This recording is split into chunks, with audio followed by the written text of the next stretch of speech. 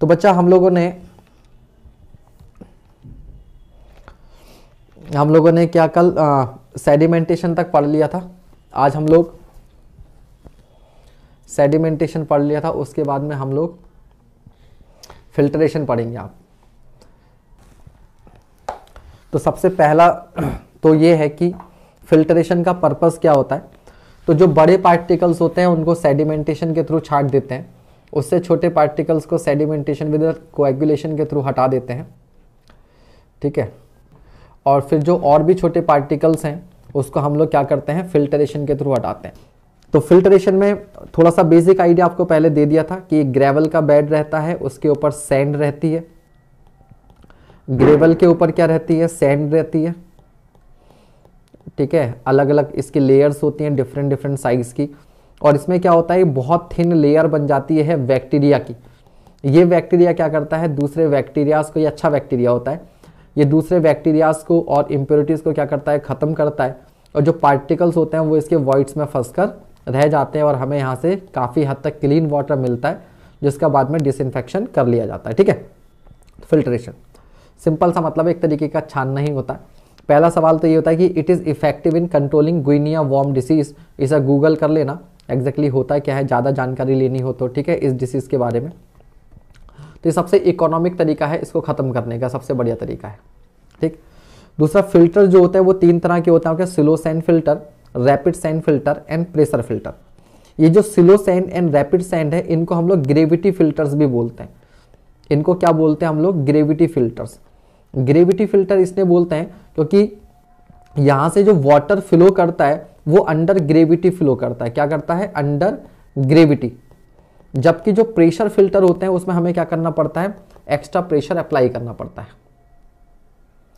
ठीक है? अप्लाई करना पड़ता है। नाउ नेक्स्ट आपका theory of filtration theory of filtration में हमें ये देखना है कि फिल्ट्रेशन में एक्चुअल में होता क्या है। फिल्ट्रेशन में एक्चुअल में होता क्या है? तो सबसे पहले यहाँ पर होती है मैकेनिकल स्ट्रेनिंग मैकेनिकल स्ट्रेनिंग का मतलब है जो एक्चुअल में जो छानने वाला जो प्रोसेस होता है कि जो वॉइड्स होते हैं, वो छोटे होते हैं। जो वॉइड्स होते हैं, वो छोटे होते हैं और पार्टिकल जो होते हैं, वो बड़े होते हैं। तो इन स्मॉलर वॉइड्स में वो पार्टिकल फंस कर रह जाते हैं। इसी का मतलब होता है मैकेनिकल स्ट्रेनिंग ठीक है? तो particles are removed in upper layers simple दूसरा होता है sedimentation particle finer than voids are remove by sedimentation तो अगर पार्टिकल आपके वॉइड से फाइनर छनेंगे तो नहीं, लेकिन क्योंकि पानी वहाँ पर थोड़े टाइम में तो क्या होता है? ठहराव आता है। पानी बहुत स्लोली मूव करता है। तो स्लो वेलोसिटी वाटर में क्या करता है? पार्टिकल्स आपके क्या होने लगते हैं? सेडिमेंटेड होने लगते हैं। तो मतलब फ़िल्टर के अंदर भी हल्का फुल्का सेडिमेंटेशन वाला जो इफ़ेक्ट है, वो होता है। होता है। नेक्स्ट आपका बायोलॉजिकल मेटाबॉलिज्म जो सबसे ज़्यादा इंपॉर्टेंट है। बायोलॉजिकल मेटाबॉलिज्म में क्या होता है? इसके अंदर तीन जोन्स होते हैं प्योरिफिकेशन के। सबसे ऊपर की जो सरफेस होती है, उसे बोलते हैं हम लोग सिमट जैक ये स्पेशली किसमें होती है? सिलो सैंड फ़िल्टर में एस एस में. तो याद रखिएगा, ये आपसे पूछा जा सकता है कि सिमट जैक कहाँ फॉर्म होती है। तो एस एस में, इसका मतलब डर्टी स्किन भी होता है। इसको हम लोग क्या बोलते हैं? डर्टी स्किन ठीक है? तो ठीक है? सिमट जैक का मतलब होता है। तो सिमट जैक में क्या होता है कि तो मैं सिमट जैक लेयर के बारे में बता रहा था कि होता है क्या जब हम लोग फ़िल्टर को ऑपरेट करते हैं तो फ़िल्टर को ऑपरेट करते समय फ़िल्टर को ऑपरेट करते समय क्या होता है, इसकी जो सरफेस होती है, वहाँ पर छोटे छोटे पार्टिकल जो होते हैं, उनकी एक लेयर बन जाती है। हाँ। ठीक है हल्की फुल्की एक लेयर बन जाती है। इस लेयर में क्या क्या होता है? इस लेयर में क्या होता है कि इसका जो कलर होता है, वो रेडिस ब्राउन कलर होता है। जिस तरीके का आपका ये पेन की इंक दिख रही है रेडिस ब्राउन कलर की ये लेयर होती है। इसके अंदर क्या होता है? Organic matter organic matter plus आपका आयरन प्लस मैग्नीज ठीक है? एल्यूमिनियम यानी कि एल्यूमिना कह सकते हो आप सिलिकन आदि, इस तरीके के जो मेटल होते हैं, वो इकट्ठे हो जाते हैं, ठीक है? आफ्टर टू वीक्स आप दो हफ़्ते के बाद, ठीक है? सबसे बड़ी बात ये होती है कि ये जो फ़िल्टर होता है, ये तुरंत ऑपरेटिंग में नहीं आता है, ठीक है? ये तुरंत ऑपरेट ऑपरेशन में नहीं आता है। एक दो हफ़्ते के बाद में इसके अंदर एलगाई बैक्टीरिया ये सब डेवलप होता है। बैक्टीरिया प्रोटोजोआ प्लैंकटॉन दूसरी तरह के ऑर्गेनिक मैटर की एक लेयर जम जाती है जो कि आपके क्या तर, एक किसकी तरह काम करती है? मैट की तरह काम करती है ठीक है? या जो मैस्ड स्ट्रेनिंग स्ट्रेनर की तरह काम करती है। तो जो असली रीज़न है बैक्टीरिया को ख़त्म करने का वो ये वाला रीज़न है, इसलिए इसको कुछ समय के लिए क्या कर देते हैं, छोड़ दिया जाता है। समझ गया बेटा? फिर इसके नीचे क्या होता है तो पहली लेयर ये सिमरजैक की होगी। इसके कुछ एम mm नीचे जो दूसरी लेयर होती है, वो ऑटोट्रॉफिक जोन होता है। ठीक है ऑटोट्रॉफिक जोन ऑटोट्रॉफिक जोन में क्या होता है कि इस जोन में प्लांट ग्रोइंग प्लांट लाइफ होती है मतलब नन्हे मुन्ने छोटे छोटे से पौधे से हो सकते हैं। ठीक है? तो ऑर्गेनिक, जो कि ऑर्गेनिक मैटर और किसको, जो प्लैंकटॉन वगैरह, जो ऑर्गेनिक कंपाउंड्स वगैरह रहेंगे, उसको डिकम्पोज करेगी, ठीक है? डिकम्पोज करेगी। और अगर पानी में नाइट्रोजन होगा, फॉस्फेट होगा, कार्बन डाइऑक्साइड होगा तो उसे भी क्या कर लेगी? एज्यूम, कंज्यूम कर लेगी। उसको भी क्या कर लेगी? कंज्यूम कर लेगी। तो ऑटोट्रॉफिक जोन ऑटोट्रॉफिक जोन जो होता है, इसमें बेसिकली क्या होती है? प्लांट लाइफ होती है। अब प्लांट का काम क्या होता है? भैया नाइट्रोजन को लेंगे फॉस्फोरस को लेंगे कार्बन डाइऑक्साइड को लेंगे और क्या देंगे? ऑक्सीजन तो सबसे बढ़िया बात क्या है ऑटोट्रॉफिक जोन की, कि इसमें क्या प्रोड्यूस होती है? ऑक्सीजन और आपको मालूम है बैक्टीरिया दो तरीके का होता है एरोबिक एनारोबिक ठीक है? एरोबिक एनारोबिक तो ये क्या करेगी? बैक्टीरिया को बैक्टीरिया को हेल्प करता है, ठीक है? उसके नीचे होता है आपका हेट्रोट्रॉफिक जोन क्या होता है? Heterotrophic zone which extends around 300 hundred M M in to the bed bed किसको बोलते हैं यहाँ पर? जो सैंड लेयर है, उसको बैट बोला जाता है। ठीक है? तो जो हेट्रोट्रॉफिक जोन होता है, इसके अंदर क्या होता है कि जो भी बचा कुचा रिमेनिंग ऑर्गेनिक मैटर है, ठीक है, वो यहाँ पर जो जाता है, वो बैक्टीरिया थोड़ा ज़्यादा तेज़ी से यहाँ पर ग्रो करता है और इस जो भी ऑर्गेनिक मैटर जो बचा कुचा कहाँ से? सिमट जैक से और उसके बाद में आपका ऑटोट्रॉफिक जोन से बचकर जो यहाँ आएगा, उसको ख़त्म कर देगा और अल्टीमेटली किसमें कन्वर्ट कर देगा? इनऑर्गेनिक मटेरियल में। किसमें कन्वर्ट कर देगा? इनऑर्गेनिक ठीक है? इनऑर्गेनिक और इनऑर्गेनिक मटेरियल जो होते हैं, वो जनरली हमारे लिए अनऑब्जेक्शनेबल होते हैं। किसमें होते हैं? अनऑब्जेक्शनेबल होते हैं। ठीक है? और इसमें जो सबसे लास्ट में इन द एंड जो होता है, वो होता है इलेक्ट्रोलिटिक चेंजेस इलेक्ट्रोलिटिक चेंज में क्या होगा? कि sand grains in filter and impurities in water carry opposite charges filter का जो सैंड ग्रेन होता है और जो वाटर में इम्प्योरिटी होती है, इनमें क्या होते हैं? अपोजिट चार्जेस होते हैं। और अपोजिट चार्जेस में क्या होता है? आप जानते हैं। सर जी अपोजिट चार्जेस में होता है एट्रैक्शन तो एट्रैक्शन के थ्रू यहाँ पर क्या होगा? एक तरीके का कोएगुलेशन जैसा इफ़ेक्ट आएगा। कैसा इफ़ेक्ट आएगा? कोएगुलेशन जैसा इफ़ेक्ट आएगा। और ये फाइनली यहाँ पर सेटल डाउन हो जाएँगे। ठीक है? दस because of their interaction chemical characteristics of water changes and it becomes pure. It becomes pure. ठीक है भाई? तो ये आपके जनरल थ्योरी अब सबसे पहली बात हमने किसकी की है? Slow sand filter slow sand filter तो बड़ा सिंपल सा फ़िल्टर होता है भैया। ठीक है? तो यहाँ पर ये इनलेट है, यहाँ से वाटर जाएगा। ठीक है? तो ये आपके पास ऊपर की जो लेयर है, वो सैंड की लेयर है, उसके नीचे क्या है? ये ग्रेवल की लेयर है। यहाँ से वाटर इसके अंदर जाएगा फिर यहाँ पर ये कलेक्टर पाइप्स लगे होते हैं। हालाँकि ये परफोरेटेड लेटरल्स पाइप लगे होते हैं उनमें पानी जाता है फिर ये मेन पाइप में कनेक्ट होकर फिर यहाँ से वाटर बाहर को चला जाता है ठीक है? तो बहुत ज़्यादा डिटेल में इसमें आपको जानने की ज़रूरत नहीं है। चलिए अब हम लोग देखो कुछ आ, इनकी बात कर लेते हैं फैक्ट्स की। इनको बस एक नज़र आप पढ़ लो। ये एक एक फैक्ट क्वेश्चंस के थ्रू दोबारा आपके सामने आएगा तब आपको समझ में आएगा कि इन पर क्या क्या क्वेश्चन बनते हैं ठीक है? तो सबसे पहले ये था आपका सिलोसैन फ़िल्टर ठीक? तो सिलोसैन फ़िल्टर में क्या होता है? It utilizes the effluent from plain sedimentation tank तो सिलोसैन फ़िल्टर में जो हम लोग वाटर लेते हैं, वो किसका लेते हैं? प्लेन सेडिमेंटेशन टैंक का लेते हैं। जबकि रैपिड फ़िल्टर में किसका होता है? रैपिड फ़िल्टर में किसका होता है? वो आपका कोएगुलेशन प्लस सेडिमेंटेशन का होता है। ठीक है? नो डेप्थ ऑफ़ टैंक जो होती है वो ढाई से तीन मीटर होती है, ये आपसे एग्ज़ाम में पूछा गया है। Plan area required hundred to two thousand metre square होता है, ये उतना इंपॉर्टेंट नहीं है। ये आपका इंपॉर्टेंट है D ten of filter medium इसका जो स्लो सिलोसेन फ़िल्टर का जो डी टेन होता है इफ़ेक्टिव साइज़ वो ज़ीरो पॉइंट टू से zero point three M M होता है, ठीक है? अब याद रखिएगा, ये जो डेटा होता है, ये हर बुक के अकॉर्डिंग हर कोचिंग के नोट्स के अकॉर्डिंग हर एग्ज़ाम के अकॉर्डिंग थोड़ा थोड़ा वेरिएबल रहता है।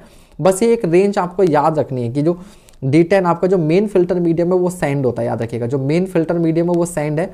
ग्रेवल केवल इस सैंड को सपोर्ट करने का काम करता है।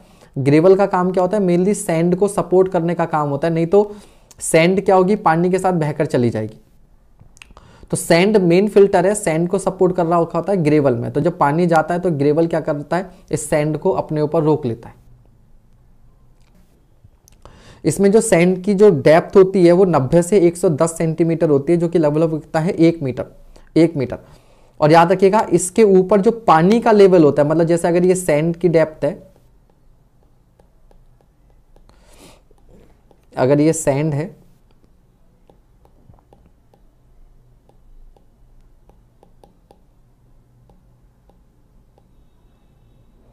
अगर ये सैंड लेयर है तो इसके ऊपर जो वाटर होगा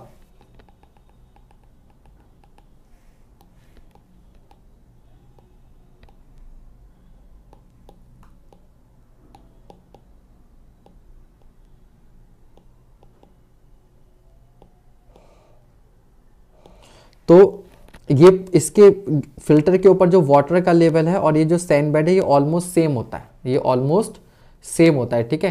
ये सब पॉइंट मैं इसलिए बता रहा हूँ बिकॉज़ एग्ज़ाम में ये सब एग्ज़ाम में ये सब क्या है? आया हुआ है। क्लियर है? ये सब एग्ज़ाम में आए हुए हैं। इसके आगे चलते हैं हम लोग। नेक्स्ट जो टॉप 15 सेंटीमीटर की जो सैंड लेयर होती है, ये फाइन होती है बहुत। 15 सेंटीमीटर जो सैंड लेयर है इट शुड बी फाइनर क्यों? क्योंकि सिमेंट लेयर वहीं पर फॉर्म होगी। ठीक है? नाउ टॉप लेयर साइज़ जो होता है आपका ये ग्रेवल ये ग्रेवल बेड का साइज़ है किसका है? ये ग्रेवल का है, ग्रेवल। अब देखो, वैसे तो पहली बार जब मैंने इसे पढ़ा था तो मैं भी कंफ्यूज हो गया था, फिर मैंने इसको क्या किया? क्रॉस चेक किया। तो वैसे तो जो ग्रेवल का साइज़ होता है, वो 4.75 से बड़ा होता है। लेकिन ठीक है, लेकिन अगर हम 6 एम mm का ग्रेवल है, उसे अगर तोड़ दें तो वो भी ग्रेवल ही रहेगा। क्योंकि नेचुरली प्रोसेस अलग होता है सैंड के बनने का। ठीक है? तो ऐसा नहीं होगा कि अगर आपने ग्रेवल छः एम का तोड़ के तीन एम किया तो वो सैंड बन जाएगा। नहीं, वो ग्रेवल ही रहेगा। तो यहाँ पर जो सबसे ऊपर की जो लेयर होती है ग्रेवल की वो तीन से छः एम की होती है। ये पार्टिकल का साइज़ है, याद रखेगा मिडल लेयर जो होती है वो बीस से चालीस एम के पार्टिकल होते हैं, जो बॉटम लेयर में होते हैं, चालीस से पैंसठ एम के। ये तीन से छः एम का साइज़ क्यों रखा जाता है ऊपर वाली लेयर में? क्योंकि ग्रेवल अगर छोटे साइज़ का होगा, तभी उसके वॉइड्स छोटे होंगे और तभी वो अपने ऊपर क्या करेगा? सैंड को सपोर्ट करेगा। अब ये सैंड और ये साइज़ का जो ग्रेवल होगा, वो नीचे वाली लेयर के वॉइड्स में बैठ जाएगा अच्छे से और ये उससे नीचे वाले तो इस तरीके से कॉम्पैक्ट बेड फॉर्म होता है तो इससे सैंड जो है वो सपोर्टेड रहती है और केवल और केवल क्या होगा? वाटर रिलीज़ होगा। वाटर रिलीज़ होगा। बिल्कुल सही बात सैंड को सपोर्ट करने के लिए। तो मुझे नहीं लगता कि यहाँ तक किसी को कोई डाउट है। नेक्स्ट एक सवाल आता है कई बार क्लीनिंग ऑफ़ फ़िल्टर फ़िल्टर को क्लीन करने का क्या तरीका होता है? तो सिलोसैन फ़िल्टर पे सवाल बहुत ज़्यादा पूछा जाता है कि सिलोसैन फ़िल्टर की क्लीनिंग कैसे करते हैं? तो भैया, इसकी क्लीनिंग करने का तरीका क्या होता है कि इसकी जो ऊपर की जो टॉप लेयर है, डेढ़ से तीन सेंटीमीटर ठीक है? इतनी सैंड को हम लोग क्या कर लेते हैं? हटा देते हैं। इसको निकाल लेते हैं और इसको निकाल कर स्क्रैप करने के बाद में इसको अच्छे से धोया जाता है और इसको सूखने के लिए रख देते हैं और उसी क्वालिटी की दूसरी सैंड वहाँ पर रख देते हैं। फिर वो जो सैंड हमने धोई थी, वो अगली बार काम आ जाएगी, ठीक है? तो मतलब इसको सफ़ाई करने का तरीका क्या है? ऊपर की लेयर ही जो है बदल जाती है। और इसकी जो सफ़ाई करनी पड़ती है वो एक से तीन महीने में एक बार कम से कम इसकी सफ़ाई आपको करनी पड़ती है, एक से तीन महीने में, ठीक है? दूसरा ये इंपॉर्टेंट है, इस पर कई बार सवाल पूछा गया है रेट ऑफ़ फिल्ट्रेशन तो जो स्लो सैंड फ़िल्टर होता है, वो एक घंटे में और उसके एक मीटर स्क्वायर एरिया जैसे मान लीजिए मान लीजिए नाइन मीटर स्क्वायर एरिया है ये। कितना है? तीन बाई तीन है तो नाइन तो ये एक, ये कितना हो गया आपका? एक मीटर स्क्वायर तो इस एक मीटर स्क्वायर में से एक घंटे में 100 से 200 लीटर पानी जो है वो ये साफ़ कर देता है। साफ़ कर देता है, ठीक है?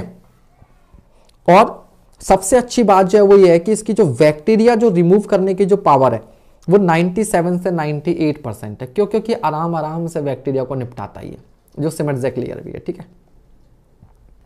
ठीक है भाई? ये now filter can not be use if turbidity is greater than 50 PPM 50 PPM से ज़्यादा टर्बिडिटी होगी तो आपको कोएगुलेशन विद सेडिमेंटेशन करके करना पड़ेगा। आप सिलोसैन फ़िल्टर यूज़ नहीं कर सकते। कहाँ इसको यूज़ करते हैं? जनरली विलेजेस वगैरह के लिए जो स्मॉलर प्लांट्स होते हैं, वहाँ पर इसको यूज़ करते हैं और इसको जो डिज़ाइन किया जाता है वो मैक्सिमम डेली डिमांड के लिए। हमेशा याद रखिएगा, जहाँ कहीं भी पानी कुछ समय के लिए स्टोर किया जाता हो वो हमेशा और हमेशा आपका मैक्सिमम डेली डिमांड के लिए होगा। क्यों? क्योंकि ये जो टैंक है, इसको हम लोग भर लेंगे। अब ये तो है नहीं कि यहाँ से पानी आपको हाथों हाथ यूज़ हो रहा है। नहीं, जहाँ पानी हाथों हाथ यूज़ होता है, जैसे आपके घर में जो टंकी से पानी आ रहा है, ठीक है? तो उसको हमें क्या करना होता है? मैक्सिमम आवरली के लिए डिज़ाइन करते हैं।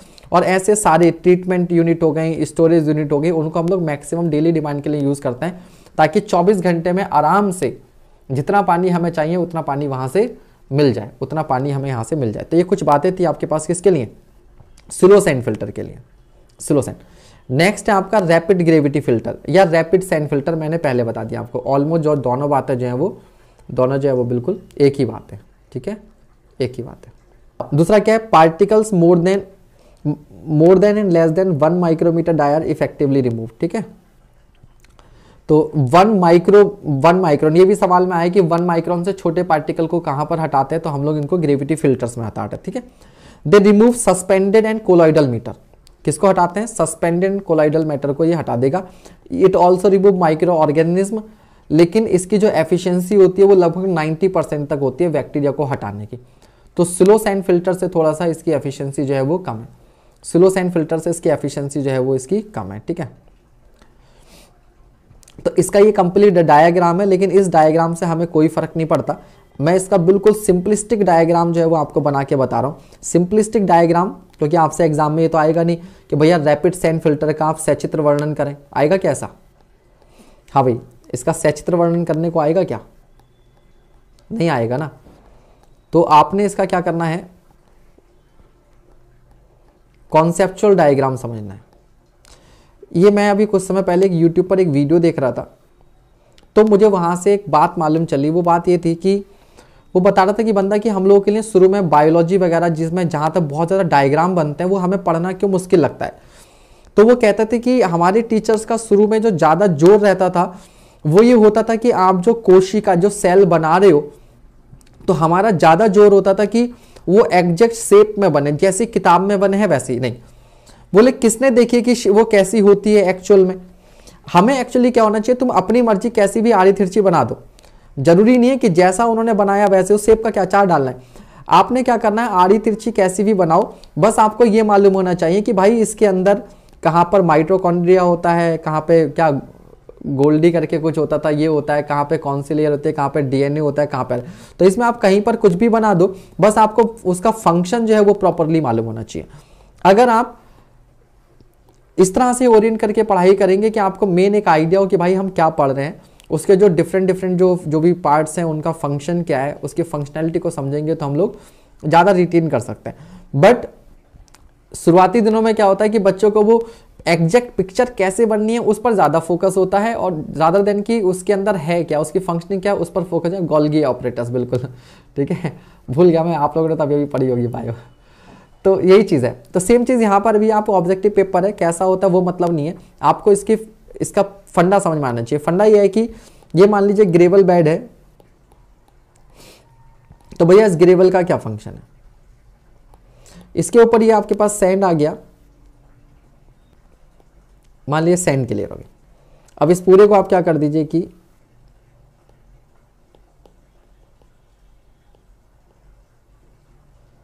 इस तरह से। इसको मान लो हमने यहाँ पर क्या कर दिया? इस तरीके से बंद कर दिया। अब इसमें ऑब्वियस सी बात है, बहुत सारे बाल्ब होंगे। अब ये तो हमें मालूम है कि भाई यहाँ से वाटर आएगा वाटर यहाँ पर आएगा और इसमें से छनकर नीचे जाएगा।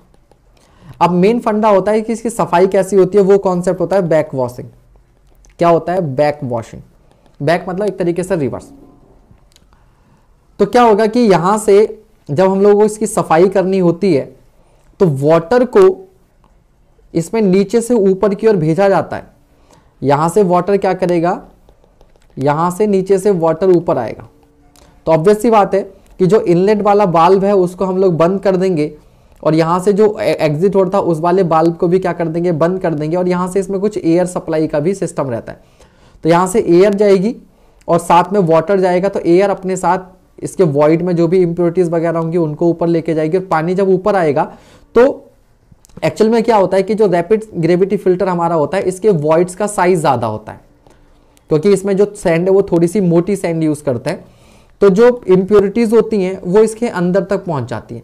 ऐसा क्यों किया जाता है? उसकी मजबूरी है कि ये जो फ़िल्टर है, वो रैपिड फ़िल्टर है। मतलब पानी का रेट हमें बढ़ाना है। पानी का अगर आपको रेट बढ़ाना है तो वॉइड्स का साइज़ बड़ा रखना पड़ेगा ताकि पानी जल्दी जल्दी छन जाए। तो जो इम्प्योरिटीज होती हैं, वो यहाँ डीप लेवल तक पहुँच जाती हैं। तो अब ऊपर की लेयर थोड़ी सी सैंड की लेयर हटा के इसकी सफ़ाई नहीं हो सकती। जबकि स्लो सैंड फ़िल्टर में जो भी इम्प्योरिटीज होती थी, वो मैक्सिमम ऊपर वाली लेयर में होती थी, उसको हटा के काम चल जाता था। तो यहाँ से पानी जब रिवर्स वे में ऊपर जाएगा तो वो सारी गंदगी को लेते हुए यहाँ ऊपर आ जाएगा और फिर यहाँ से इसको क्या, बाहर का रास्ता दिखा दिया जाएगा। इसको बाहर का रास्ता दिखा दिया जाएगा। हाँ जी बैक वॉश केवल रैपिड सैंड फ़िल्टर के लिए यूज़ करते हैं। और क्यों यूज़ करते हैं वो भी मैंने बता दिया। क्योंकि यहाँ पर जो सैंड होती है वो थोड़ी सी कोर्सर होती है तो वॉइड्स बड़े होते हैं तो जो पानी के अंदर इंप्योरिटीज होती हैं वो इसमें डीप इनसाइड लेवल तक पहुँच जाती हैं। तो केवल ऊपर की लेयर को स्क्रैप ऑफ़ करके ऊपर की लेयर को स्क्रैप ऑफ़ करके आप इसकी सफ़ाई नहीं कर सकते just like slow sand filter तो इसके लिए क्या करना पड़ता है एयर और वाटर को हम लोग नीचे से ऊपर की ओर फ्लो करवाते हैं। तो जो भी वॉइड्स में गंदगी वगैरह होती है वो पानी के साथ ऊपर आ जाती है और इस पानी को बाहर का रास्ता दिखा देते हैं, ठीक है? बाहर का रास्ता दिखा देते हैं। सर एयर प्रेशर क्यों प्रोवाइड करते हैं? एयर प्रेशर बेटा इसलिए प्रोवाइड करता है, अभी आपको मालूम चल जाएगा जब मैं इसकी कुछ प्रॉब्लम्स आपको बताऊँगा, ठीक है? इस फ़िल्टर में जो कुछ प्रॉब्लम्स आती हैं, उनको बताएँगे, ठीक है? तो अभी बस वेट कर लीजिए, आपको एयर का आ जाएगा। फ़िलहाल ये समझ लीजिए कि एयर जो होता है, वो इसके वॉइड्स को ओपन करने का काम करती है। एयर प्रेशर क्या करता है? इसके वॉइड्स को कार कार सफ़ाई करवाइए, कभी कार साफ़ करते हैं ना एयर प्रेशर से। समझ लो, वही वाला इफ़ेक्ट होता है। बाकी अभी आपको मालूम चलेगा। इसकी मैं प्रॉब्लम्स आपको बताने वाला हूँ क्या क्या दिक्कतें इसमें होती हैं। ठीक है रैपिड साइन फ़िल्टर में। फ़िलहाल जितना बताया, उसमें कोई दिक्कत नहीं है। अब देखिए बैक वॉशिंग के बारे में और पढ़ लीजिए। बैक वॉशिंग में आपको 15 मिनट लगभग टाइम लगता है। 24 से देखो, सिलो सैंड फ़िल्टर को सिलो सैंड फ़िल्टर को सिलो सैंड फ़िल्टर को हमें क्या करना पड़ता है? एक से तीन महीने में एक बार साफ़ करना पड़ता है। इसको हमें क्या करना होता है? 24 से 48 घंटे में एक बार हमें इसे साफ़ करना ही करना पड़ता है। तो आधे घंटे के लिए कम से कम हमें इस फ़िल्टर को बंद करना पड़ता है। दिन में एक बार आधे घंटे के लिए इसको बंद करना पड़ता है। तो ये केवल 24 में से साढ़े तीस घंटा ही फंक्शनल रहता है। फंक्शनल रहता है, ठीक है? ठीक है। चलिए थैंक यू ऑल अभी पढ़ाई करते हैं, करेंगे बाद बाद में, है ना? फ़िलहाल। ना इसका जो रेट ऑफ़ वॉशिंग होता है, वो होता है पंद्रह से fifteen to ninety centimetre rise per minute ठीक है? मतलब जब वाटर ऊपर की ओर जाएगा तो एक मिनट में 15 से 90 सेंटीमीटर तक पानी जो है वो राइज कर जाता है। एरिया ऑफ़ टैंक जो होता है, वो 10 से 100 मीटर स्क्वायर पर यूनिट होता है। नंबर ऑफ़ यूनिट्स जो निकलते हैं, वो इस फॉर्मूले से निकलती हैं। ये एग्ज़ाम में आपसे न्यूमेरिकल पूछा जा सकता है फॉर्मूला भी आ सकता है। N is equals to one point two two under root Q जहाँ क्यू जो होता है, वो प्लांट कैपेसिटी होती है मिलियन लीटर पर डे जैसे अगर मैंने कहा टेन एम पानी है तो यहाँ पर क्यू की वैल्यू केवल टेन रखी जाएगी। टेन मिलियन ठीक है? तो ten into ten to power six litre एक दिन में। तो केवल टेन रखना है। ठीक है? टेन रखना है। Thank you Chandra Pratap. Now sand layer is 60 to 75 centimetre deep और यहाँ पर D10 याद रखिएगा। इसका जो D10 है, वो 0.45 से 0.7 कुछ जगह पर 0.5 से 0.7 लिखा होगा 0.4 से 0.7 कोई फ़र्क नहीं पड़ता। ये रेंज आपको ऑलमोस्ट याद रखनी है। बाकी मैं क्वेश्चन के थ्रू अपने आप याद करवा दूँगा आपको। Depth of water over sand layer एक से दो मीटर होती है और इसकी लेंथ और विथ का जो रेशियो होता है वो 1.25 से 1.33 तक होता है, ठीक है? 1.25 से 1.33 तक ये रेशियो जो है वो होता है। अब देखो सिलोसैन फ़िल्टर में जो आपका कोफिशियंट ऑफ़ यूनिफॉर्मिटी था वो 5 था। इसका जो कोफिशियंट ऑफ़ यूनिफॉर्मिटी है, वो 1.3 से 1.7 है। कुछ जगह पर आपको 1.4 से 1.8 भी लिखने को मिलेगा, लेकिन बात एक ही है। अब आएगा जो आप बोल रहे थे। देखो, पहला है आपका operational troubles in rapid sand filter इसमें है आपका air binding mud ball formation cracking of filter cracking of filter ठीक है? ये तीनों ऑपरेशनल ट्रबल को हम लोग स्टडी करेंगे। पहले जरा ये और देख लीजिएगा।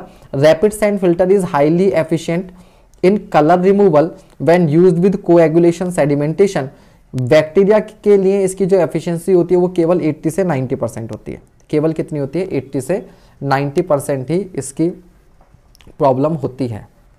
ठीक है? ये ठीक। अब हम इसके ट्रबल को पढ़ते हैं। इस, इसके ट्रबल जो है उसको हम लोग पढ़ते हैं कि क्या क्या ट्रबल होती हैं इसमें। ठीक है? चलिए। तो सबसे पहली ट्रेवल है यहाँ पर एयर बाइंडिंग सबसे पहली ट्रेवल क्या है? Air binding. एयर बाइंडिंग को समझते हैं। तो जैसा आपको बताया था कि जो इम्प्योरिटीज हैं, वो सैंड बेड में नीचे तक पहुँच जाती हैं। सैंड बेड में क्या हो जाती हैं? नीचे तक पहुँच जाती हैं।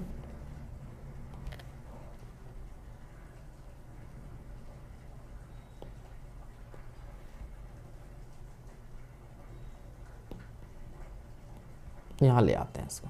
ठीक है? एयर बाइंडिंग समझिएगा बहुत अच्छे से। एक बात बताइए, ये एक टैंक है, ठीक है? इस टैंक के अंदर पानी यहाँ तक भरा हुआ है। और हमने यहाँ से एक पाइप कनेक्ट किया।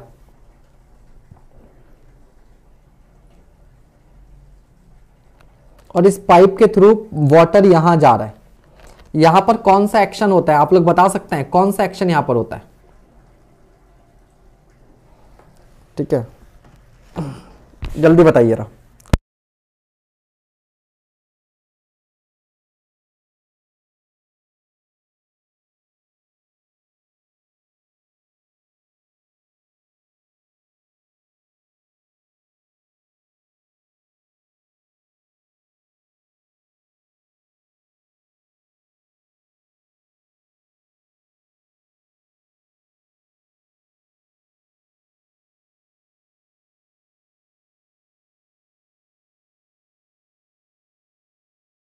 हाँ जी तो सिफॉन एक्शन होगा। बिल्कुल सही बात है, सिफॉन एक्शन होगा। जब बेटा सिफॉन एक्शन होता है तो मुझे बताओ यहाँ समीप पर, यहाँ पर क्या होता है? यहाँ पर प्रेशर का क्या कहना होता है? यहाँ का प्रेशर क्या कहता है? यहाँ पर प्रेशर डिक्रीज करता है। और डिक्रीज करने पर एक टाइम होता है कि ये जो प्रेशर होता है, ये आपका एटमोस्फेरिक प्रेशर से क्या हो जाता है? कम हो जाता है। जब ये प्रेशर ठीक है? जब ये प्रेशर आपका एटमोस्फेरिक प्रेशर से कम हो जाएगा, जब ये प्रेशर आपका एटमोस्फेरिक प्रेशर से कम हो जाएगा तो यहाँ पर जितने भी वोलेटाइल कंपोनेंट्स हैं, जितने भी वोलेटाइल कंपोनेंट्स हैं बिकॉज़ बहुत सारी इंप्योरिटीज जो होती है, वो वोलेटाइल होती हैं। पानी के अंदर बहुत सारी गैसेस घुली हुई होती हैं, जैसे carbon dioxide hydrogen sulphide ammonia ये सारी गैसेस पानी के अंदर डिजोल्व होती हैं। क्यों डिजोल्व होती हैं? क्योंकि जो ऑर्गेनिक मैटर होता है, वो डिकम्पोज होता है और ये गैसेस जो बनती हैं, वो हाथों हाथ पानी में क्या होती हैं? पानी में क्या होती हैं? घुलती रहती हैं। ठीक है? तो अगर यहाँ पर, इसी तरीके से क्या होगा? अब हमें ये देखना है कि ये कंडीशन यहाँ पर कैसे डेवलप होती है। अब हमें ये देखना है कि ये कंडीशन यहाँ पर कैसे डेवलप होती है। ठीक है? ये कंडीशन यहाँ पर डेवलप ऐसे होती है कि या पहले समझो कि अच्छा एक बात बताओ। अगर सपोज़ करो,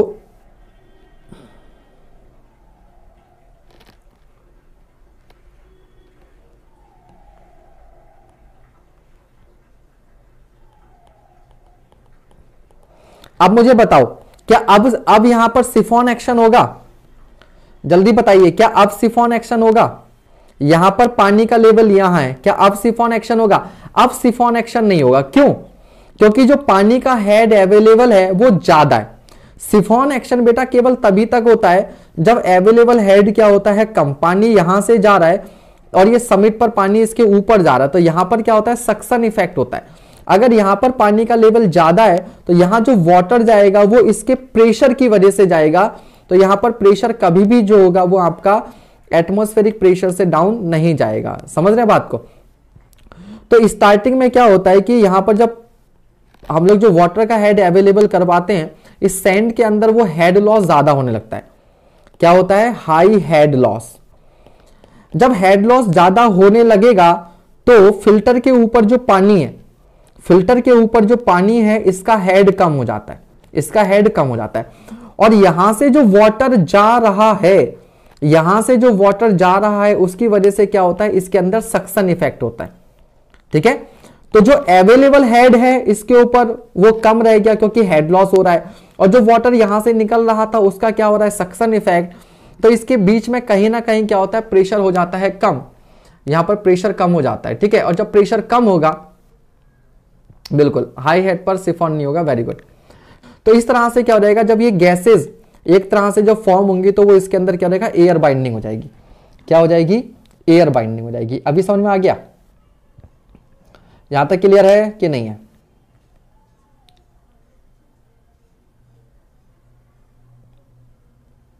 यहाँ तक क्लियर है? जल्दी बताइए।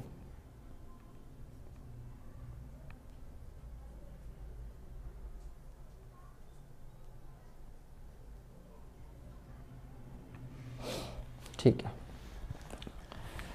ओके। अब एक प्रोसेस याद करो। हमने एक एडिशन प्रोसेस पढ़ा था स्टार्टिंग में। क्या पढ़ा था? एरेशन तो एरेशन का काम क्या था कि हमने जब एक बार ये भी पढ़ा था कि वाटर है और इसमें नीचे से ऊपर तक हम लोग क्या कर रहे थे? एयर प्रोवाइड कर रहे थे और एक्टिवेटेड चारकोल रखा। तो वो एयर क्या करती थी कि यहाँ पर जो भी दूसरी गैसेस डिजोल्व है, उनको अपने साथ निकालते हुए क्या करेगी? ऊपर ले जाएगी। ठीक है? अपने साथ क्या कर जाएगी? ऊपर हाँ भैया लाइक शेयर सब्सक्राइब करते रहिएगा। तो क्या होगा कि यहाँ से जो एयर जाएगी, वो जो ये एयर बाइंडिंग वाला फिनोमिना है, उसको क्या करेगी? कम करेगी। जो भी एयर यहाँ पर एंट्रैप होगी, जो भी गैसेस एंट्रैप्ड होंगी, वो जब एयर यहाँ पर प्रेशर से जाएगी ऊपर की ओर तो वो उनको अपने साथ लेकर ऊपर चली जाएगी। अच्छा एक और मैंने तुम्हें कभी कभी ये एफ़ में पता बताया होगा कि अगर कुछ छोटे बच्चों को आपने अगर, छोटे बच्चों को अगर आपने मैजिक दिखाना हो तो आप उनको ऐसा मैजिक दिखा सकते हो कि बेटा देखो, एक गिलास हमारे पास है और गिलास के अंदर ये रुमाल है। ठीक है, ये क्या है, एक रुमाल है और इसको हम लोग एक पानी से भरे हुए बर्तन के अंदर डालेंगे और फिर भी ये जो रुमाल है वो आपका गीला नहीं होगा। तो हम क्या करते थे, इस गिलास को, देखो, एक मैजिक ये भी है, इसको ले आते थे इसके अंदर और तब भी जो है ये रुमाल बाहर निकाल के हम दिखाते थे कि बेटा देखिए तो अभी भी सूखा का सूखा है। तो क्या होता था कि जब हम इस ग्लास को बिल्कुल उल्टा करके इस बीकर के अंदर लेके जाते थे तो इसके अंदर जो एयर होती थी, वो इस गिलास में पानी के आने को क्या करती थी, रोकती थी। तो क्या बेटा सेम टाइप का फिनोमिना यहाँ नहीं होगा। जब आप बैक वॉशिंग कर रहे हो और यहाँ से जब ये वाटर जा रहा है तो इसके अंदर जो एंटेप्ड एयर वगैरह होगी, वो कहीं ना कहीं क्या करेगी? प्रॉब्लम क्रिएट करेगी। तो वाटर के साथ साथ एयर को भी जब प्रेशर से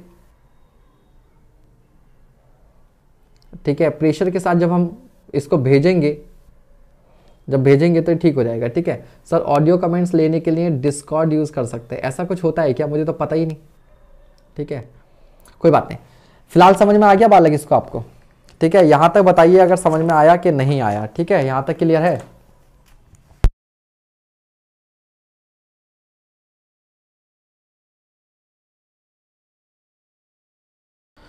दूसरा था बेटा mud ball formation mud ball मतलब मिट्टी की गोलियाँ। तो क्या होता है? कि ये जो आपका जो सैंड फ़िल्टर है, इसमें ऊपर से जो एयर वगैरह है डस्ट पार्टिकल्स आते रहते हैं।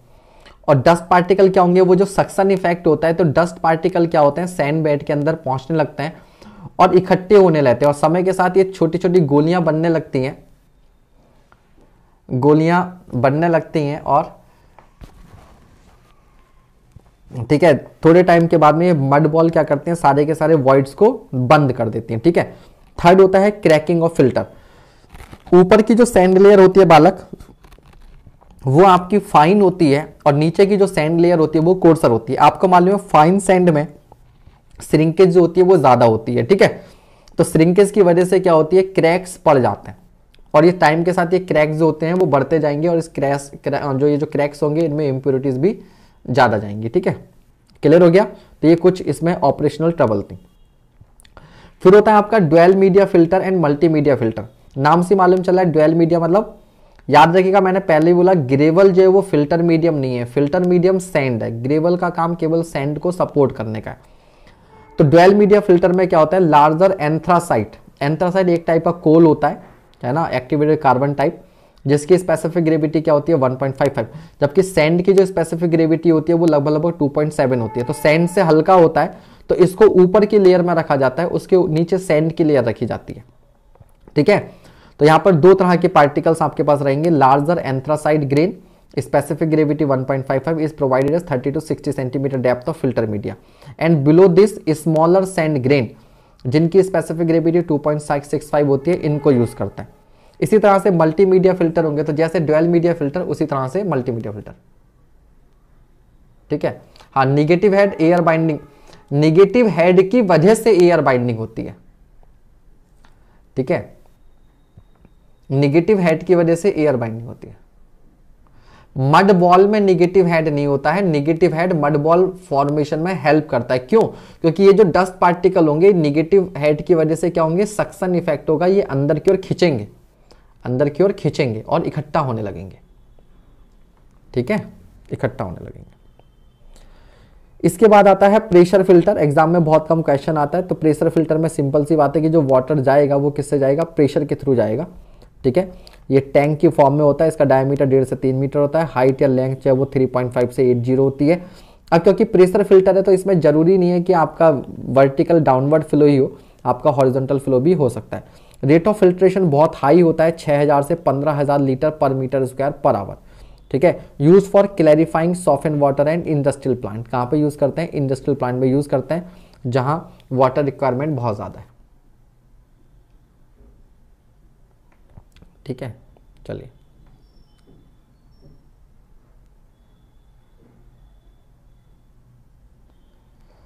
सर बैक वॉशिंग के लिए ही रैपिड सैंड फ़िल्टर में पुअरली ग्रेडेड सैंड लेते हैं।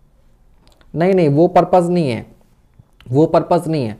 क्या करना है हमें? वॉइड्स का साइज़ बड़ा रखना है। अगर आप वेल ग्रेडेड सैंड रख लोगे, अगर सैंड आपकी वेल ग्रेडेड होगी तो क्या होगा? ये मान लीजिए बड़े पार्टिकल है। ये क्या है? बड़े पार्टिकल है। ठीक है, अब वेल ग्रेडेड सैंड होगी तो ये छोटे पार्टिकल यहाँ भर जाएँगे। फिर उनसे छोटे पार्टिकल क्या होंगे? वो इस, इन वॉइड्स को भी भर देंगे। तो बेटा, अगर बेल ग्रेडिंग हो गई तो वॉइड्स तो सारे खत्म हो गए। तो पानी कहाँ से निकलेगा इसमें से? तो पानी निकल पाएगा इसमें से तो कंक्रीट जैसा हो गया फिर तो तो इसका जो वाटर निकलेगा यहाँ से बट उसका रेट जो होगा वो बहुत कम होगा। जबकि हम रेट क्या चाहते हैं? हाई रेट चाहते हैं। तो हाई रेट के लिए क्या करना पड़ेगा? वॉइड्स का साइज़ हमें बड़ा रखना पड़ेगा कि पानी इसमें से क्या हो? तेज़ी से निकले। पानी क्या हो? तेज़ी से निकले।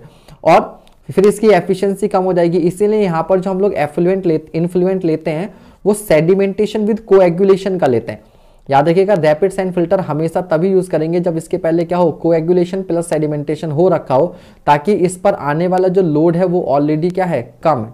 ऑलरेडी क्या है, कम है। बात समझ में आगे जबकि जो आपका एसएसएफ था, ठीक है सिलो सैंड फ़िल्टर उसमें हमने क्या कर रखा था, वहाँ पर भी हमने छह से ज़्यादा नहीं लिया था। एग्जैक्टली वेल ग्रेडिंग वहाँ पर भी नहीं करेंगे, नहीं तो फिर वाटर नहीं निकलेगा। अब देखिए, जो कुछ भी है, जो कुछ भी अभी तक पढ़ा, उसकी फटाफट समरी है ये आपके पास। Slow sand filter depth of filter ढाई से साढ़े तीन मीटर प्लान एरिया सौ से दो सौ मीटर स्क्वायर जो इसका जो डी टेन है, वो पॉइंट टू से point three D sixty upon D ten five design period दस साल डेप्थ ऑफ़ सैंड नब्बे से एक सौ दस सेंटीमीटर यानी कि एक मीटर। फ्रीक्वेंसी ऑफ़ क्लीनिंग एक से तीन महीना रेट ऑफ़ फिल्ट्रेशन चौबीस सौ से अड़तालीस सौ लीटर पर मीटर स्क्वायर पर डे या 100 से 200 litre per metre square per hour rapid sand filter का जो होता है, इसका लगभग लगभग तीस गुना होता है। इसका कितना होता है? तीस गुना होता है। रैपिड का। एफिशिएंसी ऑफ़ वेक्टर रिमूवल अट्ठानवे से निन्यानवे परसेंट। कहाँ यूज़ नहीं कर सकते? अगर 50 पीपीएम से ज़्यादा टर्बिटी इसको यूज़ नहीं कर सकते it design for maximum daily demand discharge upon rate of filtration करोगे तो इसका प्लान एरिया आ जाएगा, ठीक है? रैपिड सैंड फ़िल्टर की यूनिट जो आती थी एन बराबर one point two two hundred Q आती थी, जहाँ क्यू प्लांट कैपेसिटी है मिलियन लीटर पर डे में। D sixty upon D ten one point two से वन पॉइंट एट और मैंने बोला था 1.3 से 1.7 या 1.2 से 1.7 भी कहीं के लिखा मिल सकता है। सैंड लेयर की डेप्थ सात से नब्बे centimetre D ten point three five से point five five M M tank की डेप्थ ढाई से साढ़े तीन मीटर। ठीक है एरिया 10 से 80 metre square each unit rate of washing 15 से 90 centimetre rise per minute rate of filtration 3000 से 6000 litre per metre square per hour slow sand filter का लेवल लगभग तीस गुना। Cross sectional area of manifold. अच्छा ये और समझ लीजिएगा कि इसमें नीचे जो लेटरल पाइप्स लगे होते हैं, इस तरीके के बहुत सारे पाइप्स होते हैं परफोरेटेड। इस तरह के बहुत सारे क्या होते हैं? परफोरेटेड पाइप्स होते हैं, जो कि एक मेन पाइप से कनेक्ट होते हैं। जो कि एक मेन पाइप से कनेक्ट होते हैं। तो इनमें परफोरेशन होता है, छेद होते हैं। उन छेद से पानी इसके अंदर क्या करता है? एंटर करता है। फिर वो पानी इस मेन पाइप में कलेक्ट होता है, सारे लेटरल से फिर यहाँ से जाता है। कभी कभी वंस इन अ वाइल ठीक है? तो वंस इन अ वाइल इसको भी ठीक है? तो इसमें क्या होता है? ये पढ़ लीजिएगा कि cross section area of manifold is equal to two times cross sectional area of lateral तो ये मैनीफोल्ड हो जाएगा मेन पाइप और क्रॉस लेटरल जो हो जाएँगे साइड वाले पाइप इसका क्रॉस सेक्शन एरिया उसका डबल होता है। Cross sectional area of each lateral is equal to two to four times cross sectional area of perforation in it total cross sectional area जो ये इंपॉर्टेंट है, जो cross section area होता है perforation का, वो फ़िल्टर के टोटल एरिया का 0.2 परसेंट। और ये length of each lateral upon diameter of lateral जो है वो आपका 60 से ज़्यादा नहीं होना चाहिए। लंबाई जो है वो डायमीटर की साठ गुना। चार से पाँच परसेंट जो फ़िल्टर वाटर होता है वो बैक वॉशिंग के लिए यूज़ करते हैं, ठीक है, और तीस मिनट का समय लगता है। तो ये हो गया समाप्त। इसके बाद हम लोग पढ़ेंगे डिसइंफेक्शन बट एज यूजल हमेशा की तरह पहले हम लोग क्या करेंगे? पहले हम लोग करेंगे क्वेश्चंस पहले हम लोग करेंगे क्वेश्चंस ठीक है भाई? चलिए भाई, ये रहा आपका पहला क्वेश्चन फटाफट कीजिए से आया किसी का आंसर एक बात मैं यहाँ बताऊँ आपको कि एनवायरमेंट के न्यूमेरिकल जितने डिफ़िकल्ट लगते हैं, होते नहीं है। बहुत इजी होते हैं। हम लोग सोचते हैं डेटा वेटा ये मैंने भी क्या, मैं भी, मुझे भी पहले लगता था। ज़्यादातर डेटा क्वेश्चन में गिवन होता है। तो सवाल देखिएगा क्या कह रहा है। सवाल देखिए क्या कह रहा है कि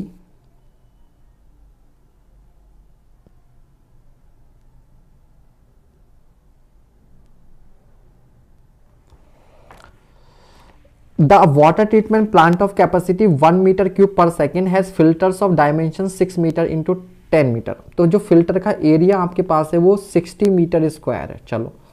Loading rate to the filter is one twenty Q one twenty metre cube per day per metre square when two of the filter are out of service for back washing the loading rate in ठीक है? आपसे पूछ हुआ है।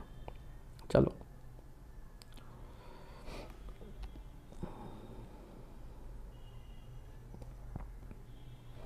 अब water treatment plant of capacity one metre cube per second has filters of इतना। तो जो वाटर ट्रीटमेंट प्लांट है उसकी कैपेसिटी कितनी है? One metre cube per second है। इससे इतना डिस्चार्ज जो आपका वो आ रहा है। और लोडिंग रेट जो है, वो फ़िल्टर का वो कितना आपके पास? 120 metre cube per day per metre square है। ठीक है? चलिए, देखते हैं।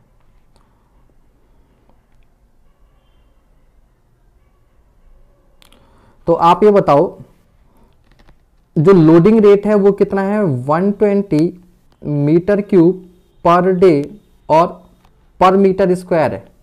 मान लो जो टोटल एरिया आपके पास अवेलेबल है प्लान का, थोड़ी देर को इसे हटाओ।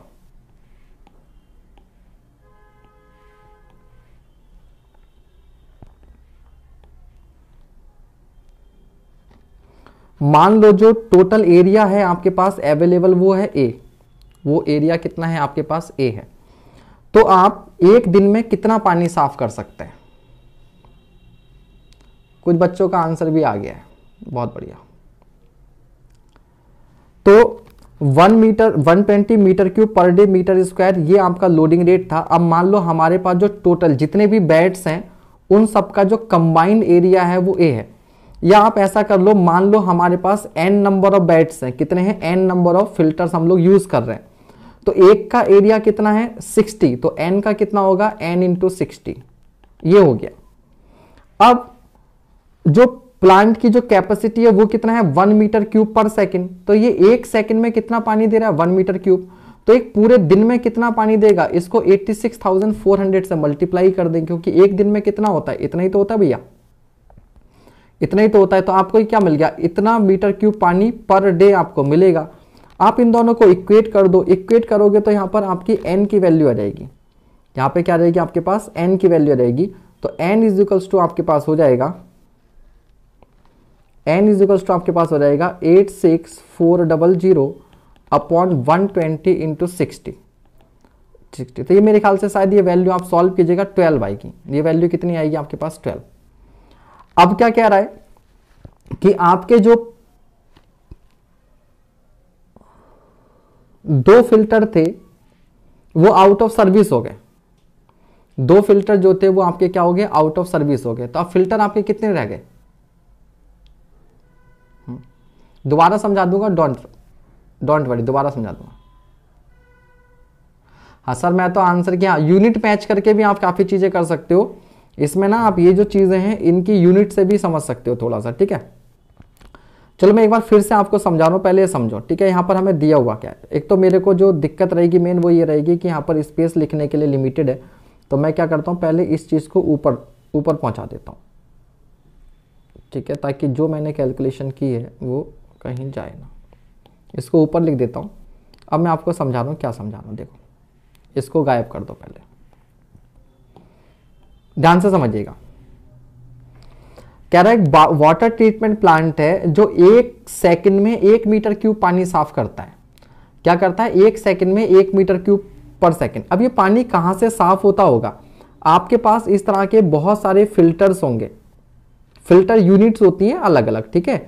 ये बहुत सारी आपके पास फ़िल्टर यूनिट्स हैं और जो एक यूनिट है वो आपकी सिक्स बाई टेन मीटर की मतलब ये टेन मीटर है और ये आपके पास क्या है? सिक्स मीटर तो इस तरीके से ये एक यूनिट है। ये कितनी? एक। इस तरह की आपके पास मान लो एन यूनिट है तो बेटा ये जो टोटल एरिया होगा, ये जो टोटल एरिया होगा वो कितना होगा? आपके पास 60 एन हो जाएगा। टोटल एरिया कितना हो जाएगा? 60 एन बिकॉज़ एक का एरिया एन है। अब यहाँ से एक सेकंड में, इस पूरे प्लांट से एक सेकंड में कितना पानी जा रहा है? एक मीटर क्यूब क्या लिखा हुआ है? A water treatment plant of capacity one metre cube per second यानी कि एक सेकंड में एक मीटर क्यूब पानी ये साफ़ करता है। तो बताओ पूरे दिन में कितना साफ़ करेगा? पूरे दिन में कितना साफ़ करेगा? सर, पूरे एक सेकंड में अगर ये एक मीटर क्यूब साफ़ कर रहा है, अगर ये एक सेकंड में एक मीटर क्यूब साफ़ कर रहा है, one metre cube per second तो ये पूरे दिन में साफ़ करेगा सर 24 गुणा साठ गुणा साठ। क्योंकि एक दिन में इतने ही सेकंड होते हैं ना भैया। इस पूरे को मैं चाहूँ तो हटाकर सिंपल सा लिख सकता हूँ। Eight six four double zero second. अब मुझे बताओ, ये भी सेकंड है और ये भी सेकंड है, खत्म हो गया तो आपको क्या मिल गया? ये सीधे सीधे आपको मिल गया eight six four double zero metre cube. इतना पानी मुझे मिल गया। ठीक है? अच्छा। अब दूसरी तरफ़ क्या कह रहा है कि इसकी जो ये एक यूनिट है, ठीक है, अब यहाँ ध्यान देगा, ये जो फ़िल्टर की जो यूनिट है, वहाँ से 120 मीटर क्यूब पानी इसके एक मीटर स्क्वायर से एक दिन में मिल रहा है।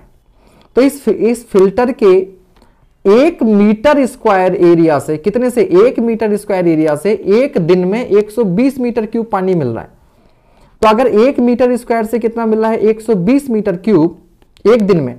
तो 60 एन से कितना मिलेगा? 60 एन पानी मिलेगा पर डे। देखो, ये भी एक दिन का है, ये भी एक दिन का है और ये भी क्या है? एक दिन का है, पर डे का है। दोनों बराबर कर दिए हमने। तो यहाँ से हमारे पास क्या आ जाएगी? एन की वैल्यू आ जाएगी। एन बराबर आ जाएगा eight six four double zero upon one twenty into sixty और ये वैल्यू आएगी ट्वेल्व मतलब क्या है? यहाँ पर आपके पास बारह यूनिट है। यहाँ पे कितनी दिख रही है? तीन तीन, छह, नौ दिख रही है। आप यहाँ पर एक यूनिट जो है वो और बना एक और लाइन बना दो। तो आपके पास यहाँ पर क्या हो गई? बारह यूनिट आ गई। कितनी आ गई ट्वेल्व ठीक है? इसमें तो किसी को कोई समस्या नहीं। इसमें तो किसी को कोई समस्या नहीं। अब क्या कह रहा है? अब कह रहा है when two of the filters are out of service दो फ़िल्टर क्या हो गए? आपके आउट ऑफ़ सर्विस हो गए। तो अब आपके फ़िल्टर कितने बचे? फ़िल्टर रह गए दस। फ़िल्टर कितने रह गए? दस। तो कह रहा है filters are out of service for back washing अब नया लोडिंग रेट बताना है। अब आप रिवर्स कैलकुलेशन पे चले जाओ। रिवर्स कैलकुलेशन पे चलो। भैया कैपेसिटी तो मुझे उतनी चाहिए। तो नया लोडिंग रेट मान लो हमारे पास एक्स है। नया लोडिंग रेट कितना है? एक्स है। अब एक यूनिट का एरिया कितना है? 60 तो 10 यूनिट का कितना एरिया होगा? 60 इंटू टेन ये एरिया हो गया, ये लोडिंग रेट हो गई और ये वैल्यू किसके बराबर होनी चाहिए? Eight six four double zero के बराबर होनी चाहिए। तो यहाँ से आपके पास एक्स क्या आ जाएगा? Eight six four double zero upon sixty into ten इसको सॉल्व कर लीजिएगा ये वैल्यू आपके पास रहेगी one forty four metre cube per day per metre square मतलब पहले जहाँ एक यूनिट से एक घंटे में 120 मीटर क्यूब पानी साफ़ हो रहा था, अब कितना करना पड़ेगा? 144 करना पड़ेगा। तभी आप क्या कर सकते हैं? जो हमारी जो कैपेसिटी है, उसको आप फुलफिल कर सकते हो। क्लियर हो गया कि नहीं हुआ? जल्दी बताइए। भैया, ये लाइक्स की गाड़ी अटकी क्यों पड़ी है? 195 पर इतनी देर से।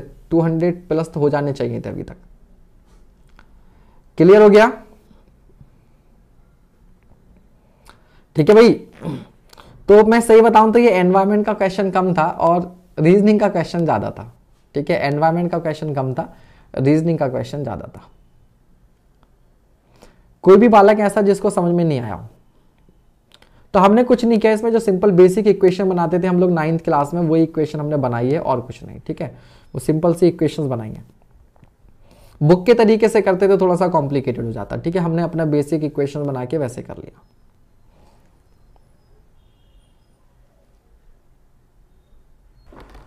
So in comparing slow sand filters, SSF and rapid sand filter RSF, which of the following is an incorrect statement? गलत क्या है SSF require larger area for its installation. Okay. Cost of operation of rapid sand filter अरे ये तो ज़्यादा complicated है इसकी cost कैसे कम हो सकती है है ना इनकरेक्ट पूछा है ना तो यही हो गया आंसर फिर भी देख लेता आगे depreciation of SSF is lower. SSF cannot meet variation the demand. SSF requires cleaning at a frequency of one month. नहीं नहीं ठीक है तो जो इनकरेक्ट है वो यही है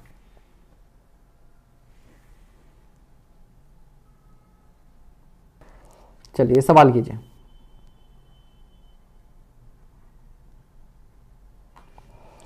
which of the following is incorrect regarding a slow sand filter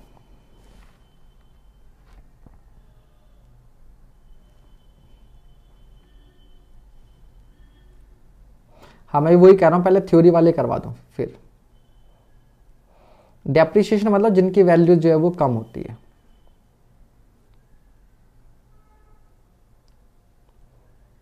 पता है, ये कोई डिसलाइक करने वाला था, वो दोबारा डिसलाइक कर रहा था। तो वो दोबारा डिसलाइक किया उसने तो वो हट गया। फिर उसे लगा, अरे, मैं तो डिसलाइक पहले ही कर चुका हूँ तो उसने फिर दोबारा किया। मतलब डिसलाइक करने वाला भी यहीं पर है। वो लेक्चर देख रहा है डिसलाइक भी कर रहा है, इस बात पे हँसी आ रही है।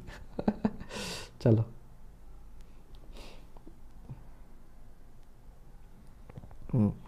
Which of the following is incorrect regarding a slow sand filter? Incoming water should not be treated by coagulation, ये बात तो सही है एसएसएफ में तो नहीं करते हैं। दूसरा है, कह रहा है depth of water should be double the depth of filter sand आपको मैंने क्या बताया था कि स्लो सैंड फ़िल्टर में जो सैंड की डेप्थ आपको याद होगा, पूरा डायग्राम बनाकर बताया था कि जो वाटर की डेप्थ थी, वो फ़िल्टर सैंड की डेप्थ के लगभग बराबर होती है, ना कि डबल लगभग बराबर होती है, ना कि डबल ठीक है? तो इनकरेक्ट जो है, वो यही है। ठीक? Cleaning should not be done by back washing ये तो सही है ना? और लॉस ऑफ़ हेड जो होता है, ये भी 1.2 मीटर के आसपास होता है। इसका जो आंसर है, वो बी है, ना कि सी ना डी डी तो करेक्ट है भैया डी तो करेक्ट है, गलत थोड़ी ना डी कह रहा है incorrect regarding slow sand filter cleaning should not be done by back washing ये बात तो सही है ना? बैक वॉशिंग कहाँ करते हैं? रैपिड सैंड फ़िल्टर में करते हैं। स्लो सैंड फ़िल्टर में तो क्या करते हैं? स्क्रैपिंग करते हैं। तो आप डी आंसर क्यों दे रहे हो? आंसर इज़ बी हाँ बेटा, क्या लिखा है? Cleaning should not be done by back washing किसके बारे में? स्लो सैंड फ़िल्टर के बारे में। तो स्लो सैंड फ़िल्टर में बैक वॉशिंग करते हैं क्या? Incoming water should not be treated by coagulant slow sand filter में कोएगुलेंट यूज़ किया जाता है क्या? नहीं। रैपिड सैन फ़िल्टर में होता है। तो पहला पॉइंट किसके लिए रैपिड सैन फ़िल्टर के लिए। मतलब इसके लिए सही है, क्योंकि इसके लिए हम लोग कोएगुलेंट नहीं करते। बात तो सही है। Cleaning should not be done by back washing बात तो सही है। लॉस ऑफ़ हेड इतना लिमिटेड होता है। बात तो सही है। गलत कौन सा है? बी क्योंकि कह रहा है depth of water should be double the depth of filter sand जबकि हम बोल रहे हैं कि जो डेप्थ ऑफ़ वाटर होती है, वो फ़िल्टर सैंड की डेप्थ के बराबर होती है। ठीक है? तो आप सवाल थोड़ा सा ध्यान से पढ़िए। सिलोसेन फ़िल्टर है और यहाँ पर इनकरेक्ट पूछा हुआ है।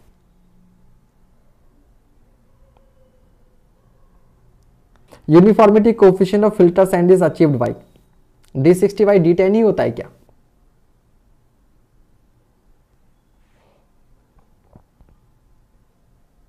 अगला सवाल। अगला सवाल। Which of the following filters will produce water of high quality with respect to the bacteriological property ठीक है? पैरामीटर तो स्लो सैन फ़िल्टर बेस्ट होता है यार। बैक्टीरिया के लिए स्लो सैन फ़िल्टर बढ़िया होता है। है ना? अगला सवाल।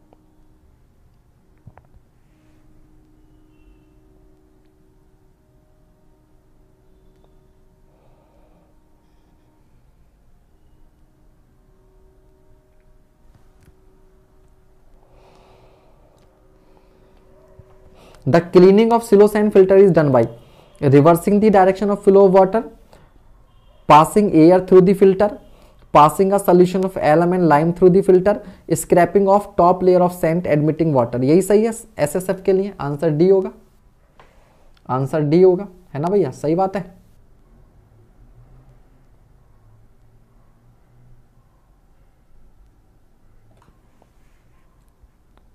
अगला सवाल।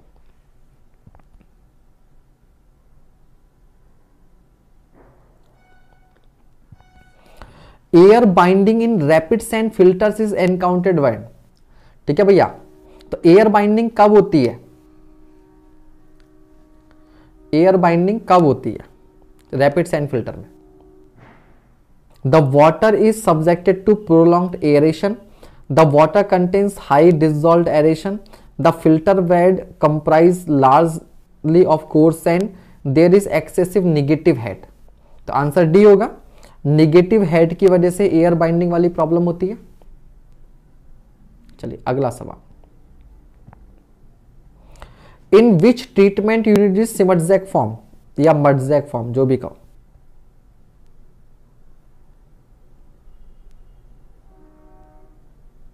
Very good in which treatment unit schmutzdecke form sedimentation tank coagulation tank rapid sand filter slow sand filter तो आंसर क्या होगा? Slow sand filter. अगला सवाल। The maximum spacing of laterals in a rapid sand filter. तो वो lateral और मैनीफोल्ड्स मैंने आपको बताया था। ये मेन पाइप जो है वो मैनीफोल्ड है और जो इसमें दूसरे पाइप्स आके मिल रहे हैं, वो क्या है आपके? लेटरल्स हैं, ठीक है? तो इनकी स्पेसिंग बतानी है। तो बहुत बढ़िया, काफ़ी बच्चों को मालूम है। इसकी जो स्पेसिंग है वो बी होती है थर्टी सेंटीमीटर ठीक है? तीस सेंटीमीटर सौ सेंटीमीटर तो बहुत दूर हो जाएगी, एक एक मीटर आधा मीटर, तीस सेंटीमीटर होती है, ठीक है? बट फिर भी ये कुछ पॉइंट्स हैं, इनको पढ़ लीजिएगा।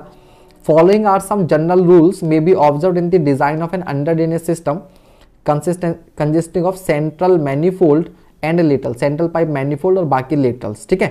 ये कुछ पॉइंट्स है। पढ़ लेना, याद रख सको तो ठीक है, नहीं तो कोई ज़रूरत नहीं है। क्योंकि इतना ज़्यादा याद करना डिफ़िकल्ट होता है। Now the ratio of length to diameter of the lateral should not exceed तो एल अपॉन बी का रेशियो आपको बताया था एल अपॉन डी का, ये साठ से ज़्यादा नहीं होना चाहिए। The spacing of the lateral shall be from 15 to 30 centimetre तो मैक्सिमम 30 होगी। The ratio of total area of perforation to the entire filter area में be about point zero zero three point zero zero three का मतलब है point three percent कितना? Point three percent ठीक है? ये याद रखिएगा। The spacing of perforation along the laterals में vary from 80 mm for perforation of 5 mm diameter to 200 mm for perforation of 12 mm. तो मान लीजिए जो लेटरल पाइप था, इसके अंदर भी क्या होंगे? परफोरेशन बने होंगे, छेद बने होंगे। तो ये जो छिद्र हैं, ये जो परफोरेशन है, इनके बीच की स्पेसिंग तो अगर 5 एम mm डायामीटर का है परफोरेशन तो 80 एम mm और 12 एम mm डायामीटर का है तो 200 एम mm तो इतना डेटा आप ऐसा ऐसे याद नहीं कर सकते, लेकिन आप जब क्वेश्चन करोगे बार बार बार बार तो अपने आप याद हो जाएगा। अपने आप याद हो जाएगा। ठीक है भैया? अगला सवाल। The rate of filtration of a slow sand filter slow sand filter का रेट आपने बताना है। Rate of filtration of slow sand filter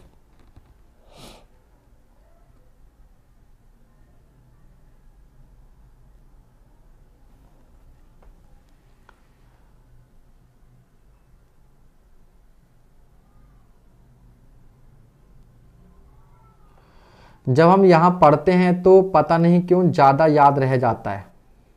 Kuldeep कह रहे हैं, सर, मैं आपका बहुत पुराना स्टूडेंट हो देखो, आप ना यूट्यूब पर वीडियोस देखो कुछ कि how to retain for long time कैसे चीज़ों को लंबे समय तक रिटेन किया जाए।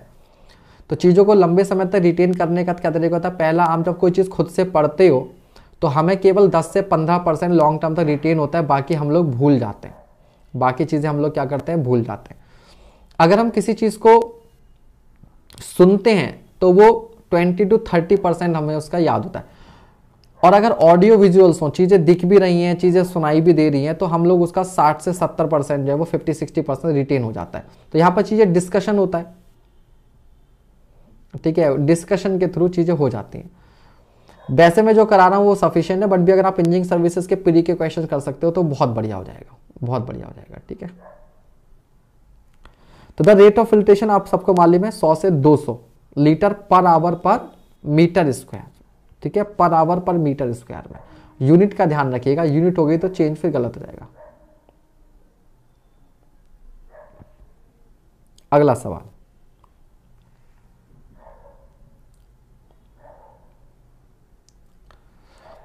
और एक जो अपने लेक्चर्स की एक खास बात ये होती है, चाहे मेरे लेक्चर यहाँ हो या वहाँ हो मेरे लेक्चर्स में एक चीज़ होती है जो मैं कोशिश करता हूँ कि हो, वो होता है थ्योरी और थ्योरी के तुरंत बाद क्वेश्चन थ्योरी के तुरंत बाद क्वेश्चन ये कोई नई चीज़ नहीं है। हम लोग बचपन से लेकर क्या होता है, हम जब भी कोई किताब पढ़ते हैं, उसके पीछे एक एक्सरसाइज दी होती है। वो क्यों दी होती है एक्सरसाइज वो उसे क्वेश्चन बैंक में लिख सकते थे, उन्होंने उसे एक्सरसाइज क्यों लिखते हैं? क्वेश्चन क्यों नहीं लिखते? वो एक्सरसाइज इसलिए लगते हैं ताकि जो आपने थ्योरी पढ़ी है जब आप उसके क्वेश्चंस को प्रैक्टिस करोगे तो उन्होंने उसका नाम दिया है एक्सरसाइज तो उन क्वेश्चंस के थ्रू आपके दिमाग की क्या होती है? एक्सरसाइज होती है। और जब दिमाग की एक्सरसाइज होगी तो कहीं ना कहीं दिमाग पर ज़ोर पड़ेगा। तो दिमाग भी कहेगा, भैया, इन चीज़ों ने इतना ज़ोर डाला है दिमाग पे तो इनको याद तो रख लें कुछ। समझ रहे हैं? तो बेसिकली हमने अभी थ्योरी पढ़ी और फिर उस पर क्वेश्चंस कर रहे हैं तो हमारे दिमाग की एक्सरसाइज हो रही है, जिससे ये लॉन्गर टाइम तक क्या रहेगा? रिटेन रहेगा। रिटेन रहेगा। तो ये मेन वजह होती है। कि आपको क्यों चीज़ें याद रह जाती है, क्यों चीज़ें याद रह जाती है। तो ये बेसिकली फॉर्मेट है, जो आपके ज़्यादा काम का है। ठीक है? आपसे कहूँगा, घर पर भी आप पढ़ो सेल्फ स्टडी उसमें भी ऐसे ही पढ़ो कि थोड़ा सा आप थोड़ी बहुत थ्योरी पढ़ो तो उस पर क्वेश्चन जो है आप ज़रूर करो। चाहे ठीक है? कम पढ़ो, लेकिन क्वेश्चन ज़रूर देखो उसके तो वो लॉन्ग समय तक आपको क्या रहेगा? याद रहेगा। In water treatment plant rapid gravity filters are adopted to remove dissolved organic, dissolved solids and gases, bacteria and colloidal solid, floating solids and dissolved inorganic solids. कौन है भैया जो इसका आंसर डी दे रहे हैं? कौन है जो इसका आंसर डी दे रहा है? अरे रैपिड ग्रेविटी फ़िल्टर हो, चाहे स्लो सेल फ़िल्टर हो, दोनों का काम ये होता है। क्या? बैक्टीरिया एंड कोलोइडल सॉलिड ठीक है? इन दो, इनको खत्म करना होता है। 90 परसेंट तक बैक्टीरिया खत्म करता है। और रिमेनिंग कोलोइडल सॉलिड जो सेडिमेंटेशन के थ्रू खत्म नहीं हो पाए। जो सेडिमेंटेशन के थ्रू खत्म नहीं हो पाए उनको हटाएगा, ठीक है? उनको हटाएगा। फ्लोटिंग सॉलिड तो स्क्रीनिंग करते हैं। फ्लोटिंग मतलब तैरने वाले बड़े बड़े उनको तो कौन करेगा? फ्लोटिंग को। तो स्क्रीनिंग कर रखी है शुरू। ठीक है? एसएसएफ का भी इस काम, दोनों का काम सेम होता है। सिंपली सपोर्टेड फ़िल्टर हो, चाहे रैपिड सेंड फ़िल्टर हो, दोनों का काम सेम होता है। दोनों का भी एक साथ यूज़ होते हैं?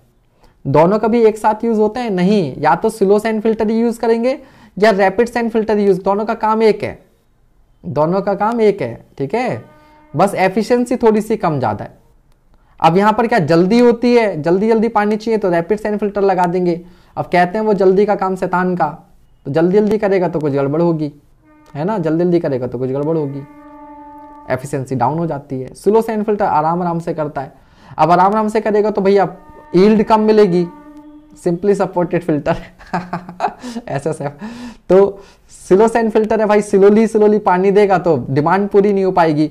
तो जहाँ पॉपुलेशन कम है, वहाँ सिलोसेन फ़िल्टर से काम चल जाएगा। जहाँ पॉपुलेशन ज़्यादा है, जहाँ पानी ज़्यादा चाहिए, वहाँ रैपिड सैन फ़िल्टर लगाना पड़ेगा। इतनी सी बात है। ठीक है?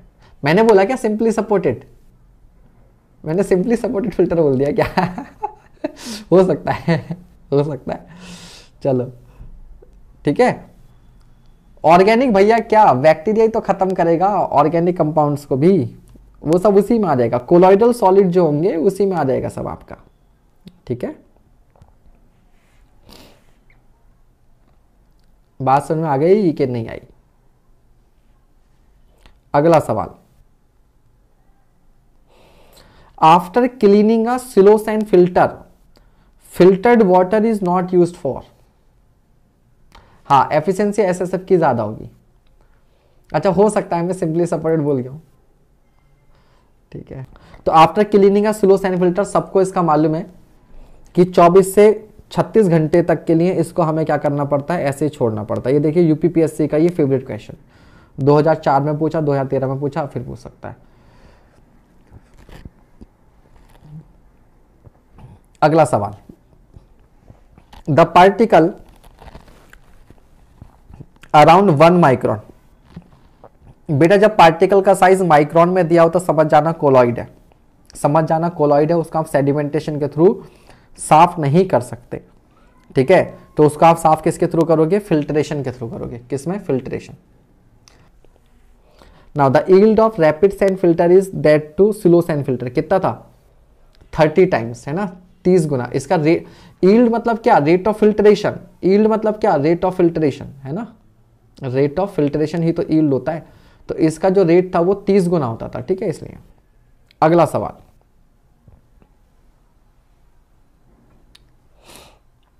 अगला सवाल। The standard rate of filtration through a rapid sand filter is usually is usually अब यहाँ पर प्रॉब्लम यह है कि पर मिनट पर मीटर स्क्वायर दे रखा है। कितना दे रखा है? पर मिनट पर मीटर स्क्वायर ठीक है?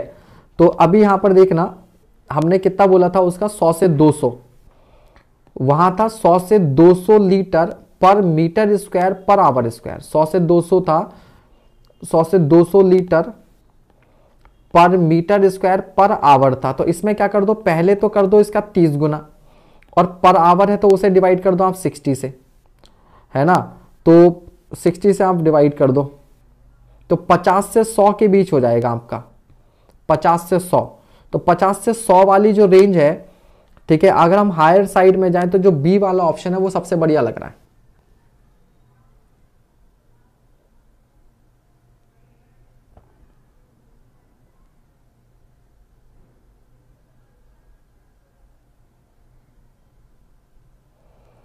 ठीक है? क्लियर हो गया?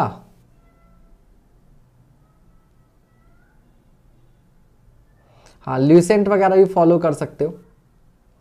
तो इसका आंसर जो होगा बेटा, वो 80 से क्या होगा आपका? 100 होगा। ठीक है? 80 से 100 वाई नॉट 50 टू 60 क्योंकि 50 टू 60 बेटा एक बहुत छोटी रेंज है। कभी भी ना इनकी रेंज बिल्कुल एकदम इतनी फिक्स नहीं होती 50 से 60 मतलब 60 कह लो और थोड़ा सा अपर साइड में भी जा रहे हैं। ठीक है अपर साइड में भी जा रहे हैं इस वजह से। ज़्यादा मतलब थोड़ा सा हायर साइड में इस रेशो में जाए। बाकी जो बुक के थ्रू अगर मैं आपको बताना चाहूँ तो एग्जैक्टली exactly, ठीक है तो मैंने आपको डेटा दिया था। एक सेकंड वेट कर लीजिएगा। अगर रैपिड साइन फ़िल्टर का ही देख लूँ मैं कितना दिया हुआ है। रैपिड साइन फ़िल्टर का मैं।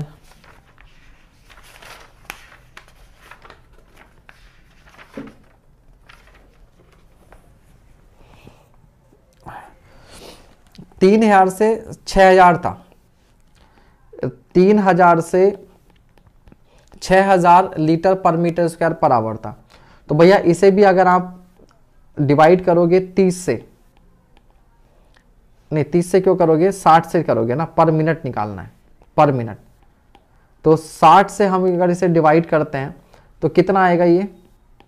पचास से सौ ही आएगा ना यार। वही बात आ गई।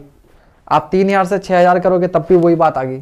ठीक है तो इस वजह से। तो सौ तक में जाना है तो हम वो कर दे रहे हैं। हाँ तो मैंने आपको पहले बताया था, इस तरीके का क्वेश्चन में ना हमेशा आपको कंफ्यूजन रहेगा। क्योंकि जो आपने पढ़ा है वो एग्जैक्टली exactly वैसा दिया नहीं होगा। वैसा एग्जैक्टली exactly आपको दिया नहीं होगा। ठीक है?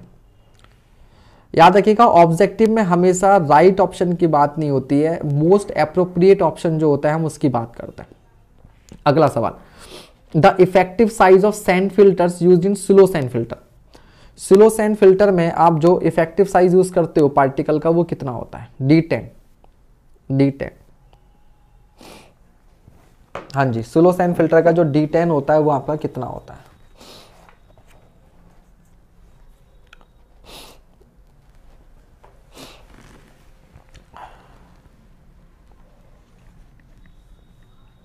सर, कितने क्वेश्चन अभी इसके? अरे क्वेश्चन नहीं तो सब कुछ सीखोगे। ज़्यादा नहीं होंगे, आप कम ही बचे होंगे। कम ही बचे होंगे। तो पॉइंट टू से पॉइंट फोर की रेंज में सबसे बढ़िया ऑप्शन जो आ रहा है, वो आपका ऑप्शन ए आ रहा है। पॉइंट टू फाइव से point three five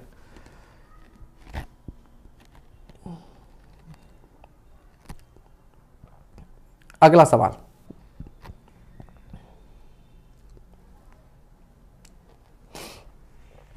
In a rapid gravity filter raw water from a reserve reservoir is supplied as input ना disinfected water water pass through coagulation tank is the input water after settling only तो answer क्या हो जाएगा इसका? C ही हो जाएगा आपका। कोएगुलेशन विद सेडिमेंटेशन हाँ बी वाला आपका रैपिड का। रैपिड का जो वैल्यू थी आपकी वो पॉइंट थ्री फाइव से पॉइंट फाइव फाइव थी। चलो, ये हो गया आपका, ठीक है। अगला सवाल।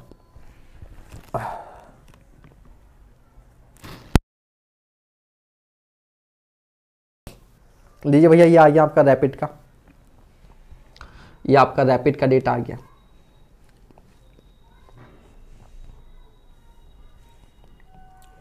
For rapid sand filter sand should have the following specification effective size 0.1 से 0.15 यूनिफॉर्मिटी कोफिशिएंट 2 से 4 0.2 से 0.5 कोफिशिएंट 2 से 3 इफ़ेक्टिव साइज़ 0.45 से 0.7 यूनिफॉर्मिटी कोफिशिएंट 1.3 से 1. यही आंसर है सी इफ़ेक्टिव साइज़ ये हो जाएगा आपके पास और सी यू आपका 1.3 से 1. सी आंसर हो जाएगा, ठीक है अगला सवाल। The cleaning of slow sand filter done by scraping of top layers of sand and admitting water बिल्कुल ये पहले ही कर चुके हैं रिपीटेड है तो इसी हो the period of cleaning for rapid sand filter rapid sand filter की जो क्लीनिंग होता है, वो क्या होता है? मंथ्स में, ठीक है hour twenty four to forty eight hour answer C हो जाएगा, चौबीस से अड़तालीस घंटे में। हाँ सीपी सैनी, बहुत बढ़िया। वेरी गुड अगला सवाल। Cleaning of rapid sand filter is done by cleaning of rapid sand filters is done by providing new sand all of the three mention scraping of top layer back washing तो answer क्या होगा? Back washing होगा। Rapid sand filter ना।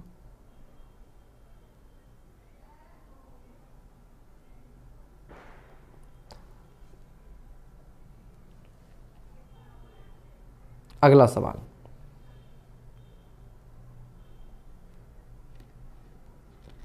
Repeated question है, वही question आ गया आपका, फिर से दोबारा। रिपीटेड क्वेश्चन हो गया।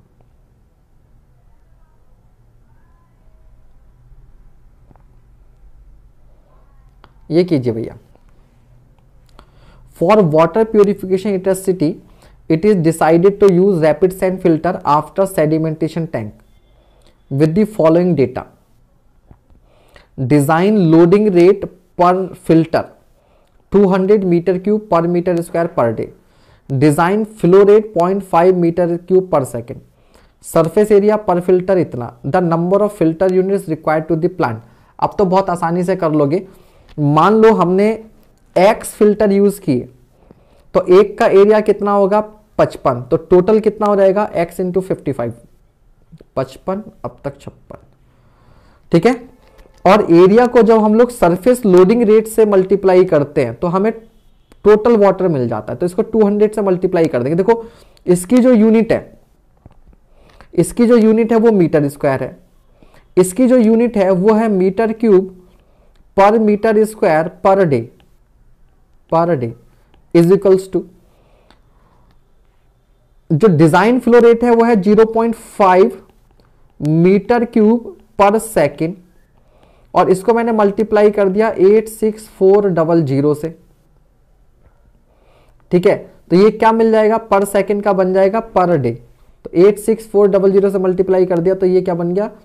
ये बन जाएगा आपके पास बेसिकली पर डे तो हमने क्या किया कि देखो, इस मीटर स्क्वायर से ये मीटर स्क्वायर हो जाएगा कैंसिल तो लेफ़्ट साइड में भी बना मीटर क्यूब पर डे और राइट साइड में भी बना मीटर क्यूब पर डे तो क्या करते हैं? जो सरफेस लोडिंग रेट होता है उसको सरफेस एरिया से मल्टीप्लाई करते हैं तो लोडिंग रेट मिल जाता है। सरफेस लोडिंग रेट को एरिया से मल्टीप्लाई करेंगे तो लोडिंग रेट मिल जाएगा। तो कितना है? 200 metre cube per metre square मिल रहा है पर मीटर से। एक मीटर स्क्वायर से 200 मीटर क्यूब मिल रहा है। तो टोटल एरिया से कितना मिलेगा? मल्टीप्लाई कर दिया। टोटल एरिया कितना होगा? एक का 55 है तो एक्स का कितना होगा? एक्स इंटू फिफ्टी फाइव एक सेकेंड में कितना पानी मिल रहा है? पॉइंट तो छियासी हज़ार चार सौ सेकेंड में कितना पानी मिलेगा? इसको मल्टीप्लाई कर दिया। स्किप नहीं करना बेटा इजी क्वेश्चन है, काहे स्किप कर रहे हो? क्यों स्किप करना है?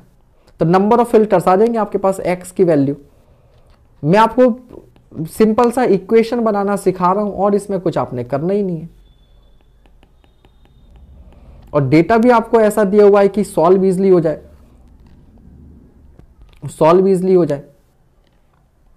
ठीक है?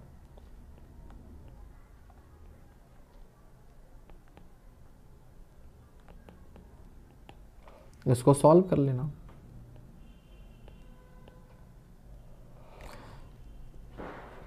ग्यारह चौक चौवालीस लेवल ऑफ़ फोर आंसर आएगा फोर पॉइंट समथिंग आएगा। ठीक है, कितना आ रहा है ये? फोर पॉइंट समथिंग आएगा ना। फोर पॉइंट समथिंग का मतलब फाइव थ्री पॉइंट कम कम वैल्यू क्या सर हाँ सॉरी ग्यारह चौक चौवालीस हाँ थ्री पॉइंट समथिंग आएगा। अगर फोर फोर्टी से ज़्यादा होता तो फोर पॉइंट समथिंग आता। फोर फोर्टी से कम है ना तो थ्री पॉइंट समथिंग आएगा तो इसलिए यूनिट कितने की? चार। आंसर इज़ फोर ठीक है? अगेन मैं फिर कह रहा हूँ, इस क्वेश्चन में कुछ था ही नहीं। हाँ यूनिट अप्रोच से कर दिया, बिल्कुल बच्चों वाले तरीके से। हमने तो एक इक्वेशन बनाई और इस इक्वेशन को बनाकर सॉल्व कर लिया। उस इक्वेशन को बना के क्या कर लिया? सॉल्व कर लिया। ठीक है? समझ में आ गया? हमने क्या किया? हमने मान लिया। बचपन में मानते थे ना कि मान लो नंबर ऑफ़ फ़िल्टर एक्स है। एक का एरिया 55 है तो एक्स का कितना होगा? एक्स इंटू फिफ्टी एक मीटर स्क्वायर से कितना मिल रहा है? 200 तो इतने मीटर स्क्वायर से कितना मिलेगा? इतना। तो इतना टोटल पानी मिलना है। चाहिए कितना? एक सेकंड में पॉइंट फाइव तो पूरे दिन में कितना चाहिए होगा? पॉइंट फाइव को eighty six thousand four hundred से मल्टीप्लाई कर दिया। दोनों को इक्वेट कर दिया। बस हो गया। हाँ यूनिट मैंने यही तो क्या, मैंने कुछ और थोड़ा ना किया, मैंने यूनिट को ही तो एडजस्ट किया। यूनिट को ही तो एडजस्ट किया।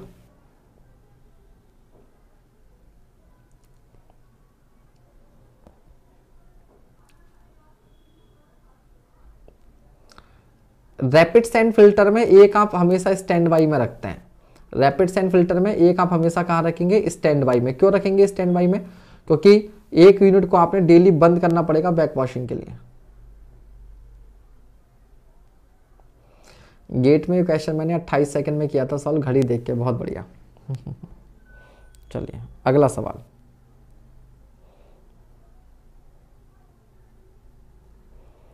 The period of cleaning for rapid sand filter same question repeat हो गया, चौबीस से अड़तालीस घंटे। क्लीनिंग ऑफ़ बैक वॉशिंग क्या क्वेश्चन रिपीट हो रहे हैं क्या? हाँ। The maximum permitted loss of head in a rapid sand filter rapid sand filter में जो हेड लॉस था आपका, वो कितना था? ठीक है? तो ढाई से 2.5 से शायद थ्री था थ्री मीटर था, ढाई से तीन मीटर हाँ ढाई से नहीं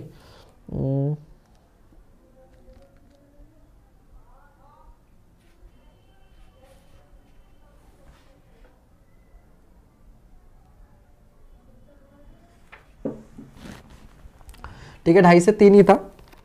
The maximum permitted loss of head in rapid sand filter तो इसका आंसर है थ्री मीटर इसका आंसर कितना है? थ्री मीटर एक नहीं थ्री है इसका आंसर आंसर इज़ थ्री ठीक है? कंफर्म है, ये थ्री है। मैंने पता है, आज दिन में काफ़ी सारे क्वेश्चंस हैं जो गलत थे तो मैंने उनको एक एक को वेरीफाई किया, उनके आंसर्स को, ठीक है? डेप्थ ऑफ़ वाटर जो होती है, इसके ऊपर वो एक से दो मीटर होती है। जो हेड लॉस होता है, वो ज़्यादा होता है। जो मैक्सिमम लॉस ऑफ़ हेड होता है, वो ढाई से तीन मीटर होता है। जो पानी की डेप्थ होती है, इसके ऊपर वो एक से दो मीटर होती है, और जो हेड लॉस होता है, वो ढाई से तीन मीटर होता है, ठीक है? तो थ्री मीटर तो आंसर इज़ थ्री मीटर अगला सवाल। Standard rate of filtration in slow sand filter अब बताओ इनको पकड़ के मारे। अब सौ से दो सौ होता है। अब सौ से दो सौ में मैं इसको लू या इसको लू, किसको लू, बताइए।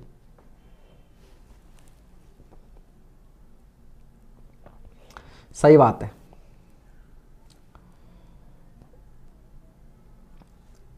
क्या होता है, ये जो ये जो सारे सब्जेक्ट है ना, ये मैं, जो मेरा ऑफलाइन कोचिंग था तो मैं सारे सब्जेक्ट खुद पढ़ाता था ये।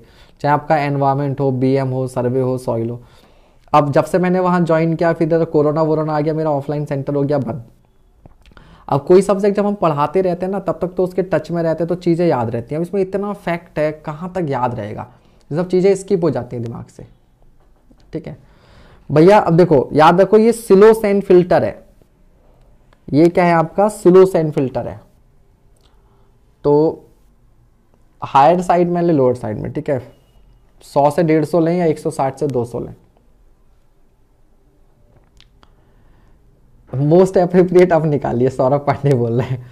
चलो, ठीक है तो आप मेरे कहने पर इस पर सी पे ही लगा दो टिक सी पे इसने लगा दो क्योंकि स्लो सैंड फ़िल्टर से ना ईल्ड कम मिलती है।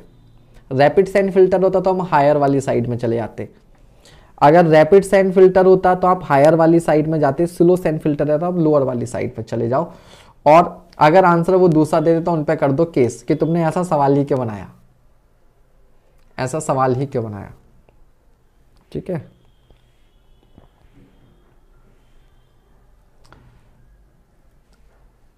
मैक्सिमम लिमिट ली जाती है सर। देखो कैसे। एक बात बताओ, मान लो तुमने मैक्सिमम लिमिट ये वाली ले ली तो तुमने मान लो इसके हिसाब से डिज़ाइन कर दिया। तुमने मान लिया कि वो 200 लीटर पर आवर जो है, पर मीटर स्क्वायर कर रहा है। तो तुम इसके थ्रू एरिया निकालोगे तो आपके पास यूनिट कितनी आएँगी? मान लो चार। जबकि अगर आप इसके हिसाब से निकालोगे तो यूनिट कितनी आएँगी? ज़्यादा।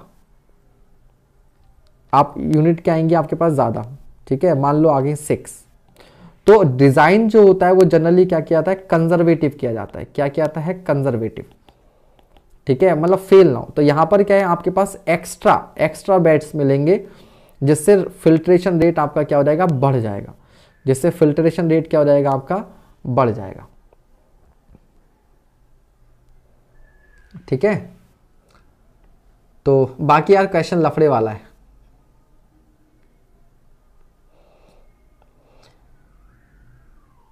सर, अगर आप आज 10 बजे वाली 10 बजे वाली क्लास के 11 बजे होती थी ना। बाकी अगर हुए भी क्वेश्चन तो आपके क्वेश्चन वही सॉइल वगैरह के सॉइल एफएम ठीक है हाईवे रेलवे वही सब रहेंगे। ठीक है। तो यार देखो मतलब आपकी मर्ज़ी है, आप इसमें सी पे लगाओ डी पे लगाओ, क्योंकि भाई जो है वो सौ से 200 है, उसके बीच में है। लेकिन अगर हम कंजर्वेटिव साइज़ को अप्रोच करें तो आंसर जो है वो सी हो जाएगा। आंसर जो है वो सी हो जाएगा। ठीक है कंजर्वेटिव क्योंकि आप जब अगर ज़्यादा मान के चलोगे तो नंबर ऑफ़ यूनिट क्या आएँगी? कम निकल कर आएँगी। ठीक है, कम निकल आएँगे। रैपिड वाले में क्या होता है? रैपिड वाले में क्या होता है कि उसका रेट ही ज़्यादा होता है। तो उसका आप ज़्यादा एज्यूम कर सकते हो, क्योंकि हमें मालूम है उसका रेट ज़्यादा होता है। सिलो सैन फ़िल्टर का रेट कम होता है और आप एज्यूम कर रहे हो हायर साइड में तो फंस सकते हो। फंस सकते हो, ठीक है? बाकी बंगाल वाला कोई हो तो भाई बताओ भैया, ममता दीदी ऐसे क्वेश्चन क्यों बनवाती हैं? बता दो इन्हें बच्चों को जरा, बहुत पूछ रहे हैं। Growth of algae in a water body tends to increase with the litres ठीक है? हम्म, इस क्वेश्चन में अभी अभी रुक जाइएगा इस क्वेश्चन को मैं करवाऊँगा बाद में ठीक है? इसमें कुछ कंफ्यूजन था मैं इसे क्लियर नहीं कर पाया था।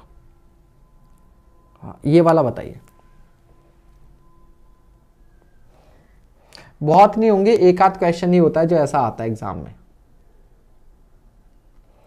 छोड़ देना ही बेहतर विकल्प होता है। छोड़ देना ही बेहतर विकल्प होता है। ऐसे सवाल को एग्ज़ाम में छोड़ देना ही बेहतर विकल्प होता है।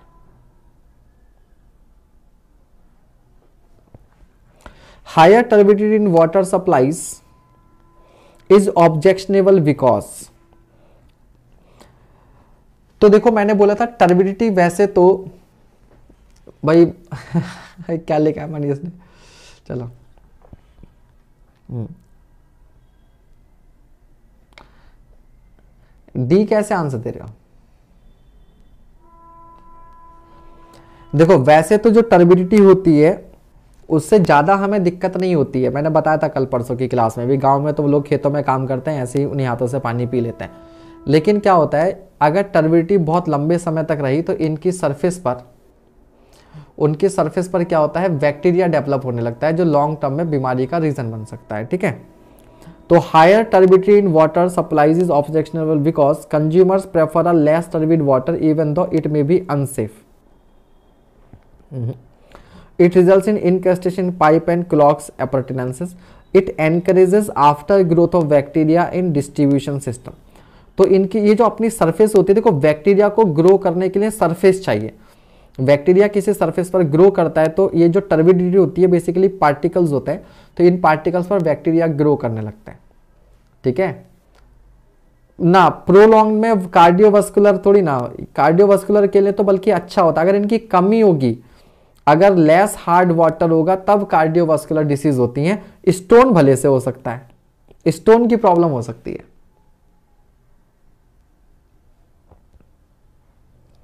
ठीक है? अगला सवाल। Effective size to be used in rapid sand gravity filter rapid sand gravity filter effective size of particle हाँ जी, कितना था?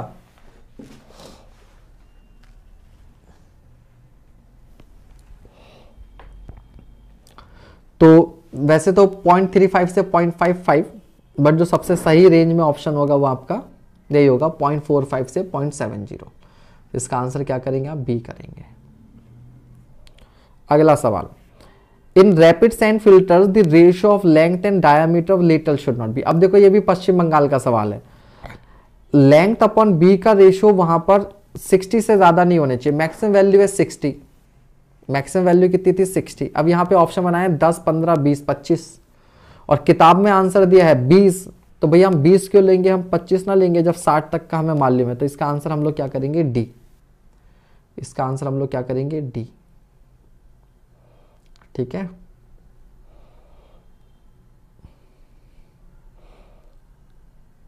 The ratio of length and diameter of lateral जो है वो 60 से ज़्यादा नहीं होना चाहिए। तो आंसर आप हाँ तो आंसर आप 25 लिख लो। जबकि बुक में इसका आंसर जो है वो 20 दिया हुआ है, जो कि गलत है। तो बस थोड़ा सा इस समय इन्हीं चीज़ों का ज़्यादा ध्यान रखना पड़ रहा है कि इनका थोड़ा सा now the uniformity coefficient of D sixty by D ten for best filter media sign ठीक है? बेस्ट तो इसका आंसर क्या था? फाइव ठीक है? इसका भी आंसर गलत दिया हुआ है। इसका भी आंसर लिखा है टू जबकि होता क्या है? फाइव है ना? आंसर होता क्या है? फाइव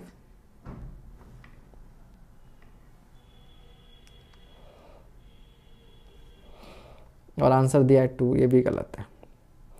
अगला सवाल।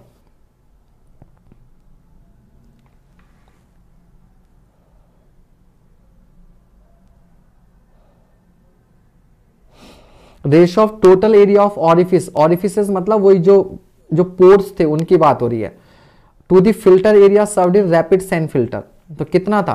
पॉइंट थ्री परसेंट था zero point zero zero zero point zero zero three तो आंसर क्या हो जाएगा? पॉइंट थ्री से point six percent. Point three से सिक्स परसेंट, ठीक है ये? आंसर दिया है डी, जो कि अगेन गलत है। थोड़ा सा यार इसलिए इस बुक से पढ़ते समय थोड़ा सा चीज़ों का ध्यान रखना है आपने, ठीक है?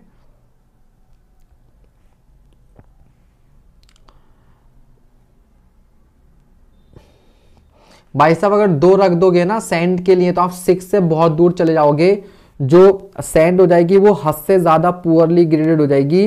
तो सारा वाटर निकल जाएगा इम्प्योरिटी रुकेंगी ही नहीं। तो इम्प्योरिटीज को रोकने के लिए आपको बहुत, ना बहुत ज़्यादा पुअरली ग्रेडेड ना बहुत ज़्यादा वेल ग्रेड दोनों के मीडियम रखना पड़ेगा। गेट के लिए कुछ होगा यूपीपीएससी यही के बाद। देखते हैं पहले यूपीपीएससी यही तो हो जाए, उसके बाद ट्राई करेंगे, उसके बाद ट्राई करेंगे।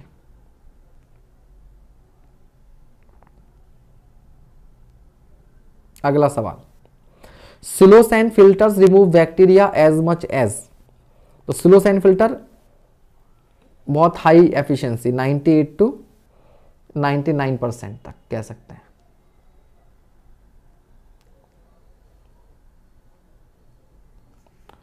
अगला सवाल। In rapid sand filter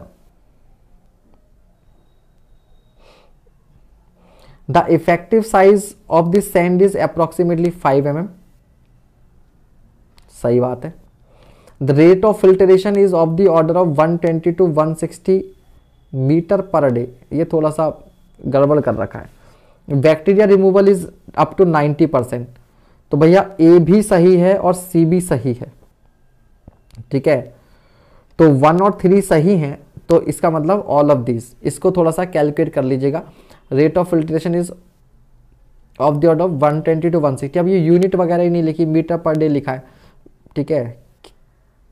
Rate of filtration is of the order of तो बी में थोड़ा सा गड़बड़ है बट ठीक है। रैपिड सेंड 90 परसेंट बताया तो था 90 परसेंट रिमूव करता है। अगला सवाल। चलिए भैया, आज ये इसका फ़िल्टर फ़िल्टर का लास्ट क्वेश्चन है। फ़िल्टर का लास्ट क्वेश्चन है, इसके बाद डिसइंफेक्शन पढ़ेंगे।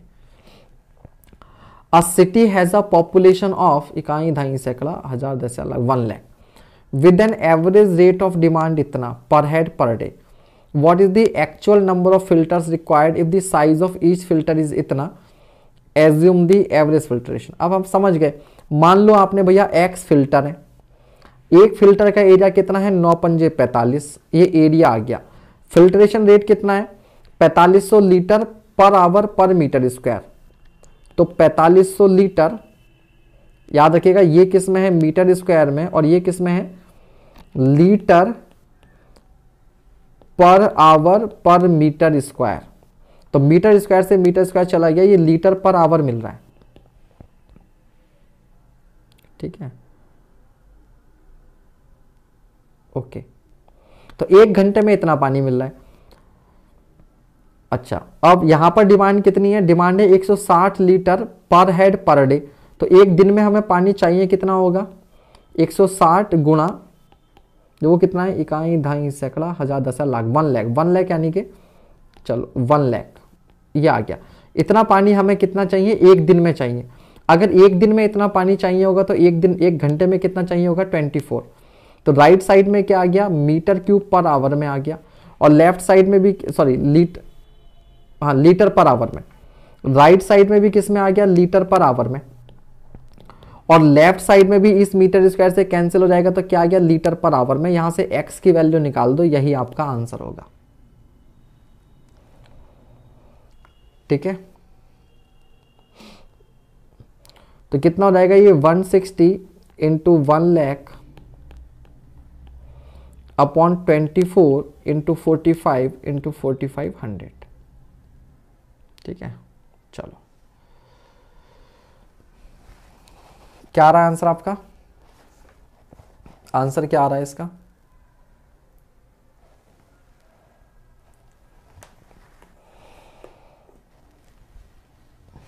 फाइव आ रहा है तो फाइव ही होगा।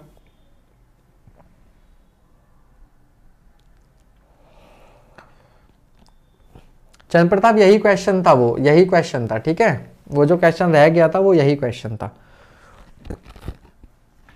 तो अब हम वापसी बढ़ते हैं थ्योरी की तरफ़। और अब हमें पढ़ना है आगे इसमें डिसइंफेक्शन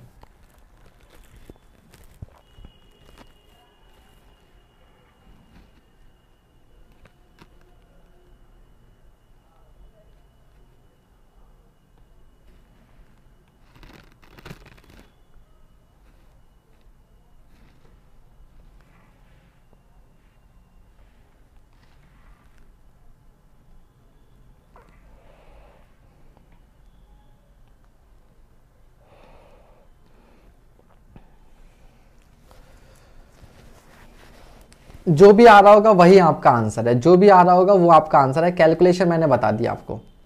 कैलकुलेशन मैंने बता दी आंसर आप ले आओ। कैलकुलेशंस मैंने बता दी आंसर आप ले आओ ठीक है बच्चे? हम्म, चलो मैं पानी पी लेता हूँ जरा सा। डिसइंफेक्शन तो डिस डिसइंफेक्शन आप समझ गए? तो disinfection process of destruction or inactivation of harmful microorganism in water. Either by physical process or chemical process. तो डिसइंफेक्शन क्या होता है? जो हार्मफुल माइक्रो ऑर्गेनिज्म होते हैं, सूक्ष्म जीवाणु होते हैं, ठीक है? उनको इनएक्टिव करना, उनको डिस्ट्रॉय कर देना क्या कहलाता है? डिसइंफेक्शन कहलाता है, ठीक है? फ़िज़िकल प्रोसेस भी हो सकते हैं केमिकल भी हो सकते हैं। हो सकता है पानी को गर्म करो बॉईल करो, उसमें मर जाए। ठीक है, या फिर केमिकल प्रोसेस भी हो सकता है क्लोरिनेशन कर सकते हैं ओजोनाइजेशन कर सकते हैं, कुछ भी कर सकते हैं, ठीक है? एक दूसरा प्रोसेस होता है, इससे मिलता जुलता जिसको बोलते हैं स्टेरिलाइजेशन ठीक है? अब इसमें क्या होता है, इसमें अच्छे बुरे सारे जीवाणु मर जाते हैं। कहने को जो कर्ड होता है, दही, उसमें भी बैक्टीरिया होता है, लेकिन वो बैक्टीरिया अच्छा बैक्टीरिया होता है। ये तो फ़िल्टर से निकल गए बेटा फ़िल्टर से हंड्रेड परसेंट नहीं निकले थे ना?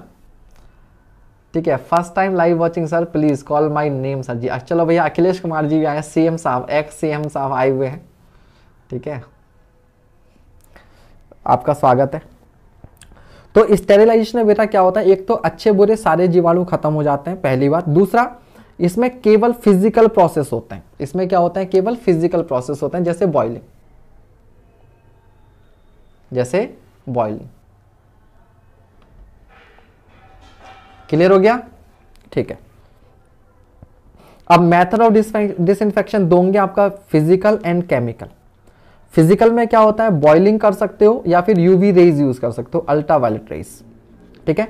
केमिकल में ऑक्सीडाइजिंग एजेंट यूज़ कर सकते हो chlorine bromine iodine ozone potassium permanganate hydrogen peroxide H two O two H two O two ठीक है? दूसरा कुछ मेटल आइंस होते हैं इलेक्ट्रोकेटाडाइन प्रोसेस माधुरी दीक्षित जी इसका ऐड कर रही थी कुछ समय पहले, है ना? एक यंग माधुरी दीक्षित, एक ओल्ड माधुरी दीक्षित, कि इसमें क्या है? इलेक्ट्रोकेटाडाइन तो ये मेटल के आयंस की हेल्प से। पुराने ज़माने में आपको मालूम बेटा कि ये जो अपने यहाँ एक प्रथा है, नदियों में सिक्के फेंकने की, ये प्रथा कहाँ से आई? नदियों में सिक्के क्यों फेंके जाते थे? मालूम है आपको? आज भी लोग फेंकते हैं।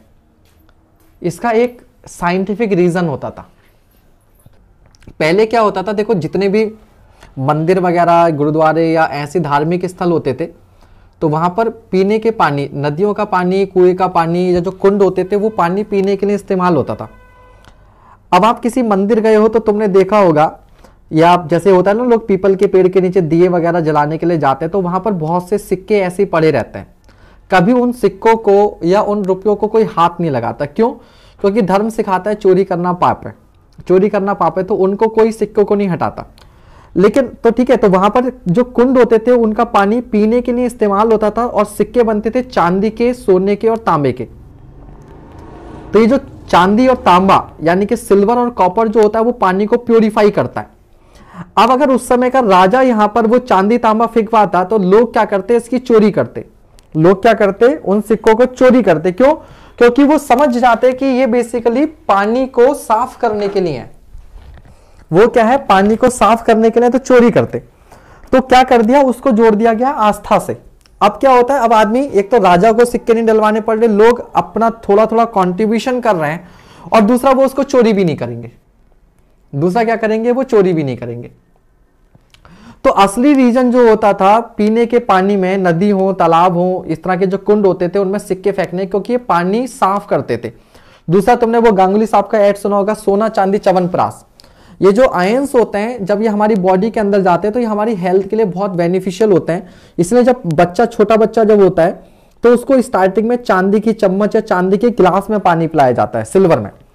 और कुछ जगहों पर ये भी बोलते हैं कि कॉपर के बर्तन में पानी रख के फिर उसको सुबह में पीना चाहिए। तो क्योंकि वो उसको और ज़्यादा प्योरीफाई कर लेता है। और ज़्यादा क्या कर लेता है? प्योरीफाई कर लेता है। तो ये पूरा प्रोसेस जो था, वो प्योरिफिकेशन से जुड़ा हुआ था। किससे? प्योरिफिकेशन से।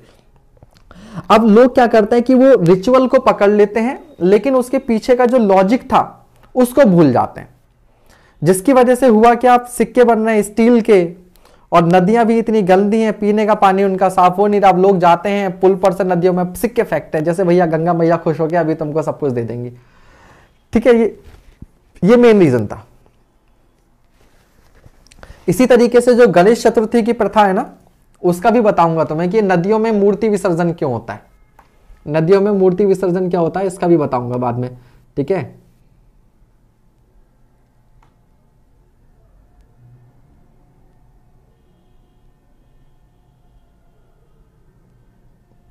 हाँ नीचे से सिक्का फेंक देते वो किसी काम का नहीं होता।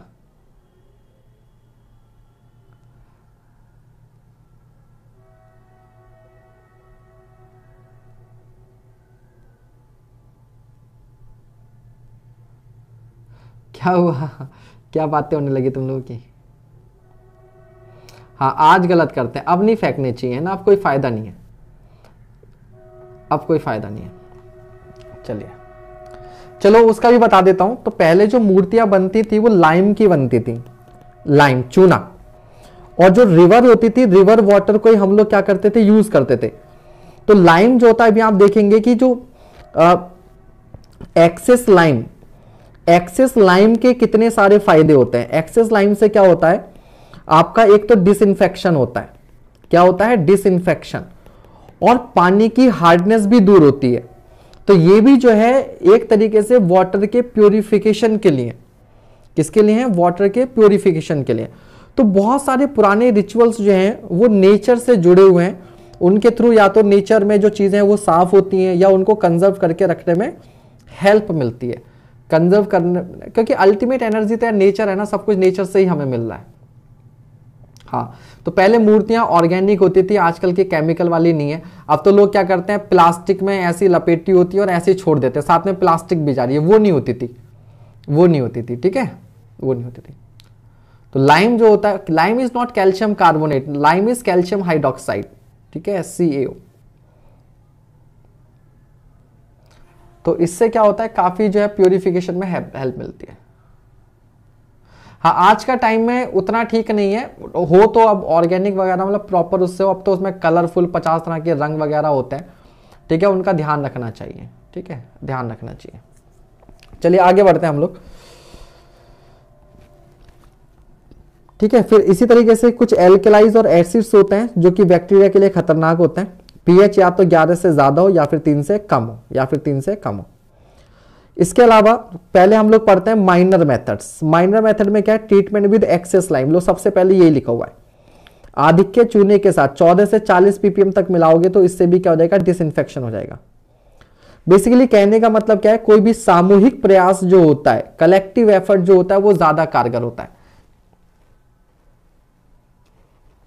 जो कलेक्टिव एफर्ट होता है, वो ज़्यादा ज़्यादा इफ़ेक्टिव होता है इसलिए।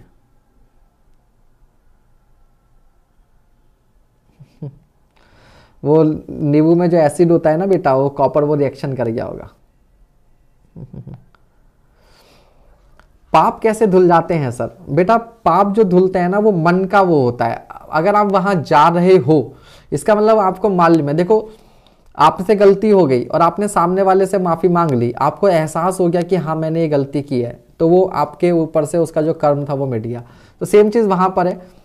रविदास जी ने कहा है संत रविदास जी ने, जे मन चंगा तो कटौती में गंगा। तो मन चंगा होना चाहिए, मेन बात ही। है आप वैसे तो झूठ बोल रहे हो, सब कुछ कर रहे हो, तुम कितनी बार गंगा में डुबकी लगा लो, कोई पाप नहीं धुलने वाला।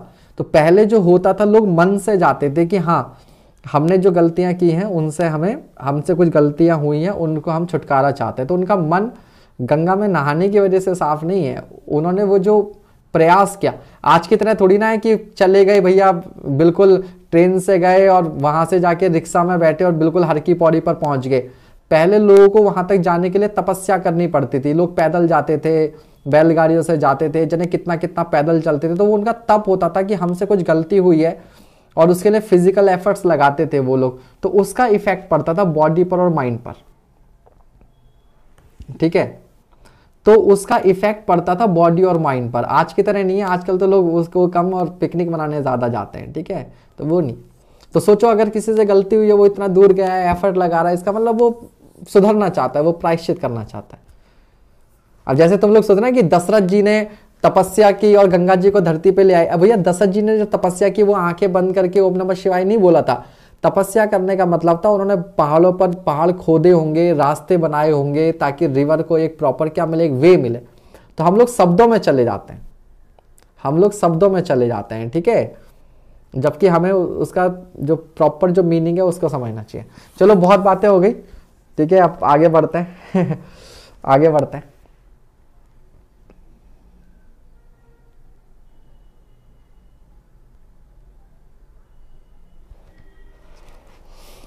चलिए।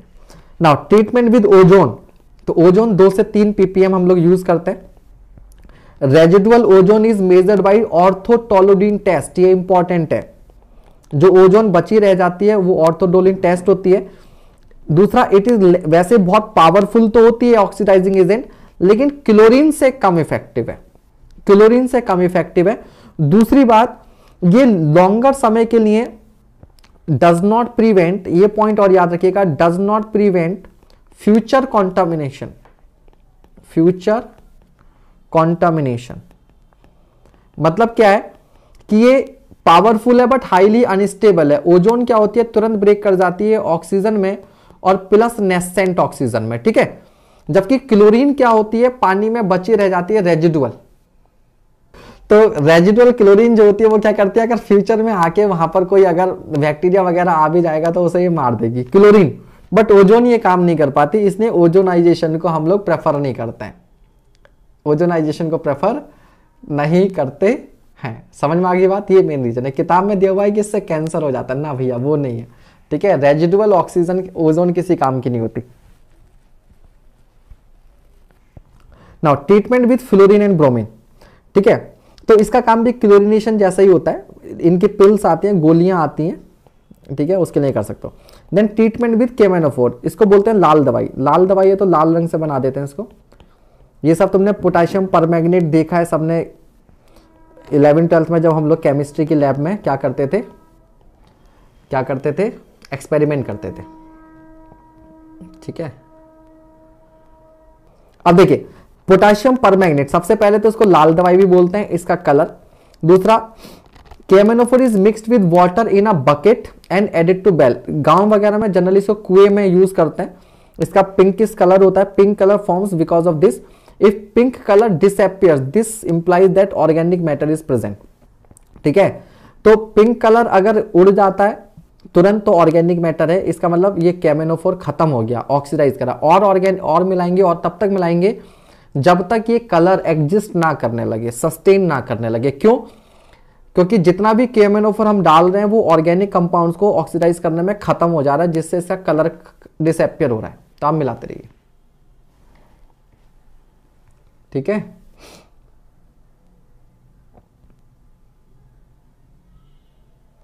नहीं माचिस की तीली में तो फॉस्फेट होता है कुछ शायद। उसमें तो फॉस्फेट होता है, ये नहीं होता परमैग्नेट नहीं होता। ठीक है? नहीं कॉल साहब हो। नेक्स्ट है आपका मेजर मेथड्स जो मेजर मेथड्स होते हैं, उसमें सबसे जो मेजर होता है, वो आता है आपका क्लोरीनेशन सबसे मेजर मेथड जो है, वो है आपका क्या? क्लोरीनेशन ठीक है भैया? क्लोरीनीकरण यही सबसे आपका इंपॉर्टेंट है। सबसे इंपॉर्टेंट जो है आपका, यही है। अब देखिए क्लोरीनेशन में क्या होता है? जो क्लोरीन है, वो पानी के साथ रिएक्शन करके बनाती है हाइपोक्लोरस एसिड और प्लस हाइड्रोक्लोरिक एसिड लेकिन इसके लिए याद रखिएगा, बहुत इंपॉर्टेंट है कि जो पानी की पीएच है, वो फाइव से ज़्यादा होनी चाहिए। सोल्यूशन मतलब लेस एसिडिक बहुत ज़्यादा एसिडिक सोल्यूशन नहीं होना चाहिए। ठीक है?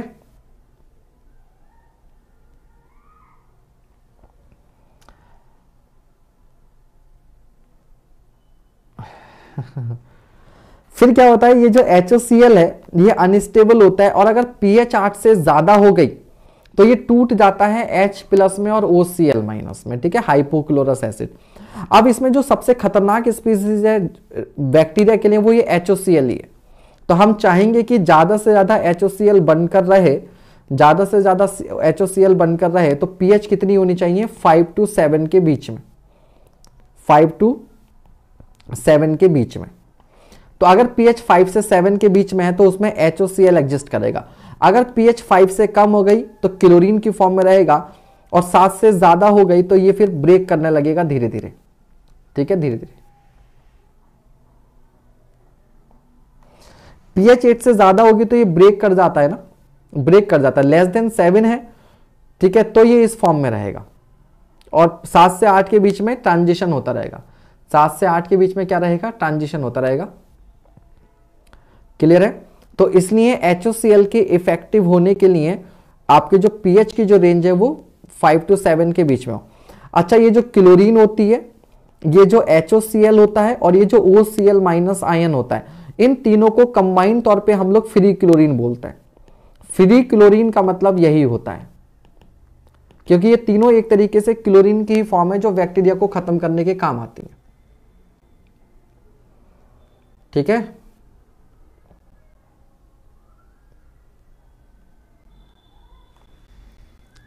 क्लियर हो गया जी? और ये क्लोरीन हमें मिलती कहाँ से? तो ब्लीचिंग पाउडर से या और दूसरे कंपाउंड होते हैं। तो H is most destructive it is 80 percent more effective than OCL minus ठीक है?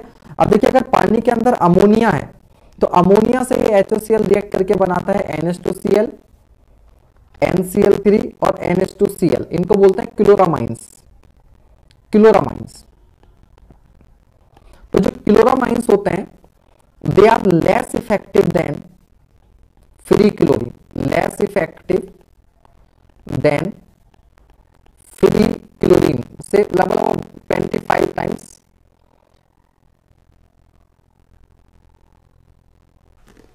ये बात समझ में आ गई आपको तो क्लोरिनेशन में क्या होगा क्लोरीन वाटर से मिलकर हाइपोक्लोरस एसिड बनाती है पीएच 5 से ज़्यादा होनी चाहिए पीएच अगर आठ से ज़्यादा होती तो हंड्रेड परसेंट टूट जाता है, पीएच सात से कम होती तो दोबारा इधर कन्वर्ट होने लगता है। तो मैक्सिमम एफिशिएंसी के लिए पीएच पाँच से सात होनी चाहिए, ठीक है? क्लोरीन हाइपोक्लोरस एसिड और ओसीएल माइनस को हम लोग फ्री क्लोरीन बोलते हैं। एचओसीएल सबसे ज़्यादा डिस्ट्रक्टिव होता है 80 परसेंट ज़्यादा इफ़ेक्टिव होता है ओसीएल माइनस से। पानी के अंदर अगर अमोनिया है अमोनिया कैसे होगी? अगर कुछ ऑर्गेनिक सब्सटेंस है तो उनके डिकम्पोजिशन से अमोनिया बन रही होगी। अमोनिया इस एचओसीएल से रिएक्शन करेगा अलग अलग पीएच पर बनेगा आपके पास। क्लोरामाइंस तो NH2Cl NHCl2 NCl3 ये ठीक है? क्या क्या बनेगा NH2Cl एक एक हाइड्रोजन रिप्लेस होता जाएगा और अमोनिया आती जाएगी, ठीक है? अमोनिया आती जाएगी। तो एक हाइड्रोजन जाएगा क्लोरीन आएगी। दो हाइड्रोजन जाएँगे, दो क्लोरीन आएँगी और तीनों हाइड्रोजन आएँगे, तीनों किलो तो इनको कंबाइन तौर पे बोलते हैं क्लोरामाइंस तो क्लोरामाइन जो होते हैं वो स्टेबल तो ज़्यादा होते हैं। पानी के अंदर इनकी स्टेबिलिटी ज़्यादा होती है but they are less effective than chlorine कोई दिक्कत है यहाँ तक? ठीक है? और जो रेजिडुअल क्लोरीन होती है, बची हुई क्लोरीन क्यों? जो भी हम लोग क्लोरीन डालेंगे पानी के अंदर, ठीक है, वो क्लोरीन क्या होगी? काफ़ी क्लोरीन बैक्टीरिया को खत्म करने में ऑक्सीडाइज करने में एडजस्ट हो जाएगी। जो बची रह जाएगी उसको हम लोग चेक करते हैं डीपीडी टेस्ट से। डीपीडी डीपीडी का पूरा नाम होता है डाई इथाइल डाई इथाइल वैसे पूरा नाम कोई पूछेगा नहीं, लेकिन तुम मुझसे पूछने लगते इसलिए मैं बता रहा हूँ। पैराफिनाइलिन पैराफिनाइलिन डाई अमीन डाई अमीन ठीक है डीपीडी टेस्ट के थ्रू रेजिडुअल क्लोरीन को हम लोग क्या करते हैं? मेजर करते हैं। ठीक है? अब क्लोरिनेशन के बहुत सारे टाइप होते हैं, आगे बढ़ते हैं। Forms in which chlorine is added पहला होता है एस फ्री क्लोरीन लिक्विड या गैसियस फॉर्म में। हाइपोक्लोराइड्स ब्लीचिंग पाउडर की फॉर्म में। क्लोरामाइंस अमोनिया और क्लोरीन के स्टेबल प्रोडक्ट्स होते हैं और क्लोरीन डाइऑक्साइड टू इस सारी फॉर्म में हम लोग क्लोरीन को यूज़ कर सकते हैं। अब देखिएगा टाइप्स ऑफ़ क्लोरीन क्लोरिनेशन सबसे पहला होता है आपका प्लेन क्लोरिनेशन सिंपल क्लोरिनेशन जो कि हम लोग करते हैं, ठीक है डिसइंफेक्शन के लिए फिल्ट्रेशन के बाद में। तो टर्बिडिटी 20 से 30 एम पर लीटर के बीच में होती है, इसकी जो डोज होगी वो 0.5 फाइव पर लीटर होती है। डोज कितनी है आपकी? 0.5 फाइव पर लीटर ठीक है पर लीटर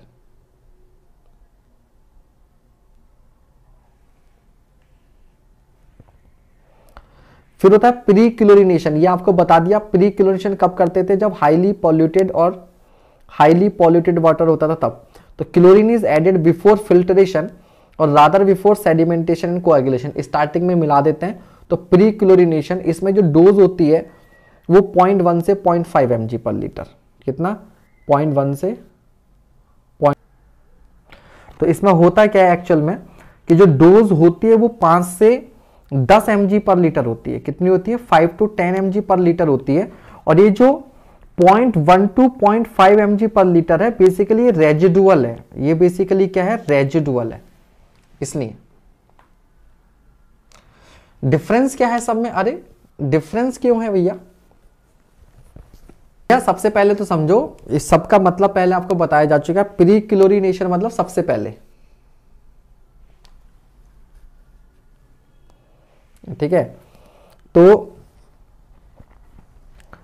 प्री क्लोरिनेशन जो होता है, वो सारे प्रोसीजर से पहले। सारे प्रोसीजर से पहले। यूज़ करते हैं हम लोग, ठीक है? तो प्री क्लोरिन पोस्ट होता है जब हम लोग क्या करते हैं इसको? फाइनल मतलब सेडिमेंट उसके बाद करते हैं फिल्ट्रेशन के बाद में करते हैं। प्लेन क्लोरिनेशन का मतलब होता है केवल क्लोरिनेशन हो रहा है और कोई प्रोसेस नहीं है। प्लेन क्लोरिनेशन का मतलब है ओनली क्लोरिनेशन। जैसे होता है ना, कई बार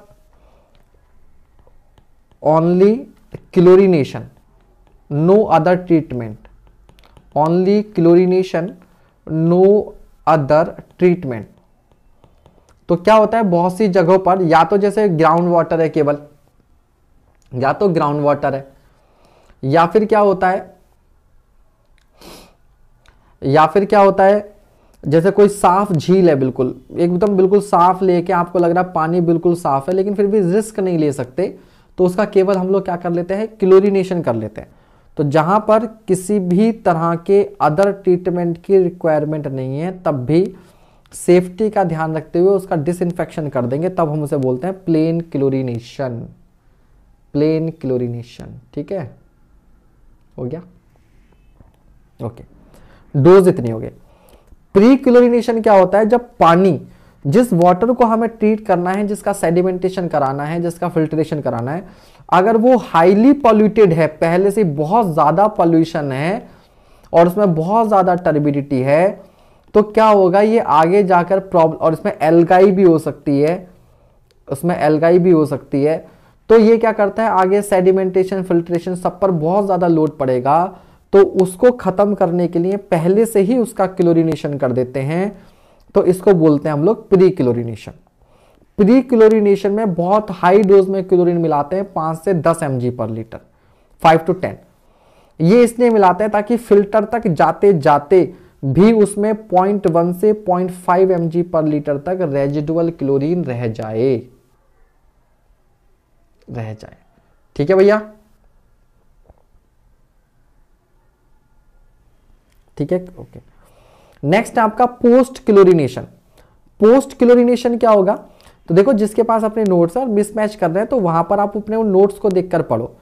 जो डेटा आपको लग रहा है थोड़ा सा मिसमैच है, वहाँ पर अपना ऑब्लिक करके लिख लो और बाद में देख लो कौन ज़्यादा रिलायबल है, कौन ज़्यादा ऑथेंटिक है। मैंने भी तो वही किया ना, अभी देखो मैंने क्या किया? जैसे ही मैंने ये वैल्यू देखी, मेरा दिमाग हो गया यार ये तो नहीं है, इसमें तो ज़्यादा होता है। तो मैंने चेक किया चेक करने पर मालूम चल गया कि ये बेसिकली क्या लिखा हुआ है। समझ रहे हैं? इसलिए।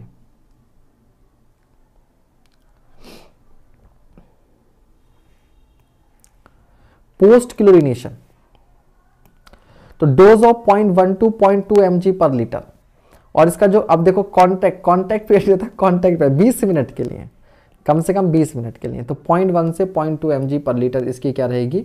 डोज रहेगी। अब ये डोज भी याद रखिएगा, ये सब इस तरह की डोज होती हैं कि ये बेसिकली रेजिडुअल वैल्यूज़ होती हैं। ये क्या, ये भी अगेन आपकी रेजिडुअल वैल्यू है। यहाँ जो ये 0.1 से 0.2 है, ये रेजिडुअल है, इतनी बच जानी चाहिए। मतलब इसमें क्लोरीन इस तरीके से मिलाते हैं पोस्ट क्लोरिनेशन की बैक्टीरिया को खत्म करने के बाद में। देखो, पहले तो हम लोग क्या करेंगे? सैंपल की टेस्ट करेंगे, क्या बैक्टीरिया बैक्टीरिया, उसके हिसाब से क्लोरीन मिलाएँगे। क्लोरीन डिमांड एक्चुअली कैलकुलेट करेंगे। क्लोरीन डिमांड कैलकुलेट करने के बाद में इतनी एक्स्ट्रा क्लोरीन मिलाते हैं कि पॉइंट वन से point two M per litre chlorine बचनी चाहिए। ठीक है? ये बचनी चाहिए। कांटेक्ट पीरियड मतलब पानी के अंदर क्लोरीन इतने समय तक रहे, इतने समय तक रहे, रहनी चाहिए। ठीक है? यूज़ करने से पहले। पानी को ये नहीं कि पानी में क्लोरीन मिलाया और बस, यूज़ करना नहीं। पानी में क्लोरीन मिला के उस पानी को 20-25 मिनट के लिए छोड़ देना चाहिए। 20-25 मिनट के लिए क्या कर देना चाहिए? छोड़ देना चाहिए। That is contact period clear हो गया कि नहीं हुआ? फिर होता है डबल क्लोरिनेशन डबल क्लोरिनेशन का सिंपल सा मतलब है प्री क्लोरिनेशन भी कर रहे हैं और पोस्ट क्लोरिनेशन दोनों कर रहे हैं। मतलब ट्रीटमेंट करने से पहले भी और ट्रीटमेंट करने के बाद भी। ट्रीटमेंट करने से पहले भी क्लोरीन मिलाई और ट्रीटमेंट करने के बाद भी क्लोरीन तो ये हो गया आपका डबल क्लोरिनेशन क्या डबल फिर भैया एक होता है आपका ब्रेक पॉइंट क्लोरिनेशन भंजक बिंदु क्लोरिनीकरण क्या बोलते हैं इसको? भंजक बिंदु क्लोरीनीकरण ब्रेक पॉइंट क्लोरिनेशन ये क्या होता है?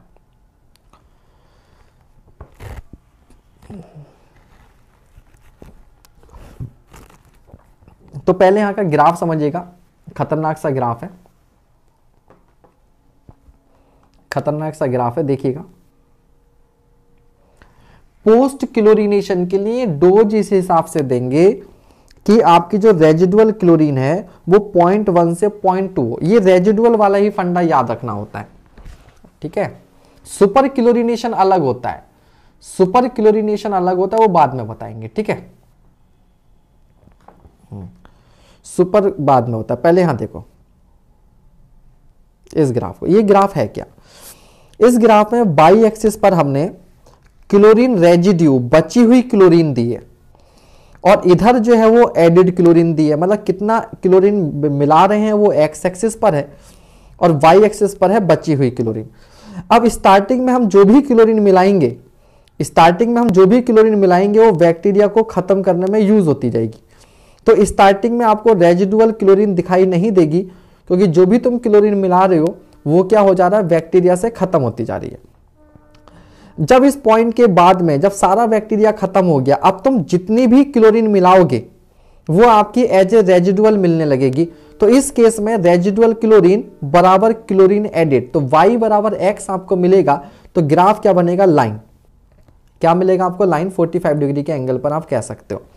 तो अब क्योंकि आपका वो खत्म हो गया है, बैक्टीरिया तो जो भी क्लोरीन मिला रहे हैं, वो सीधे सीधे क्या होती जा रही है, रेजिडुअल क्लोरीन के फॉर्म में बढ़ती जा रही है।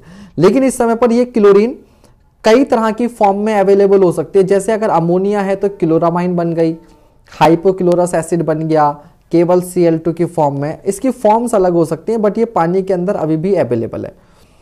एक टाइम आता है, उस टाइम के बाद में फिर क्या करती है ये, जो भी ऑर्गेनिक कंपाउंड्स होंगे ऑर्गेनिक कंपाउंड्स होंगे, अब ये उनको डिकम्पोज करने लगती है। रेजिडुअल का मतलब बची हुई। रेजिडुअल का मतलब होती है बची हुई बची हुई क्लोरीन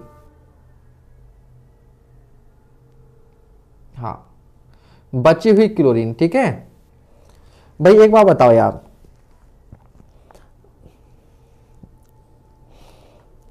आप आप आप मान लो आर्मी में हो। आप कहाँ पर हो भाई साहब? आर्मी में हो। ठीक है? नाम तो तुम्हारा खैर नहीं है वैसा। आप आर्मी में हो और आपके पास क्या है? हंड्रेड बुलेट्स है। आपके पास क्या है? हंड्रेड बुलेट्स हैं और बुलेट्स हैं और मान लो सामने से जो है वो आपके जो एनिमी सोल्जर्स हैं वो आ रहे हैं और आप उन्हें क्या कर रहे हो? मारते जा रहे हो। तो स्टार्टिंग में क्या आ रहा है? आपके पास जितनी भी सप्लाई आ रही है, उतनी सप्लाई आपकी क्या होती है? तुरंत खत्म होती जा रही है। एक टाइम आएगा, फिर क्या होता है? पता चला आपके पास जो सप्लाई है वो ज़्यादा है और एनिमी जो है वो आपके पास क्या है? कम है। ठीक है? तो उसके बाद में क्या होगा? आपके पास कुछ बुलेट्स जो है वो बची रह जाएँगी। फिर क्या होगा? पता चला आप फ्री ही हुए थे तो आपके पास सप्लाई तो पीछे से डायरेक्टली आ ही रही थी कि भाई ठीक है, लड़ाई पर गए हुए हो तुम लोग, है ना? ये क्लोरीन क्या है? बेसिकली सोल्जर्स ही तो है। ठीक है? क्लोरीन मॉलिक्यूल्स क्या है? सोल्जर्स हैं। ठीक है? और जो आपके ये जो बैक्टीरिया वगैरह है, वो क्या है? आपके एनिमी सोल्जर्स हैं। तो क्लोरीन के थ्रू हम लोग क्या कर रहे हैं, इसको खत्म कर रहे हैं। तो स्टार्टिंग में मान लो, अगर हम हाँ क्लोरीन को हम सोल्जर भी नहीं कह सकते, अपने सोल्जर को थोड़ा मारेंगे बुलेट्स है मान लो। तो जितनी बुलेट्स आती जा रही हैं, उतने जो एनिमी सोल्जर्स हैं, वो आपके पास क्या होते जा रहे हैं, खत्म हो जाते होते जा रहे हैं। तो मान लो हमने क्या किया हंड्रेड बुलेट्स आपकी खत्म हो गए तो आप क्या कहोगे कि आपके हंड्रेड एनिमीज जो है, वो खत्म हो गए। ऐसे तो बोलोगे बालक, यही तो बोलोगे। अब एक टाइम के बाद में क्या आता जा रहा है कि क्लोरीन मॉलिक्यूल आपके पास इकट्ठे होते हैं बचते जा रहे हैं। मतलब ये खत्म नहीं हो रहे। इसका मतलब क्या हो रहा है? एनिमीज खत्म हो गए। बैक्टीरिया सारा क्या हो गया? खत्म हो गया। अब जो भी क्लोरीन आ रही है, वो बच्ची की बच्ची रह जा रही है। कुछ फ़ायदा ही नहीं हो रहा है इसका। तो ये बच गई। बची हुई को क्या बोल दिया हमने? रेजिडुअल बोल दिया। बची हुई को क्या बोल दिया हमने? रेजिडुअल बोल दिया। ठीक है? अब जो भी क्लोरीन थी, वो क्योंकि यूज़ नहीं हो रही तो वो क्या होता जा रहा है? उसका अमाउंट स्टॉक में बढ़ता जा रहा है। तो सरकार की तरफ़ से तुम्हें गोलियाँ तो मिल रही हैं बट सरकार की तरफ़ से गोलियाँ तो मिल रही हैं बट दूसरी तरफ़ से दुश्मन नहीं है। सरकार से गोलियाँ तो मिल रही हैं बट दूसरी तरफ़ से दुश्मन नहीं आ रहा। तो तुम्हारे पास गोलियों का स्टॉक क्या होता जाएगा? बढ़ता जाएगा। अब पता चला एक दिन दुश्मन ने प्लान किया, चलो भाई, बहुत दिन हो गए, खुरापात नहीं की थोड़ी सी फायरिंग की जाए। अब तुम्हें मिला मौका, लो भाई साहब, डिशो डिशो डिशो डिशो डिशो। तो क्या होगा? अगेन तुम्हारा स्टॉक क्या होगा? खत्म होने लगा। तुमने सारे दुश्मन को मार गिराया। अब सरकार से तो सप्लाई आ रही है भैया आर्मी को कि भाई आपको तो दुश्मन से पंगा लेना है ना।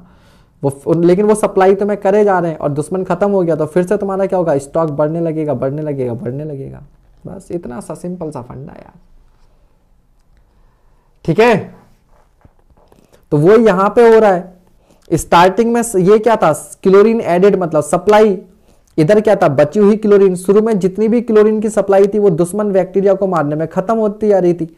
इस पॉइंट पर क्या हो गया? सारा दुश्मन खत्म हो गया। अब तुम्हारा जो स्टॉक आ रहा है, वो तुम्हारा स्टॉक तुम्हें बचा हुआ दिखने लगेगा। स्टॉक बढ़ता जा रहा, बढ़ता जा रहा। अब इसके बाद नए टाइप के दुश्मन आए। वो क्या थे आपके पास? ऑर्गेनिक कंपाउंड्स ऑर्गेनिक कंपाउंड्स ठीक है? अब ये ऑर्गेनिक कंपाउंड वैसे हमारे लिए हार्मफुल नहीं थे, ये पैथोजन नहीं थे। याद रखिएगा, ये पैथोजन नहीं थे। ठीक है? अब ये ग्लूकोज हो सकती है शुगर मॉलिक्यूल्स हो सकते हैं, कुछ भी हो सकता है। अब ये क्या है? एक ऑक्सीडाइजिंग एजेंट है। ये क्या है? एक ऑक्सीडाइजिंग एजेंट भी है तो क्या करने लगेगा ये? ऑर्गेनिक कंपाउंड्स को ऑक्सीडाइज करने लगेगा। इस प्रोसेस में इसकी क्वांटिटी क्या होने लगेगी? कम होने लगेगी। फिर एक मिनिमम वैल्यू पर आएगी और आप फिर से ऐड करोगे तो फिर से बढ़ने लगेगी। फिर से बढ़ने लगेगी। तो ये वाला जो पॉइंट होता है, ये आपका क्या होता है? ब्रेक पॉइंट होता है। ये क्या होता है? ब्रेक पॉइंट होता है। तो ब्रेक पॉइंट क्लोरिनेशन क्या होता है? जब क्लोरीन आप इतना ज़्यादा प्रोवाइड कर रहे हो कि बैक्टीरिया भी खत्म होता जा रहा है और आपका जो ऑर्गेनिक कंपाउंड थे, वो भी ऑक्सीडाइज हो रहे हैं। ठीक है? वो भी खत्म होते जा रहे हैं। जोन वाइज क्या बता तो दिया? Zone one zone two zone three zone one में क्या हो रहा है आपका? ज़ीरो रेजिडुअल क्लोरीन क्यों? क्योंकि सारा का सारा बैक्टीरिया आपका यहाँ पे क्या हो रहा है? खत्म होता रहा जितनी क्लोरीन ऐड कर रहे हैं, सारी की सारी क्लोरीन खत्म होती है जोन वन हो गया। जोन टू में क्या हो रहा है आपके पास? कि जो हम लोग क्लोरीन भेज रहे हैं बैक्टीरिया तो खत्म हो गया। तो वो क्लोरीन पानी में प्रेजेंट, अमोनिया या जो दूसरे कंपाउंड्स हैं, उनके साथ क्या हो रही है? कंबाइन हो जा रही है।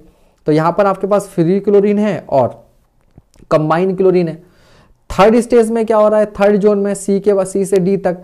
अब बैक्टीरिया तो पहले ही खत्म हो गया। अब यहाँ पर क्या हो रहा है? आपका जो ऑर्गेनिक कंपाउंड्स हैं, उनका उनका नंबर आ गया। उनका नंबर आ गया, है ना? जो जो लोग खतरनाक ऑफ़िस वर्क वाले होते हैं ना, जो हर समय स्ट्रेस में रहते हैं। तो जब वो ऑफ़िस में रहते हैं तो ऑफ़िस वालों की दिक्कत आती है। जब वो घर पे आ जाते हैं, उन्हें कोई नहीं मिलता तो वो घर वालों को सुनाना शुरू कर देते हैं। तो इसे बैक्टीरिया नहीं मिल रहा तो ले बेटा ऑर्गेनिक कंपाउंड तुझे लपेट दूँगा। ठीक है? तो ये हो जाता है। अब इसके बाद में ये फोर्थ जोन जो आ जाएगा, इसमें फिर से आपका वो ये बढ़ने लगेगा। अब ना बैक्टीरिया बचा, ना ऑर्गेनिक कंपाउंड बचे, अब तो पानी बिल्कुल साफ़ है। तो क्लोरीन मिलाते रहो, बस पानी का टेस्ट कड़वा होता जाएगा और कुछ नहीं होगा। ठीक है? पानी का टेस्ट कड़वा होता जाएगा और कुछ नहीं होगा। आ गई बात समझ में कि ना आई जो आई समझ में कि ना आई भैया, जल्दी बताओ। क्लियर है?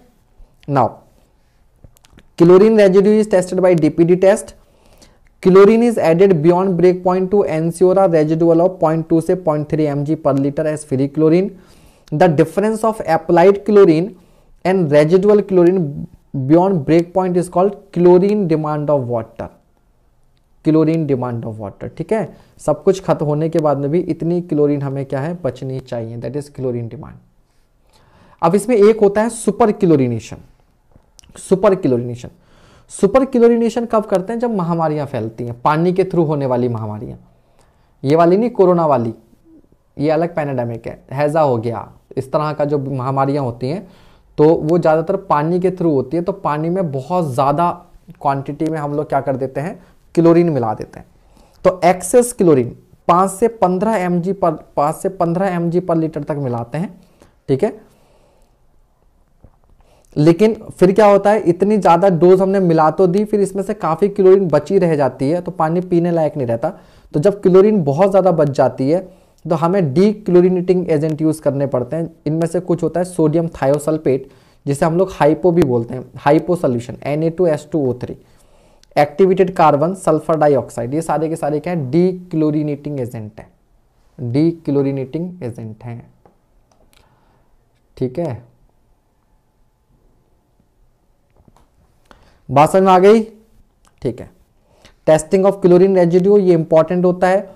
ऑर्थोटोलिडीन टेस्ट भी कर सकते हो, इसको ओजोन के लिए भी करते हैं, डीपीडी टेस्ट भी कर सकते हो, क्लोरोटेक्स भी कर सकते हो और स्टार्च आयोडाइड टेस्ट भी कर सकते हो। Starch iodide test. ठीक है? आगे बात समझ में? ठीक है। इसके बाद है आपका वाटर सॉफ्टनिंग वाटर सॉफ्टनिंग पढ़ने से पहले लेकिन क्लोरिनेशन के क्या कर लेते हैं? क्वेश्चंस क्या कर लेते हैं? क्वेश्चंस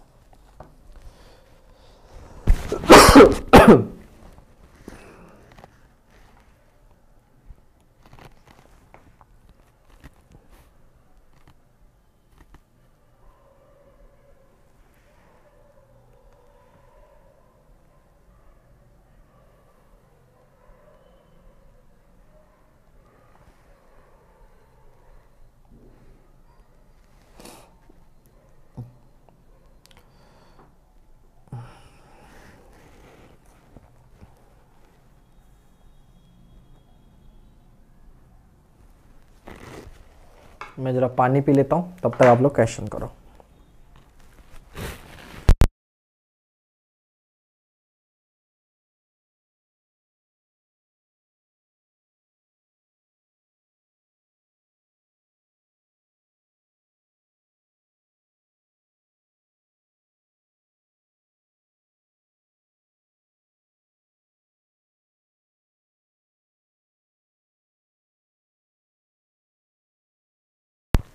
हाँ जी।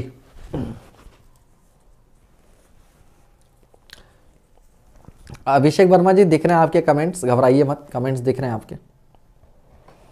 तो chlorine demand of water is equal to what applied chlorine residual chlorine sum of applied difference of applied and residual क्यों? अप्लाइड किया आपने 10 एम पर लीटर और बच गई 2 एम इसका मतलब खर्च कितनी हुई? 8 एम जो खर्च हो गई, वही तो आपकी क्या थी? डिमांड थी। वही डिमांड थी, ठीक है?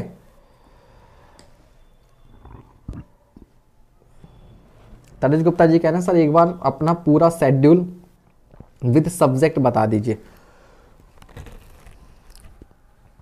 सब्जेक्ट बेटा यह है कि जनरली सेवन टू टेन आपका जो न्यू सब्जेक्ट चल रहा है थ्योरी वाइज वो चल रहा है, जिसमें हम लोग इस समय एनवायरमेंट पढ़ रहे हैं और सॉइल खत्म कर, सात से दस, ठीक है? उसके बाद ग्यारह से बारह, साढ़े बारह तक आपका एक सेशन होता है मिक्स प्रैक्टिस क्वेश्चन का, ठीक है? जो अभी सस्पेंड है। अभी आजकल नहीं हो रहा है, आज भी नहीं होगा। एक आध दिन में स्टार्ट हो जाएगा, ठीक है? मे बी कल से। तो अभी फ़िलहाल ये दो सेशन केवल चल रहे हैं। जब ये एनवायरमेंट हो जाएगा, फिर कुछ और भी करेंगे। ये तो सर को भी नहीं पता होगा, ये भी हो सकता है। ठीक है अनसर्टिनिटी रहती है, खैर, थोड़ी बहुत। होना भी चाहिए ज़िंदगी में। अगला।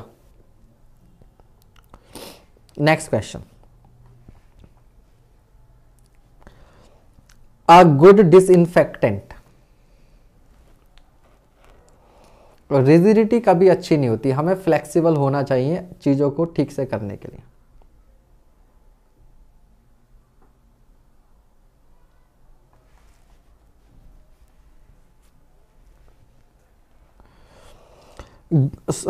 A good disinfectant should be persistent enough to prevent regrowth of organism in the distribution system. ठीक है तो भैया, ये बात सही है रेजिडुअल क्लोरीन इसलिए छोड़ते हैं। Must be toxic to microorganism at concentration well above the toxic thresholds of humans and higher animals हाँ भैया, मरवा दो हमें भी। पैथोजन को मारना, ये हमें मरवाने का काम कर रहा है। मतलब well above the toxic threshold of human well below होना चाहिए अबव लिखा है तो दूसरा गलत है। तीसरा कह रहा है should have a fast rate of kill of micro ये बात सही है। तो आंसर वन एंड थ्री होगा। वैसे भी टू गलत है तो जिन जिन में टू आ रहा था, उनको लपेट देते, तब भी आंसर हमें सी मिल जाता। आदि विश्वकर्मा कह रहे हैं, जितेंद्र सर हैं क्या आप? भाई, कौन लग रहा है आपको? आप बताओ, कौन लग रहा है आपको? हुँ?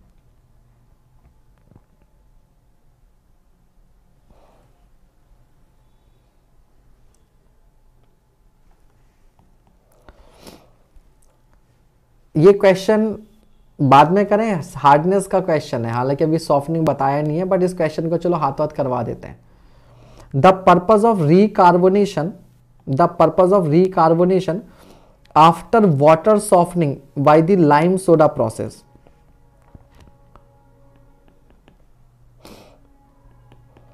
lime soda process होता है सोडियम हाइड्रोक्साइड और कैल्शियम ऑक्साइड को हम लोग मिला देते हैं, पानी में। ठीक है? तो क्या होता है कि अगर पानी में जब हम लोग वाटर सॉफ्टनिंग करते हैं तो जो कैल्शियम के कंपाउंड्स होते हैं, वो प्रेसिपिटेट हो जाते हैं। क्या कर जाते हैं? प्रेसिपिटेट तो कई बार ये जो प्रेसिपिटेशन होता है, ये पाइपलाइंस वगैरह में होने लगता है और वहाँ पर ये कैल्शियम कार्बोनेट वगैरह क्या हो जाता है? जम जाता है। तो हमें क्या करना पड़ता है? रिकार्बोनेशन करना पड़ता है। रिकार्बोनेशन में क्या होगा? ये जो प्रेसिपिटेट्स होते हैं, वो पानी में फिर से घुल जाते हैं। मतलब ये वाटर सॉफ्टनिंग का रिवर्स प्रोसेस है। ठीक है, ये पानी में हार्डनेस बढ़ाने का प्रोसेस है ताकि पाइप वगैरह में जो जमा हुआ जो ये कैल्शियम कार्बोनेट था, वो सब निकल जाए। जो पानी में जो हार्डनेस जम गई थी पाइप में, वो पानी में घुलकर निकल जाए। ठीक है, ये होता है। अगला सवाल। The percentage of chlorine in fresh bleaching powder powder is about ठीक है? तो ब्लीचिंग पाउडर में 30 से 35 परसेंट जो होती है, वो लगभग लगभग आपकी क्लोरीन होती है।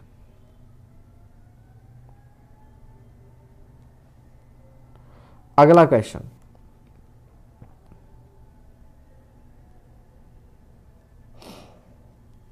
the amount of residual chlorine left in public water supply for safety against pathogenic bacteria is ठीक है? पॉइंट ज़ीरो वन से point zero five point zero five से पॉइंट फाइव पॉइंट फाइव से वन पॉइंट ज़ीरो, क्या answer होगा भैया इसका?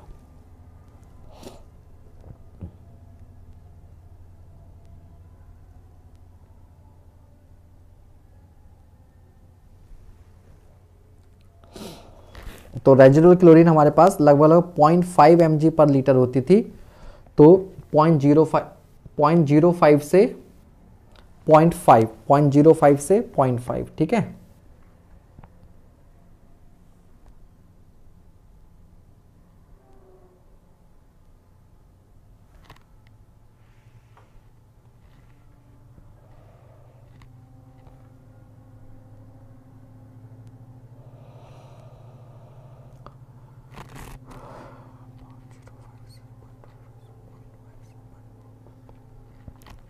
तो जो अपर लिमिट है, उससे ही सवाल पकड़ा जाएगा, वो है ये point five point five PPM तक रहनी चाहिए। आंसर जो होगा वो बी होगा इसका, ठीक है? आंसर जो होगा वो बी होगा।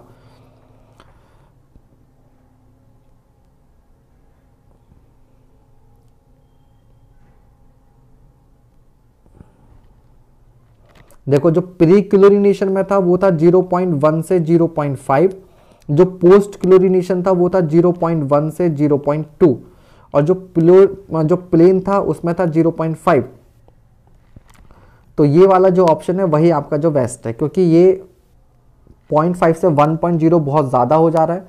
0.01 से 0.05 बहुत कम है। ठीक है 1 से 5 तो हद से ज़्यादा है। आंसर आपका इसका बी ही है। ठीक है। कितने बजे तक है क्वेश्चन आज क्लास मत पूछो कितने बजे तक है। अभी चलती रहेगी। 11 बजे तक मान लो कम से कम। 11 बजे तक। ऑलमोस्ट आपकी क्लास रहने वाली है। अभी तो क्वेश्चन करेंगे ना, आज उसको निपटाएँगे। डिसइंफेक्शन के बाद में थोड़ा सा आपको छोटे मोटे टॉपिक है, जैसे वाटर सॉफ्टनिंग डीप फ्लोरिडेशन वो सब, बस। उसके बाद खत्म। फिर आपका ये वाटर ट्रीटमेंट वाला खत्म हो जाएगा। कल से हम लोग सीवेज स्टार्ट कर देंगे sewage treatment super chlorination is done in day to day practice during an epidemic during winter during summer तो सुपर क्लिनेशन कहाँ करते थे? During an epidemic during an epidemic ठीक है? महामारी के टाइम पर। अगला सवाल। Dissolve oxygen is measured by titrating this water sample with क्या बताया था? Hypo solution N A two S two O three hypo solution ठीक है? अगला सवाल। A method of disinfection of drinking water drinking water के डिसइंफेक्शन का method कौन सा है? कौन सा है? Treatment with excess lime treatment with ozone electrokatadyn process all of the above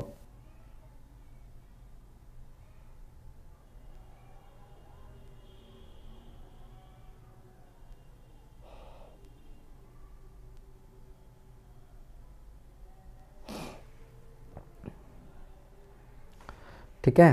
तो आंसर क्या हो जाएगा आपका? ऑल ऑफ़ दी अब अगला सवाल। Orthotolidine test is use to determine determination of dissolve oxygen BOD residual chlorine, dose of coagulant ठीक है? क्या इसका आंसर होगा?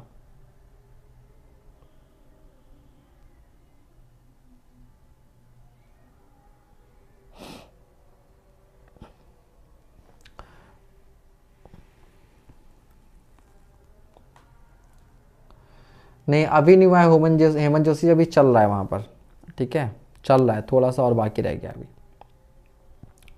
तो रेजिडल क्लोरीन और आपका ओजोन दोनों के लिए था तो आंसर क्या हो जाएगा आपका? बी आंसर क्या होगा इसका? बी अगला सवाल। The efficiency of disinfection by chlorine in water treatment increase by water treatment increase by decrease in time of contact गलत टाइम ऑफ़ कांटेक्ट ज़्यादा होना चाहिए। Decrease in temperature of water गलत। क्यों? टेम्परेचर कम होने पर केमिकल रिएक्शन स्लो हो जाती है। Increase in temperature of water yes क्यों? क्योंकि हाई टेम्परेचर पर केमिकल रिएक्शन जल्दी होती है। हालाँकि खतरा इसमें होता है कि क्लोरीन अगर गैसेस फॉर्म में है तो उड़ जाएगी, लेकिन गैसेस फॉर्म में नहीं होती है। वो हाइपोक्लोरस एसिड की फॉर्म में होती है। प्री क्लोरिनेशन तो हमेशा करना ज़रूरी नहीं होता। इसलिए डी वैसे भी आंसर नहीं होगा। डी वैसे भी आंसर नहीं होगा, हालाँकि किताब में आंसर डी दिया है, जो कि गलत है। अगला सवाल। Disinfection of water results in, disinfection of water results in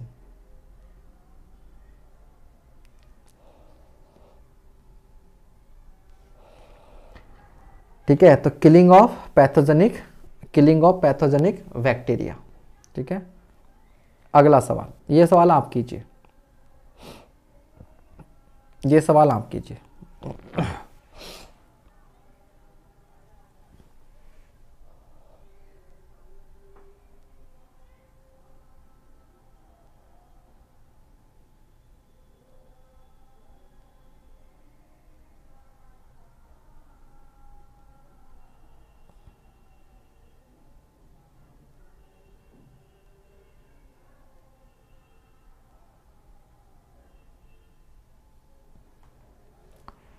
क्या आंसर होगा इसका?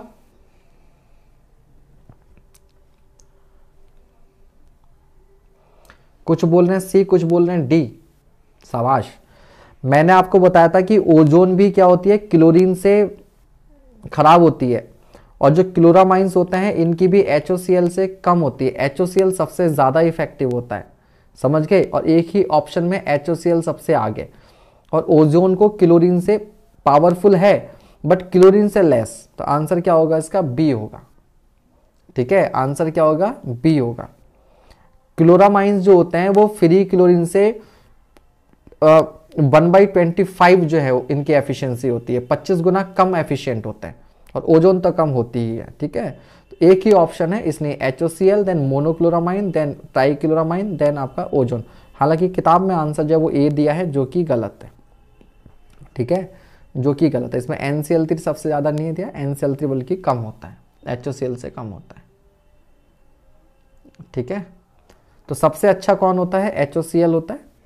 देन आपका monochloramine then N then ozone ठीक है? ओजोन और क्लोरामाइन दोनों की फ्री क्लोरीन से कम एफिशिएंसी होती है। कम होती है एफिशिएंसी ठीक है? अगला सवाल। Lake water contains phosphate ions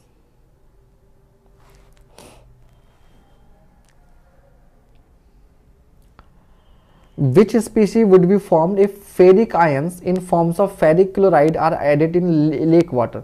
अरे सिंपल सी बात है। आपके पास फॉस्फेट आयन था P O four three minus और आपने क्या ऐड किया? FeCl थ्री तो आयरन प्लस थ्री में ये थ्री माइनस से कंबाइन होगा तो क्या बन जाएगा? Fe PO4 और साथ में क्लोराइन फ्री हो जाएँगे तो एक ही कंपाउंड है फेरिक फॉस्फेट यही बनेगा। फेरिक फॉस्फेट ठीक है? अगला सवाल। Disinfection of drinking water is carried out to remove again वही बैक्टीरिया अगला in chlorination due to rise in temperature of water death rate of bacteria क्या करेगा? बढ़ेगा, घटेगा? नॉट अफेक्टेड तो यार बढ़ेगा। अगला सवाल। Disinfection of water result in removal of turbidity hardness killing pathogen same type का question repeated residual chlorine in water is determined by ये बताइए भैया।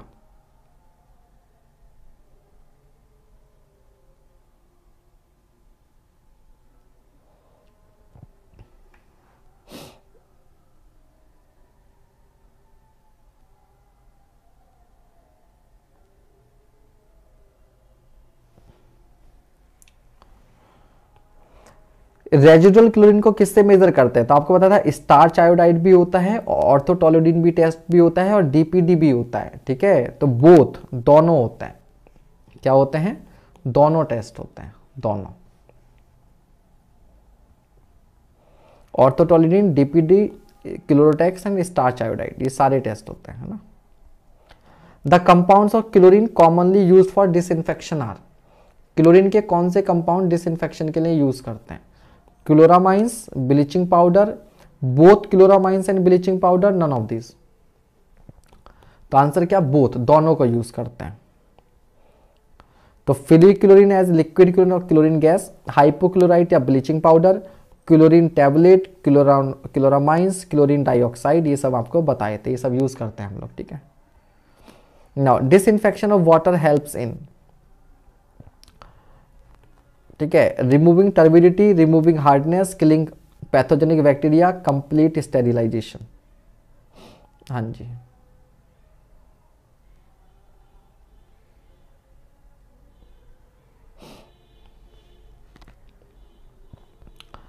तो हार्डनेस रिमूव होती है क्या? क्लोरीन से नहीं तो ये गया।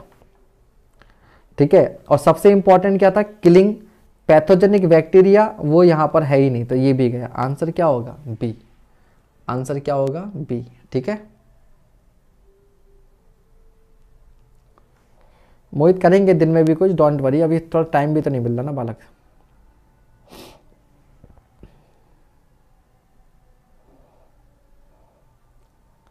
नहीं तो एक काम यही हो सकता है कि जो क्वेश्चन प्रैक्टिस सेशन हमारा जो रात में होता है, फिर उसको दिन में रखा जाया करे। लेकिन वही होता है, दिन में बड़ी अनसर्टिनिटी होती है, कभी भी कहीं भी जाना पड़ जाता है, कुछ भी हो जाता है है ना? चलो मैं ऐसा करता हूँ कि ये वाला जो रात वाला सेशन है, या तो 11 बजे वाला, फिर इसको दिन में रखना पड़ेगा क्वेश्चन प्रैक्टिस का। Normal standard process of applying chlorine to water is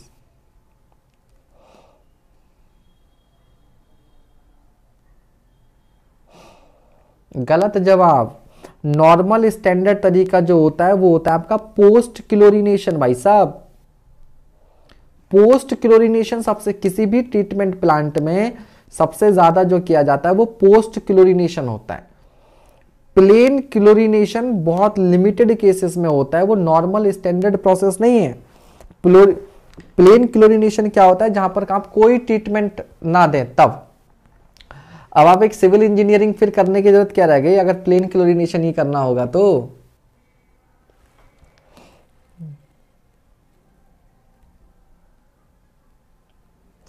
चलिए, रात में भी रहेगा, दिन में भी करेंगे। डोंट वरी दोनों जगह हो जाएगा। डोंट वरी चिंता मत कीजिए। जो जैसा चल रहा है, वैसा भी चलता रहेगा। दिन में भी रख लेंगे। अगला सवाल। A city supply of 15,000 cubic meters of water per day is treated with a chlorine dose of 0.5 ppm. तो 15,000 क्यूबिक मीटर लीटर था पानी था। ठीक है? तो 15,000 क्यूबिक मीटर यानी कि 10 की घात तीन से गुणा कर दे तो लीटर पानी आ गया। ये क्या आ गया? लीटर इतना लीटर पानी है। ओके अब क्लोरीन की डोज कितनी है? 0.5 ppm यानी कि 0.5 mg पर लीटर। तो 0.5 से मल्टीप्लाई किया तो ये mg बन गया थाउज़ेंड से मल्टीप्लाई किया तो ग्राम आ गया, और फिर इसको थाउज़ेंड से डिवाइड कर दिया तो ये क्या आ गया? किलोग्राम आ गया, ठीक है? For this purpose the requirement of 25 percent bleaching powder per day would be तो इसमें 25 परसेंट का मतलब क्या है कि इसमें जो क्लोरीन है, केवल कितनी है? 25 परसेंट है। तो ब्लीचिंग पाउडर कितना चाहिए होगा? चार गुना चाहिए होगा। ब्लीचिंग पाउडर कितना चाहिए होगा? चार गुना चाहिए होगा। तो इसे मल्टीप्लाई कर देना फोर से। आपका आंसर आ जाएगा।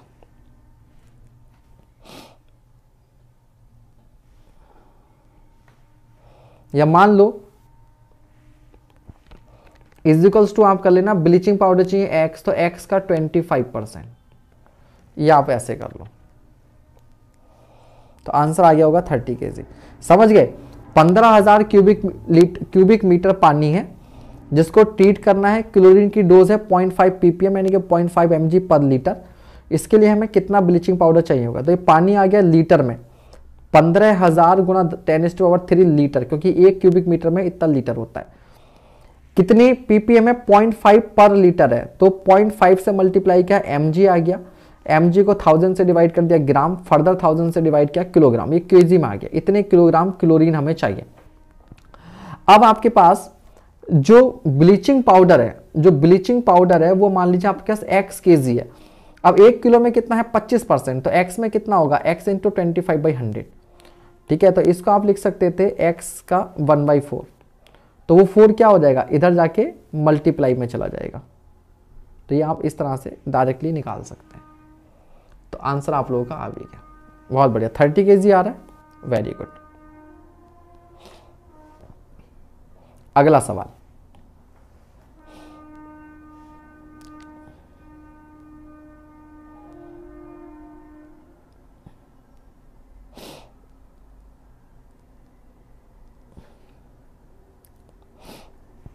The application of chlorine after all treatments of purification of water are completed is termed as सारे ट्रीटमेंट होने के बाद जो क्लोरिनेशन करते हैं, उसको क्या बोलते हैं हम लोग? पोस्ट क्लोरिनेशन बोलते हैं। क्या बोलते हैं? पोस्ट क्लोरिनेशन तो answer is D B sorry मुँह से डी निकल रहा है। Disinfection is the only required treatment when the source of water is बहुत बढ़िया सवाल है ये। ये सवाल कीजिए। बढ़िया क्वेश्चन है।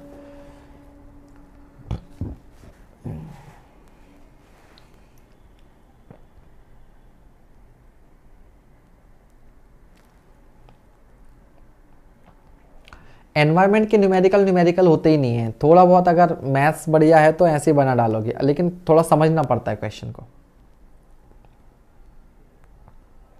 इसका आंसर क्या होगा भैया? Disinfection is the only required treatment when the source of water is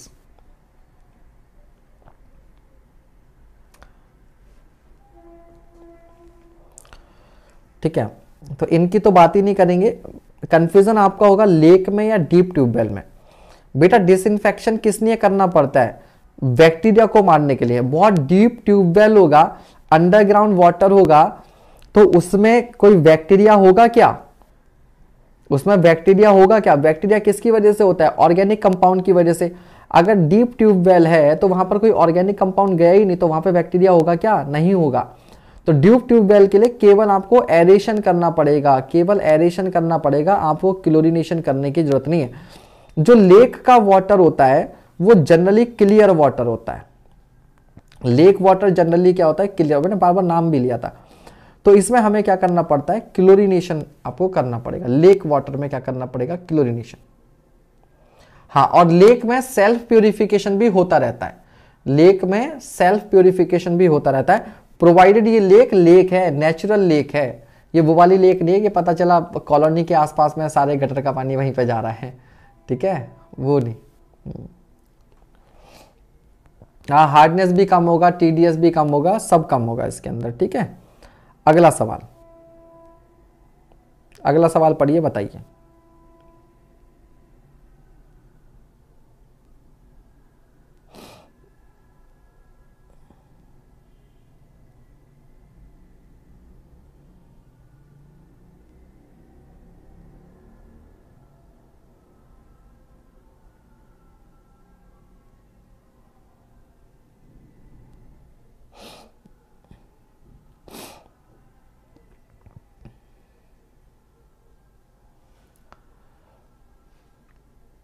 हाँ जी, क्या आंसर होगा इसका?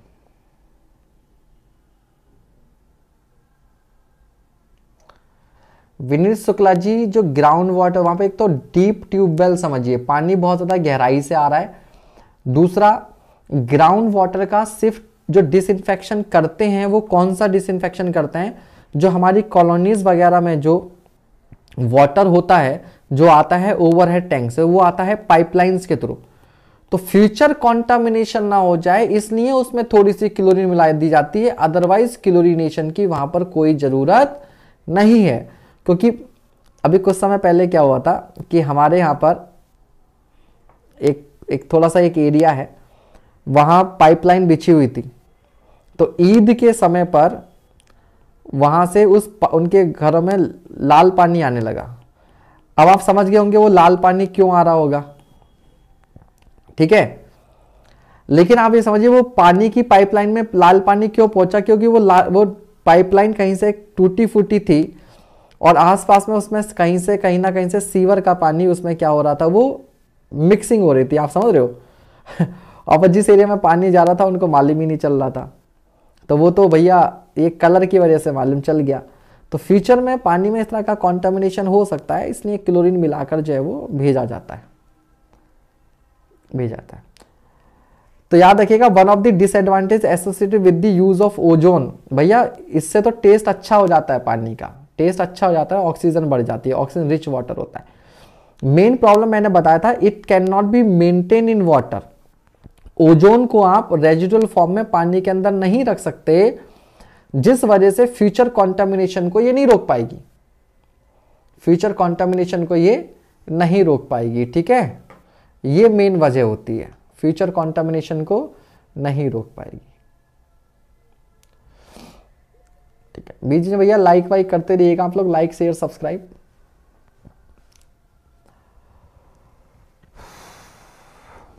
जबकि बुक में इसका आंसर दिया है कैंसर वाला, जो कि गलत है। ये नहीं होता। ठीक है? ये रीजन नहीं होता है। हाँ ये मुरादाबाद में अखबार में आया था।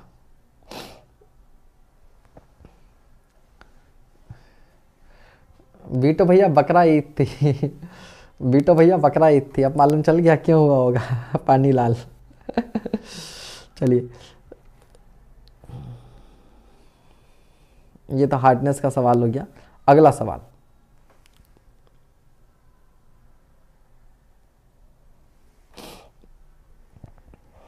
The application of chlorine beyond the stage of break point is known as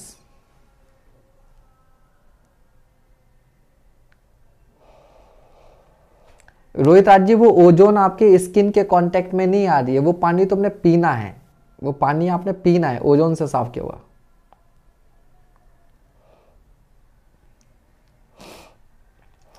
thank you Divyang ji thank you ज़्यादा से ज़्यादा लोगों तक शेयर कीजिए इन क्लासेस को, ठीक है।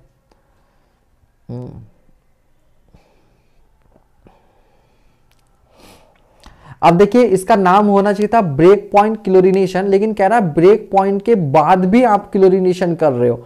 इसका मतलब बहुत हाई डोज आप दे रहे हो तो आपके पास एक ही ऑप्शन है। That is super chlorination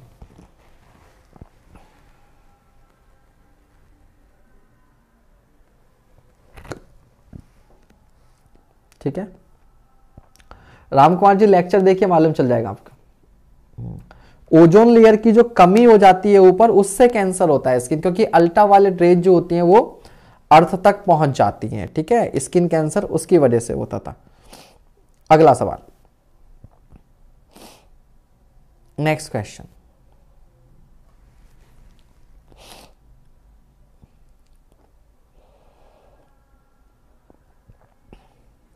The disinfection efficiency of chlorine water treatment is not dependent on pH, is increased by increasing pH, remains constant at all pH, is reduced by increasing pH. तो ना तो इसका answer A है और ना ही इसका answer C है इसका आंसर बी भी है और इसका आंसर डी भी है क्यों क्योंकि जब पीएच हम लोग one, two, three, four, five, जब पाँच से बढ़ाते हैं, फाइव के आगे बढ़ाते हैं तो एफिशिएंसी क्लोरीन की बढ़ती है। लेकिन अगर पीएच आपने आठ से ज़्यादा कर दी तो फिर एफिशिएंसी क्या कर जाती है? रिड्यूस कर जाती है। तो क्या कर जाती है? रिड्यूस कर जाती है। बट फिर भी आठ से ज़्यादा होने के बाद, देखो, अगर पीएच पाँच से कम रही तो नो डिसइंफेक्शन तो नो डिसइंफेक्शन अगर पीएच पाँच से कम रही तो डिसइंफेक्शन होगा ही नहीं। लेकिन अगर पीएच आठ से ज़्यादा हो गई डिसइंफेक्शन तब भी होगा, लेकिन थोड़ा स्लो होगा। होगा, लेकिन थोड़ा स्लो होगा। इसलिए हम जो टिक लगाएँगे, इस पर बी पर लगाएँगे। क्यों? क्योंकि जब हम लोग पीएच बढ़ाएँगे तो एफिशिएंसी जो है वो आपकी इंक्रीज करेगी। स्टार्टिंग में राइट तो पाँच से आगे सात तक। उसके बाद में स्लो हो जाएगी, लेकिन फिर भी डिसइंफेक्शन होगा। लेकिन पाँच तक तो डिसइंफेक्शन होगा ही नहीं ना। पाँच तक तो डिसइंफेक्शन होगा ही नहीं। तो सवाल जो है वो अपने आप में एक तरीके से गलत है, और बदकिस्मती से ये जो सवाल है अगेन आपका डब्ल्यू का आया हुआ मेन क्वेश्चन है। वेस्ट बंगाल में भी आया हुआ है। तो इनके सारे क्वेश्चन जो है वो डिस्प्यूटेड ही हैं। ठीक है? डिस्प्यूटेड ही है। टीएसपीएससी का भी सवाल है। समझ गए? इसका आंसर।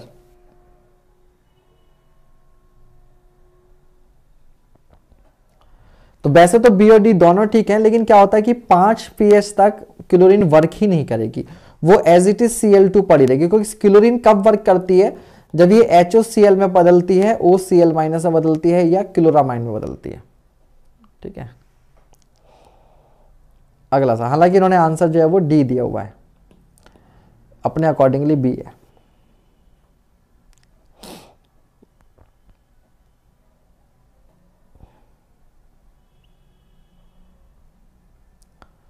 अगला सवाल।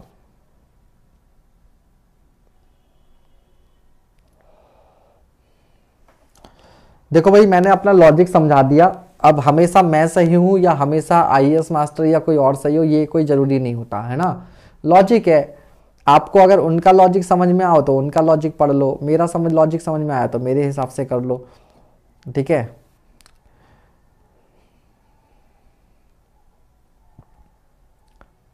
इस वजह से।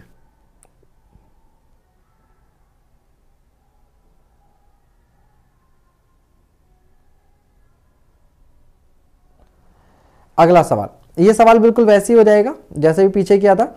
Determine the quantity of bleaching powder required for rural water supply scheme so as to clear to twenty thousand litre पानी है whose chlorine demand is two M G per litre two M G मतलब तो two upon thousand ग्राम और bleaching powder मान लिया x और उसमें fifty percent क्या है आपके पास? क्लोरीन है। तो ये हाफ़ आएगा टू से इधर डबल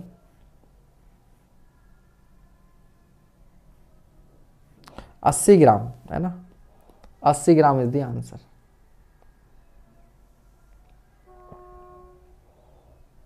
pH बढ़ाएँगे कैसे? कुछ ना कुछ बेस वगैरह होगा उसके अंदर। उससे। अगला सवाल।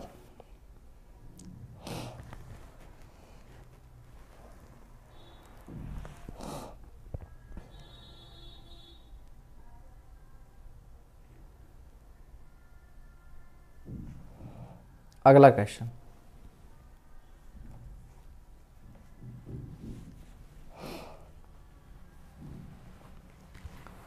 potassium permanganate is not desirable for dis disinfecting drinking water because it impart red is yellow colour colourless pink colour yellow colour तो आंसर क्या है इसका? पिंक कलर अगला सवाल। ये शायद लास्ट क्वेश्चन है। लास्ट क्वेश्चन है। Which of the following is a physical method of dechlorination dechlorination का फ़िज़िकल मैथड बताना है आपने। क्या हो गया भैया? कहाँ तुम लोगों की गाड़ी चल रही है, हैं?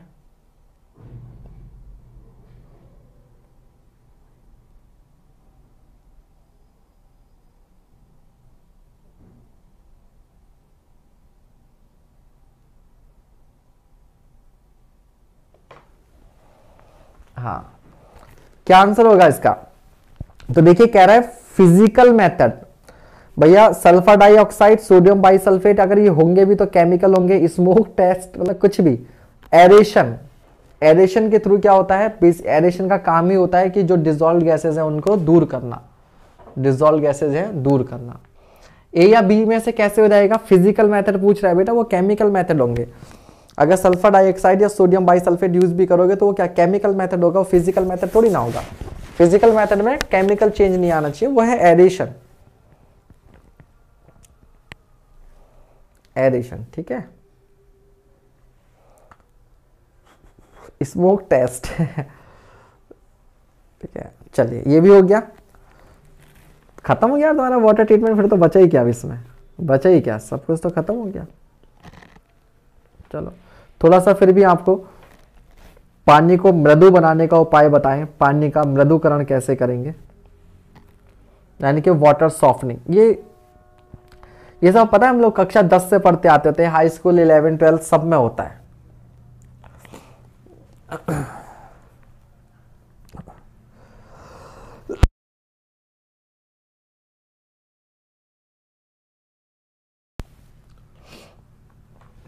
तो ये नाइन टेंथ इलेवन ट्वेल्थ में केमिस्ट्री में हम पढ़ते थे ना? वाटर सॉफ्टनिंग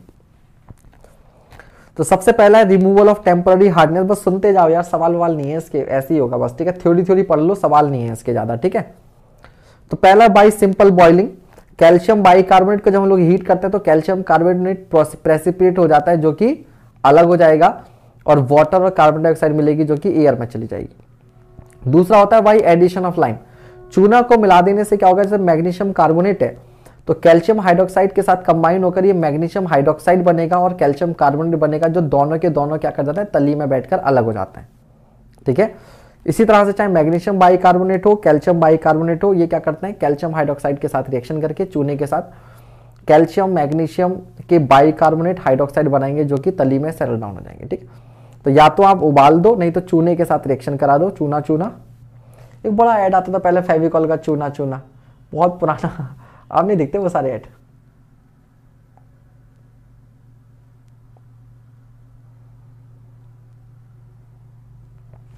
अच्छा बढ़िया, अंकित जी। सही भाई one mole of M G C requires one mole of hydrated lime whereas one mole of magnesium bicarbonate requires two moles of lime ठीक है? हालाँकि कोई पूछेगा नहीं, आपसे करना चाहिए कर सकते हैं। दूसरा है आपका removal of treatment permanent hardness permanent hardness किसकी वजह से होती थी? परमानेंट हार्डनेस होती थी आपके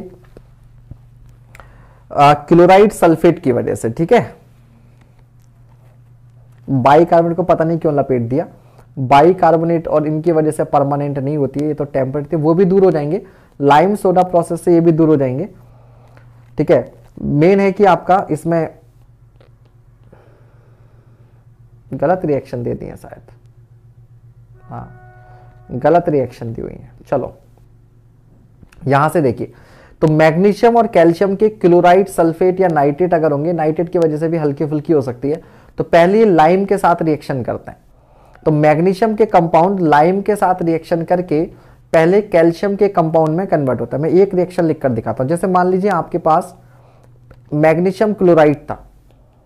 तो पहले क्या करेगा? ये लाइम के साथ रिएक्शन करेगा तो कैल्शियम क्लोराइड बनाएगा और यहाँ पर मैग्नीशियम हाइड्रोक्साइड क्या होगा? तली में बैठ जाएगा। बट प्रॉब्लम यह है कि ये जो कैल्शियम क्लोराइड है, ये भी अभी प्रॉब्लमेटिक है। क्या है? ये भी अभी प्रॉब्लम करेगा। तो इस कैल्शियम के कंपाउंड को हम लोग किससे करेंगे? सोडियम बाइकार्बोनेट से। इसलिए इसको बोला है lime soda process sodium carbonate Na2CO3 इससे क्या होगा? ये कैल्शियम कार्बोनेट बनकर बैठ जाएगा और नमक से कोई प्रॉब्लम नहीं होती। नमक से कोई प्रॉब्लम नहीं होती। ठीक है?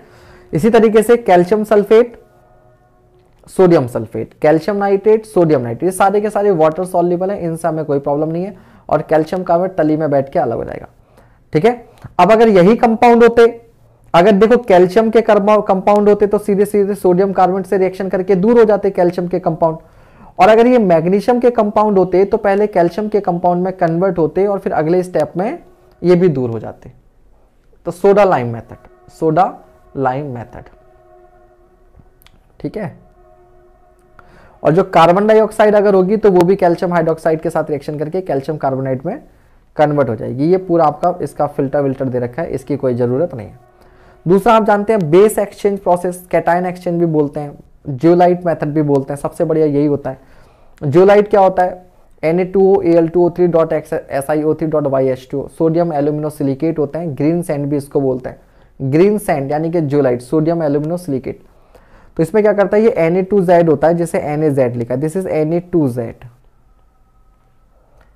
ये क्या करता है, इन कंपाउंड के साथ में कैल्शियम और मैग्नीशियम जो है, वो जेड के साथ चले जाते हैं, और कैल्शियम की जगह पर मैग्नीशियम की जगह क्या आ जाता है, सोडियम। तो आयन जो हो गया, वो एक्सचेंज हो गए सोडियम की जगह कैल्शियम, मैग्नीशियम पहुँच गए, कैल्शियम, मैग्नीशियम की जगह पर सोडियम आ गया। और इनको बेसिकली हमें कैल्शियम और मैग्नीशियम को दूर करना है। बेसिकली हमें क्या करना है? कैल्शियम और मैग्नीशियम को दूर करना है बिकॉज़ अल्टीमेटली हार्डनेस इन्हीं की वजह से। Water will have zero hardness अगर सफिशियंट अमाउंट में मिलाएँगे तो ज़ीरो हार्डनेस और ये जो सी ए जेड टू जो बना है, ठीक है, इसको आप दोबारा से दोबारा से रिकवर कर सकते हो। कि कुछ नहीं करना, नमक के पानी के में डाल देना इसको। नमक के पानी में डाल दोगे तो जियोलाइट दोबारा से मिल जाएगा। ठीक है? दोबारा मिल जाएगा। रीजेनरेट हो जाएगा। फिर एक होता है डीमिनरलाइजेशन प्रोसेस डीमिनरलाइजेशन तो ठीक है? तो इसको आप रहने दो डीएम वाटर इसकी कोई ज़रूरत नहीं है, इसे भी हटाओ। फिर होता है कुछ माइनर ट्रीटमेंट माइनर ट्रीटमेंट में क्या आता है? आप एक्टिवेटेड कार्बन के साथ इसका ट्रीटमेंट करा दो तो जो ऑर्डर टेस्ट वाले मेटेरियल हो जाएँगे दूर हो जाएँगे। Treatment with copper sulphate copper sulphate के साथ क्यों करते हैं? तो एल्गाई कंट्रोल करने के लिए इसको हम लोग कॉपर सल्फेट के साथ करते हैं कॉपर सल्फेट ठीक है? रिमूवल ऑफ़ आयरन और मैग्नीज कैसे कर देते हैं हम लोग? एरेशन के थ्रू कर देते हैं एरेशन के थ्रू फिर होता है फ्लोरिडेशन एडिशन ऑफ़ फ्लोरिन अगर फ्लोरिन कम है तो फ्लोरिन क्या करनी पड़ेगी? मिलानी पड़ेगी। नेक्स्ट है डीफ्लोरिडेशन अगर फ्लोरिन ज़्यादा है तो उसको क्या करना पड़ेगा? हटाना पड़ेगा। ठीक है? तो डीफ्लोरिडेशन कैसे करते हैं तो देखिएगा। Absorption by activated alumina a a अगर एक्टिवेटेड एल्यूमिना यूज़ कर रहे हो फ्लोरिन को एब्जॉर्ब कर एब्जॉर्ब करने के लिए तब इसे बोलते हैं प्रशांति टेक्नोलॉजी। क्या बोलते हैं? प्रशांति। इसके अलावा नालगोंडा टेक्निक भी होती है। नालगोंडा। तो आपसे नाम से पूछ सकता है, प्रशांति या नालगोंडा टेक्निक किस लिए यूज़ होती है? तो याद रखिएगा डी फ्लोरिडेशन के लिए। डेढ़ पीपीएम से ज़्यादा जो भी फ्लोरिन होगी, उसको हटाने के लिए। फिर आयन एक्सचेंज एड्जॉर्प्शन मेथड भी होता है, रिवर्स ऑस्मोसिस प्रोसेस भी होता है, ठीक है? एक होता है डीसेलिनेशन। डीसेलिनेशन क्या होगा? जो एक्सेस सॉल्ट होंगे, बहुत ज़्यादा खारा पानी होगा, उसको हटाने के लिए। इसी तरह से removal of toxic metal lead arsenic उन सबको हटाने के लिए, ठीक है? तो भैया, ये आपका कंप्लीट हो गया वाटर ट्रीटमेंट बधाई हो कॉन्ग्रेचुलेशन वाटर ट्रीटमेंट इज़ खत्म फिनिश खल्लास। कल से आपका स्टार्ट होगा सीवेज ट्रीटमेंट अब आएगा मज़ा बीओडी सीओडी टीओडी टीओसी ठीक है? हाँ इंडियन टेक्नोलॉजी लग रही है। अरे आपको पता है इंडिया पहले भाई साहब कितना आगे था। दिल्ली का लोह स्तंभ अशोक स्तंभ जो है, कुतुब मीनार के पास में। पता है हमारे देश की सबसे बुरी बा, बात क्या है? हम लोग कुतुब मीनार की बात करते हैं। कुतुब मीनार। सब लोग कुतुब मीनार देखने जाएँगे। कुतुब मीनार में क्या है? लेकिन कुतुब मीनार के कैंपस में जो लोह स्तंभ है असली अजूबा ये है। क्यों? ये कुतुब मीनार के पहले अशोक के टाइम का बना हुआ है। और आज तक उसमें जंग नहीं लगी। और यह भी सोचने वाली बात है कि कुतुब मीनार वहीं क्यों बनी जहाँ पर अशोक का लोह स्तंभ था। कुछ तो लोचा यहाँ पर है। आज तक इसमें, जबकि दिल्ली के इतने पॉल्यूटेड उसमें है, तब भी उसमें आज तक जंग नहीं लगी। तो हम इतना प्योर आयरन बनाना किसी समय पर जानते थे। और याद रखना, कहते हैं किसी देश की तरक्की जो देखनी हो ना तो वहाँ कितना स्टील पैदा होता है। स्टील प्रोडक्शन कितना है, उससे जान लो। कितना स्टील प्रोड्यूस होता है, उससे जान लो। तो इंडिया में अगर उस समय इतनी प्योर आयरन बनाने की टेक्निक रही होगी तो हम लोग कहाँ होंगे भाई साहब, खुद ही सोच लो। खुद सोच लीजिए, ठीक है? लेकिन हम लोग क्या करते हैं? लो स्तंभ को नहीं देखते, इसकी कोई बात ही नहीं करता, हम बात करते हैं कुतुब मीनार की। ये डिस्ट्रीब्यूशन वाला सबसे आखिर में। ठीक है? चलिए। क्या होता है, अगर हम अपने पास्ट पर प्राउड करते हैं, अगर हम सोचते हैं उस बारे में तो हमारे अंदर का जो इन्फीरियोरिटी देखो सिंपल सी बात है। जैसे अभी किसी ने बात की थी थोड़ी देर पहले रोमन सैनी की अन अकेडमी वाले रोमन सैनी सर की वो भी सैनी है। तो रोमन सैनी ने क्या किया? पहले एम्स से एम्स का वो टॉपर था एम्स में, यानी कि एम्स में भाई एम्स से एमबीबीएस करना। यानी कि उसने नीट का या आईआईटी पीएमटी का एग्ज़ाम दिया होगा, उसने वहाँ टॉप किया।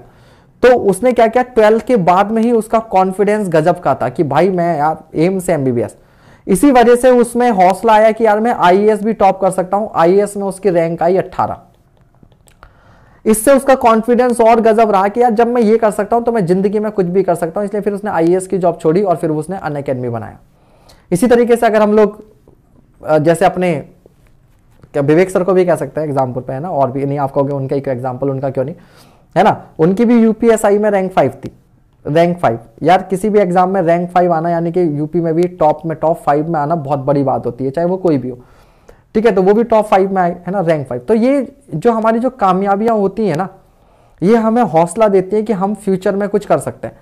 मैं खुद भी जब फेलियर में होता हूँ, कभी टाइम खराब चल रहा होता है तो मैं पुराने अपने अचीवमेंट को सोचता हूँ, यार, मैं तब कैसे था, तब मैं क्या करता था, तब मैंने क्या किया था? तो वहाँ से एक हौसला मिलता है। और हम लोग उस खराब समय से निकलकर आगे बढ़ते हैं, कुछ कर सकते हैं।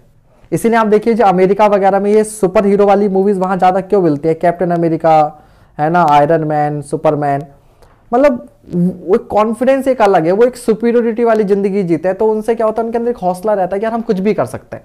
उन मूवीज़ को देखकर बच्चा जो है ना, वो स्टार्टिंग से साइंस के बारे में सोचता है साइंस फिक्शन की यार ऐसा भी हो सकता है, वैसा भी हो सकता है, ये बनाना चाहिए। वो इंजीनियरिंग की तरफ़ रियल रुझान होता है। ठीक है तो अपने यहाँ यही है कि हम भी अगर पुराने पास से सीखे कि हमारे यहाँ पर क्या था, हमें बताया नहीं जाता, बताओ, सोचो, ऋग्वेद में ऋग्वेद में स्पीड ऑफ़ लाइट की एग्जैक्ट कैलकुलेशन दे रखी है। आई के प्रोफेसर बता रहे हैं, अभी कोई और दूसरा बताएगा तो वो कहेगा, अरे भैया हाँ होगा, ऐसी फर्जी बातें कर रहे हो, ये और वो, है ना? तो हमें थोड़ा सा उस इन्फिनिटी कॉम्प्लेक्स से वापस निकलना चाहिए और तभी फ्यूचर में जो इंजीनियर्स होंगे, वो डेवलप होंगे। कॉन्फिडेंस बढ़ना चाहिए। पास अचीवमेंट्स की बात करनी चाहिए। और नई जनरेशन को बताना चाहिए कि हाँ देखो यहाँ पर कैसा था। हमारे यहाँ पर इसी तरह से पता है, जिंक जिंक को प्योरीफाई करने की टेक्नोलॉजी केवल और केवल इंडिया और चाइना के पास थी। ठीक है? इसी तरह से आपको मालूम है, सबसे पहले जो वाटर पावर थी वाटर पावर जो डेवलप थी, वो केवल और केवल इंडिया और चाइना के पास थी वाटर पावर आप किताब उठा के पढ़ लो, सब में आपको मिल जाएगा। तो थोड़ा सा होना चाहिए बट कोई बात नहीं है, क्या कर सकते हैं। ठीक है भी थैंक यू आज के लिए इतना ही। ग्यारह बजे वाला सेशन अब नहीं होगा। इसी में टाइम खिंच गया। हम्म। यहाँ तो बस हर मूवी में एक ही चीज़ होगी हीरो हीरोइन विलेन कहानी खत्म। उसके अलावा कुछ नहीं चलेगा।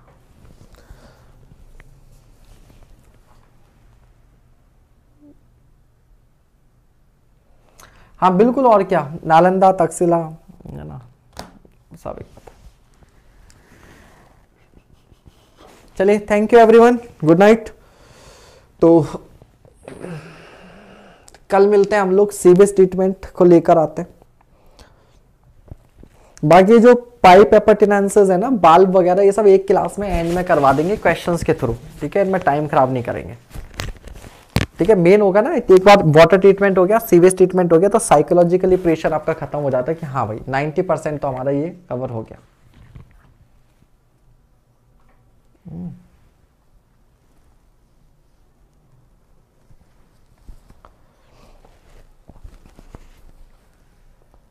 आपको ने पाइथागोरस थ्योरम, पाई की वैल्यू, ये सब इंडिया में ऑलरेडी बहुत पहले डिस्कवर हो चुका था। वो तो क्या क्या, ये बाहर से लोग आते थे, यहाँ की किताबें ले जाते थे। हम लोग लड़ाई झगड़े में रह गए, वो लोगों ने क्या क्या, उन किताबों को ट्रांसलेट करना शुरू कर दिया। अब हमारा जो भी स्क्रिप्चर्स हैं, वो किसमें है? संस्कृत में। अब हम लोग क्या कर रहे हैं? जो साइंस पढ़ रहा है, वो संस्कृत नहीं पढ़ रहा। जो संस्कृत पढ़ रहा है, वो साइंस नहीं पढ़ रहा। है ना? सारी पढ़ाई होगी अंग्रेज़ी में। तो आप अपनी पुरानी चीज़ों से सीखोगे कहाँ? सीखोगे क्या?